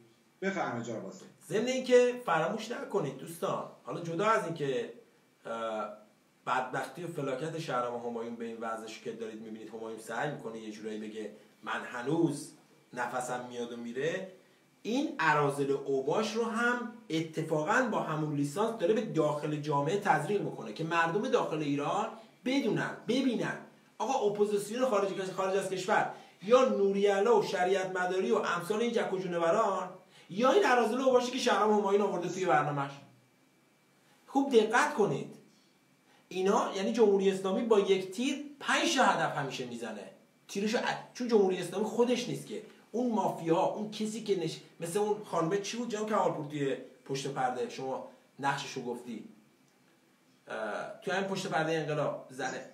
مگری مثل همین خانم لوریان مگری اصلا شما به نگاه کنی ان- انقلاب 57 توسط این زن اتفاق افتاده. دقیقاً. و این یک همچین اتاق فکرایی است که یه همچین کارایی هم پیش می‌بره. جناب که جناب که اون ویدیو کجاست برای من بفرست. دست خودت. دست خودم نیست. دست شرام شارلاتانه. دوستان برنامه رو پخش کنید. من پوزش می‌خوام. این یه تیکه رو که می‌ذاریم. اما ویدیو مای رفیعی اه، اون یکی رو اول برام بفرست. اون یکی که شهرام کیه؟ همه یکوجون براش هستن. می‌خوام یکی یکی ببینیم. این اتاق فکر جمهوری اسلامی چه افرادی رو پیدا کرده.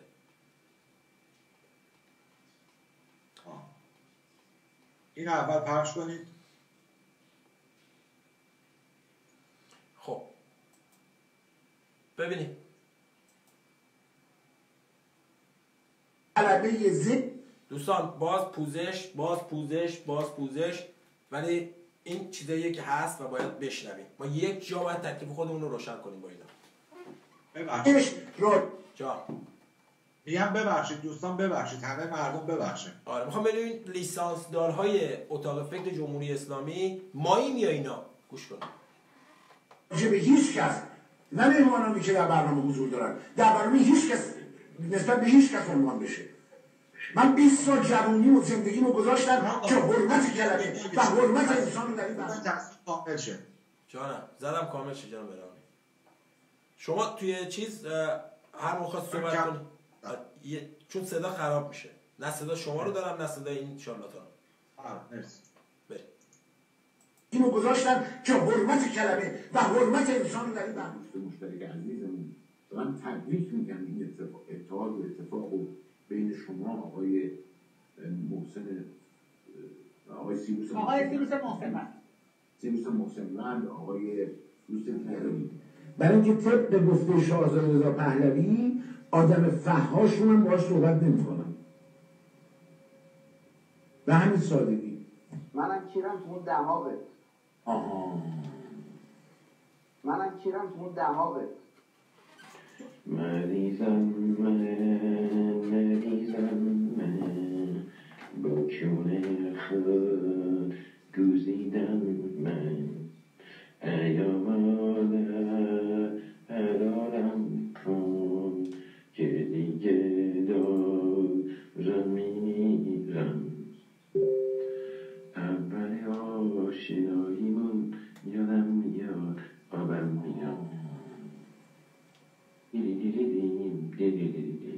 اول آشناییمون یادم میاد آبم میاد دیدیدیدیم دیدیدیدیم گفتی به من می‌کنم خیلی زیاد خیلی زیاد برای اینکه طبق گفته شاهزاده رضا پهلوی آدم رو من باهاش صحبت نمی‌کنم به همین سادگی. اگرچه حرامزادگانش در سراسر دنیا علیه ما وسیع بشن ولی تو زود کس منو دادی به باد داری بباره تبریک میگم آقای زنرانی آقای محسن بنده خب این گرایی اول من. گرایی دوم من مربوط است به این نکته ای که همه کانفیوز هستن. آها. آقا یا به همین سراحت شما سوگند خوردید. نونو وارث تاج و تخت پادشاهی هستید. خودتون رو مقید می‌دونید به مسئله وراست از پدر. یا نه؟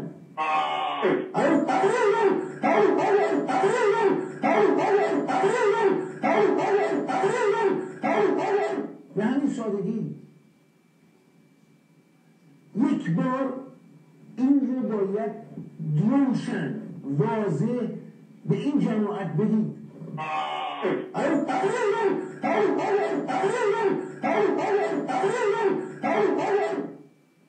اما پادشاه می‌خواید به سراغ عالم دیگه.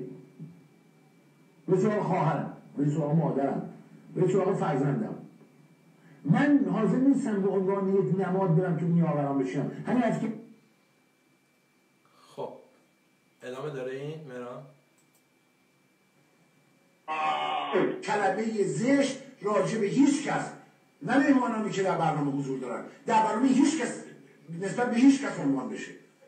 من 20 سال جوانی و زندگیمو گذاشتم که حرمت کلمه و حرمت انسان رو در این برنامه کنم. منم کیرم تو اون دماغه خب این ببخشید دوستان من پوزش می‌خوام ولی خب آقای شهرام همایون به تبریک میگم. خیلی خیلی به تبریک میگم. و نه فقط به تو بلکه به اون فراماسونری که اون لوژی که شما لوژ وارداک. با اون لوژ وارداک واقعا باید تبریک گفت که یک همچین حالا این این این دو سه تاش بود. حالا بذار یکی دیگه من الان می‌ذارم. یکی دیگه الان من می‌ذارم. همه که شما داری پخش می‌کنی آره همه رو من پخش می‌کنم. آره نه منظورم اینه که یکی دیگر من الان توی چیزا فکرم هست که این یکیشو بذارم. آره. آقای شهرام همایون.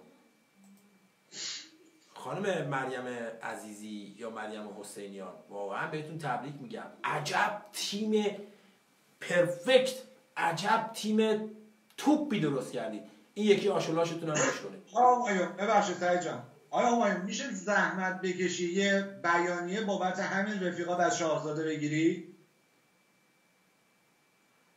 یه دست تکون بده براشون. حیفه. به صحبت های فرزند خونده شهرام همایون. شاگردش شاگردش. استاد میگه. نه این فرزند خوندهشه این کلاغ است. یک کلاغ است. گوش کنید این کسش وقتی من دارم حرف می‌زنم حرف منو قطع می‌کنه شده بر کیلووتی ستایی من خواهد این کسش وقتی من این کسش وقتی من دارم حرف می‌زنم این کسش وقتی من دارم حرف می‌زنم. این کسش وقتی من دارم حرف می‌زنم حرف منو قطع می‌کنه شده بر کیلووتی ستایی من خواه اینو گاهیدم آدم لاشی آدم ان ریدم به هیکلش. هر کسی که آدم فروشی رو خوب می‌دونه هر کسی که حریم لقمگی رو خوب می‌دونه هر کسی که فکر می‌کنه اگه دوستش با خودش مخالفه باید بزنتش به زمین. هر کسی که نامردی رو خوب می‌دونه بدوه بره دنبال سعید قاسمی اینجا پیداش نشه. برید و طرفدار اونا بشید. برید سراغ پیج اونا و بگید ما فدایی شما هستیم. به خاطر اینکه ما هم مثل شما مادر قحبه خب این از یکی دیگه از آشولاشا و بچه های بچه صیغه های شهرام شارلاتان.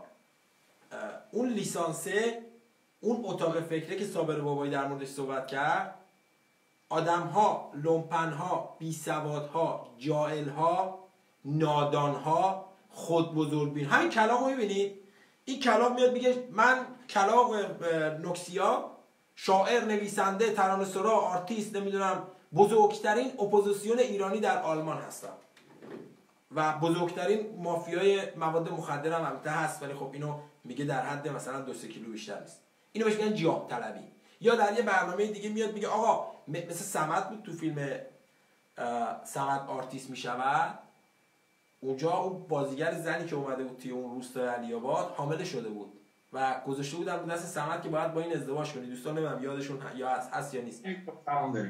جان الان میریم الان اونجا برگشت گفت گفت نه نه آقا التماس کنه. سرکار استوارم خواهش رو تمنا کنه ما ازدواج می‌کنم با لیلا. حالا این جانورم کلاغ. اومده میگه که هم ملت به من نامه بنویسن عریضه بنویسن من برم مقابل این دو نفر بیستم. خدا وکیلی ببین دنیا چقدر به گه کشیده شده که شهرام همایون میشه استاد قارگوز این جکو جونوراش هم که دارید می‌بینید اینها همون اتاق فکر لیسانس. خب مرا جان من بذار یه ویدیو دیگه بس بذارم. بله بله. مای رفیق محسن مای رفیعی مسلم برام فرستادی؟ بله بله. ریپلی کردم. خب نه بذار این یه یه جای دیگه هست که آها اونا رو بعدا بهش می‌رسیم. گوش کنیم ببینیم اون یکی این یکی دوتا جانوراش چی میگن. آقای همایون اینا برای بچه ما پسیم اینا. اینا. اینا. خاک بر سرت. هشت دقیقه است.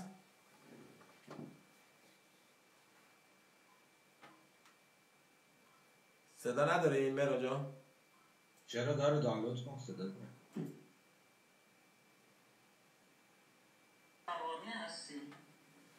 این همون خانم هست آقا. می‌خوام بگم تو برای چی اسم منو توی live می‌دونی که شهرام همایونی text کردی. چرا؟ آره. بیا. جرأت نداری با خودم حرف بزنی؟ بیا. گوه منو بخور جرأت نداری با خود من حرف بزنی؟ میگم میترسی با خود من حرف بزنی؟ ها؟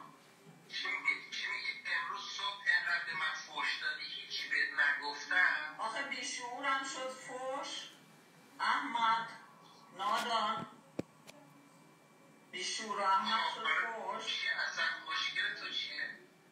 تو به چه جرأتی توی جمع وقتی من حضور ندارم میده اسم منو میاری؟ به چه جرأتی توی live توی لایف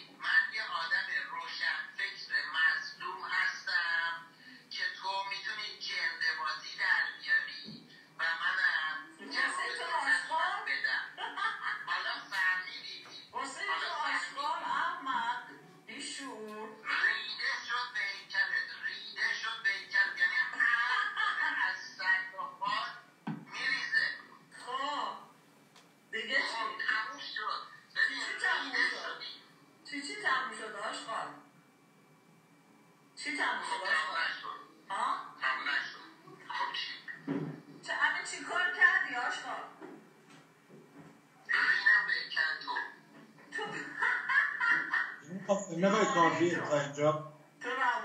نه یه تیکه دیگهش بذار بره جان کمان هستی تو یه شخص روانی بله ما ریدم جانوری خودت هم می‌دونی که ریدم به هیکل نه تو توی دهن مادر خودت کردی.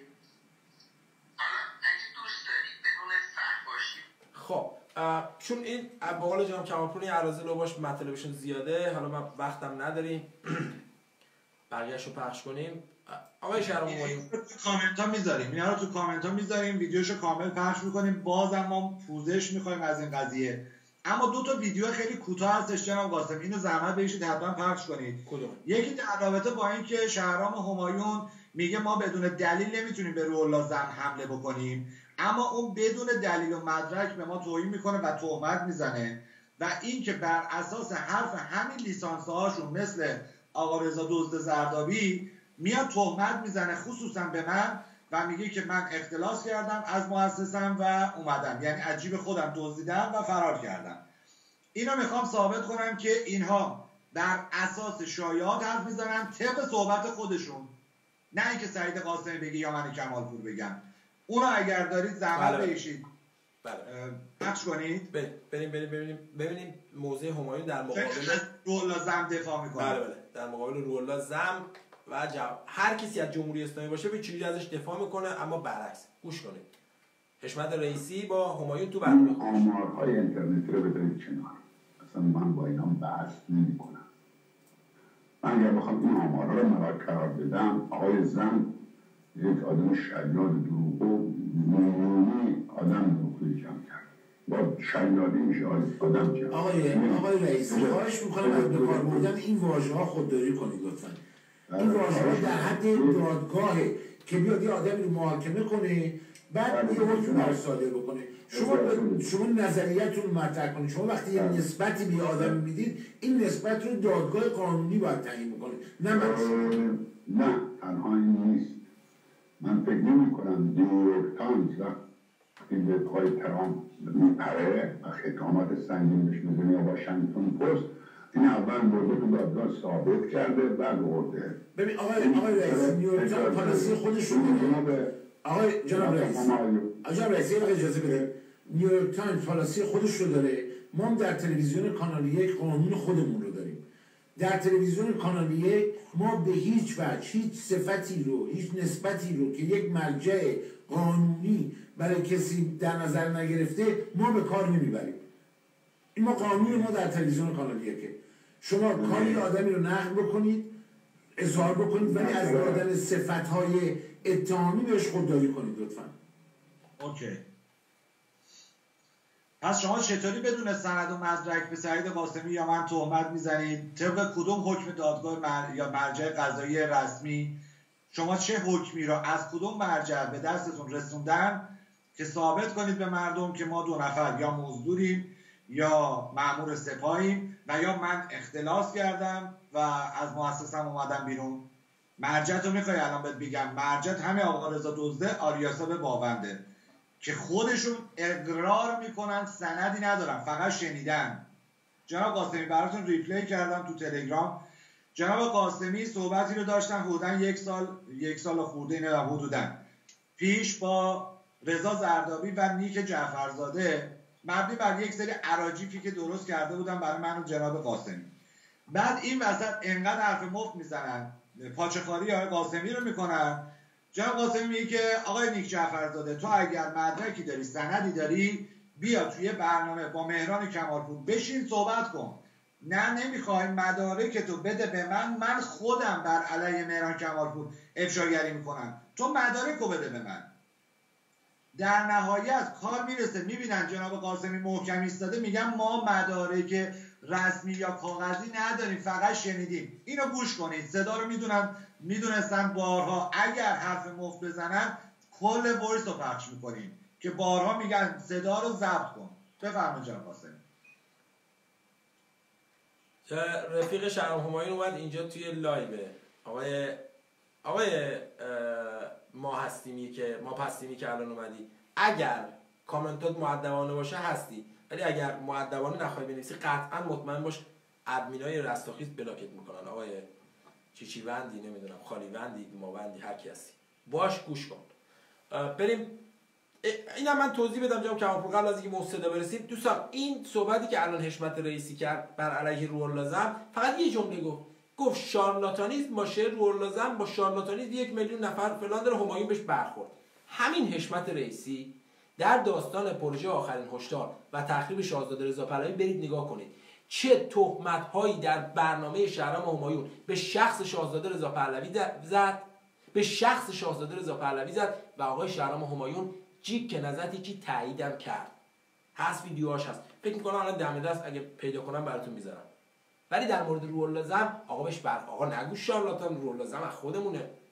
بریم صحبت اینجا هم گوش کنید بعد یه ویدیوی دیگه ازش دارم اونم گوش می‌کنیم. خیلی باحال. یا آقای مسلمان که اینجاست میگه من ب... من بلاکم. نه نه ولش الان ویدیو رو پخش کنیم. ولی نداره. معرفت نداره. آقای زنوی. یه،, یه زمانی یه زمانی خود شخص سعید قاسمی بعد از داستان واقعا نذاشت آقای رضا زرابی له بشه. نذاشت. خب؟ الان هم دارم به شما میگم. میگم آقای رضا زرابی شما وقتی می‌دونی یک نفر مزدوره اون هم بپرسم. وظیفت بیای و اینو افشا کنی. چرا نمی‌کنی؟ آقای نیک جعفرزاده شما چرا نمی‌کنی؟ چرا نمی‌کنی که همسر سعید قاسمی رو دام نیفتن چرا؟ علتش ثابته. ببین مشکل ما این وسط اینه که این آدم سند کاغذی که ما بتونیم اینجا رو بکنیم دستش نداریم. خیلی خوب. تنها عملش به. پس منم پس من آقای آقای به- زرابی شما پس من چجوری باید رو حرف باد معده که همین الان اول داستان شما میگی من مطمئنم این خانم کارو کرده. بعد از یه مدت میگی نه من شنیدم که این خانم این کارو کرده. آقا دو دو تا چهار تا. مرسی جناب حسین الان برنامه تموم میشه. تا همینجا کافیه. دوستان شنیدین خودشون توی صحبت خودشون با جناب قاسمی میگن ما هیچ مدرکی از این شخص یعنی از من مهران کمالپور نداریم. این احمق لیسانسه دزد قاچاقچی میره عراجیف و تحویل شهرام همایون میده. اونم میاد تو تلویزیونش میگه. ببینید چقدر خر تو خره. منفعتش رو کی می‌بره؟ جمهوری اسلامی. به جایی که بیان جواب نقد ماها رو درست و منطقی بدن به جای اینکه تلفن رو قطع نکنن جواب رو بدن درست پاسخگو باشن یک سری عرازل و اوباش بی سواد بی خردی رو جمع کردن در یک دایره فقط دارن هم می‌زنن مردم رو سردرگم کنن. همین. یعنی سند و مدرکشون فقط شده شایع پراکنی بر علیه ما دو نفر. جناب قاسم بفرمایید. من ویدیو 17 رو بذارید بذارم. دوستان من تا اونجایی که راه داشته باشه میرم. اگر نشد احتمالا ب- ادامهش یه برنامه دیگه بعدا. اینم گوش کنیم حالا. یعنی بعد از این برنامه یا بعد از نه بعدا حالا یه برنامه دیگه بعدا تکمیلش می‌کنیم. چون اه، نمی‌رسیم. okay. برای اینکه بدونید این وزارت اطلاعات یه شاخش میشه مهران مدیری. یه شاخش میشه کی یه شاخش میشه؟ بخشی از اپوزیسیون. آقا طرف در ایران مؤسسه اینا یکی یکی بگم بهتون دیگه. که گفتم بقیه هم بگم. طرف مؤسسه تعاونی داشته. خب؟ پول مردم بالا کشیده.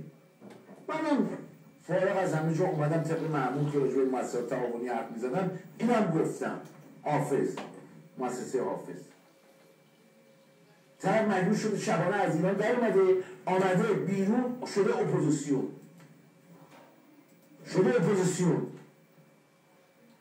من که چه سال پیش در مبارزه با جمهوری اسلامی افتادم زندان اون آقایی که تا دیروز مؤسسه حافظ بوده پول مردم بالا کشیده در رفته اومده خارج از کشور شده اپوزیسیون این میشه مدعی من. از این بدتر بهتون بگم چون یه تا شیش ماه پیش تو سفارت جمهوری اسلامی بوده. اینجا به ما ربطی نداره. ولش کن نه این دزدرم بذار بگم. دزدر دزدر دزدرم بشنن اوکی. دزدر دزدر چند تا اتهام میزن آقا دزده دزد خود ما هستیم هم بوده. دزد دزد می‌دونی یعنی چی؟ خب دوز عضو هستیم هم بوده چون وقت نمیشه جام که توضیح توضیح تو بده. خواهش کنم آقای همایون اولا که شما که اینقدر ادعای و دانش می‌کنی کسی که می‌خواد از کشور خارج شه بالاخره یا روز خارج میشه یا شب خارج میشه. ولی منظور شما اگر یواشکی اون یه چیز دیگه است. بعد شما طبق کدوم سند میگی؟ من پول کلاهبرداری کردم از مؤسسه یا اختلاس کردم از مؤسسه اومدم. شما که به حشمت رئیسی میگی تا یک مرجع قانونی یا قضایی حکم صادر نکنه توی کانال یک کسی حرف نمی‌زنه. برده بیا. 850 میلیون. بیا. 850 میلیون. مبلغ هم می‌دونه. 850 میلیون تومن شما 850 میلیون تومن باشه طلبت باشه پیشکش.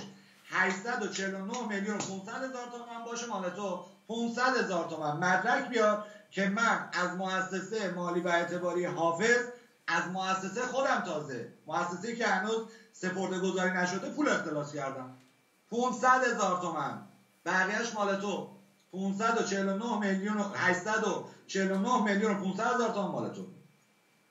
حرفایی که رضا زهرابی آقا دزده از طریق آریاسه به بابا مأمور اطلاع به شما تزریق کرد انقدر بیخرد و بیسواد و بیدانشید که همتون از تو سعید شمیرانی عبدت چارچش رولا زن علی جوانمردی همتون باور کردید بس فکر کردید از این طریق ما رو می‌تونید بکوبید یا عقب نشینی کنید.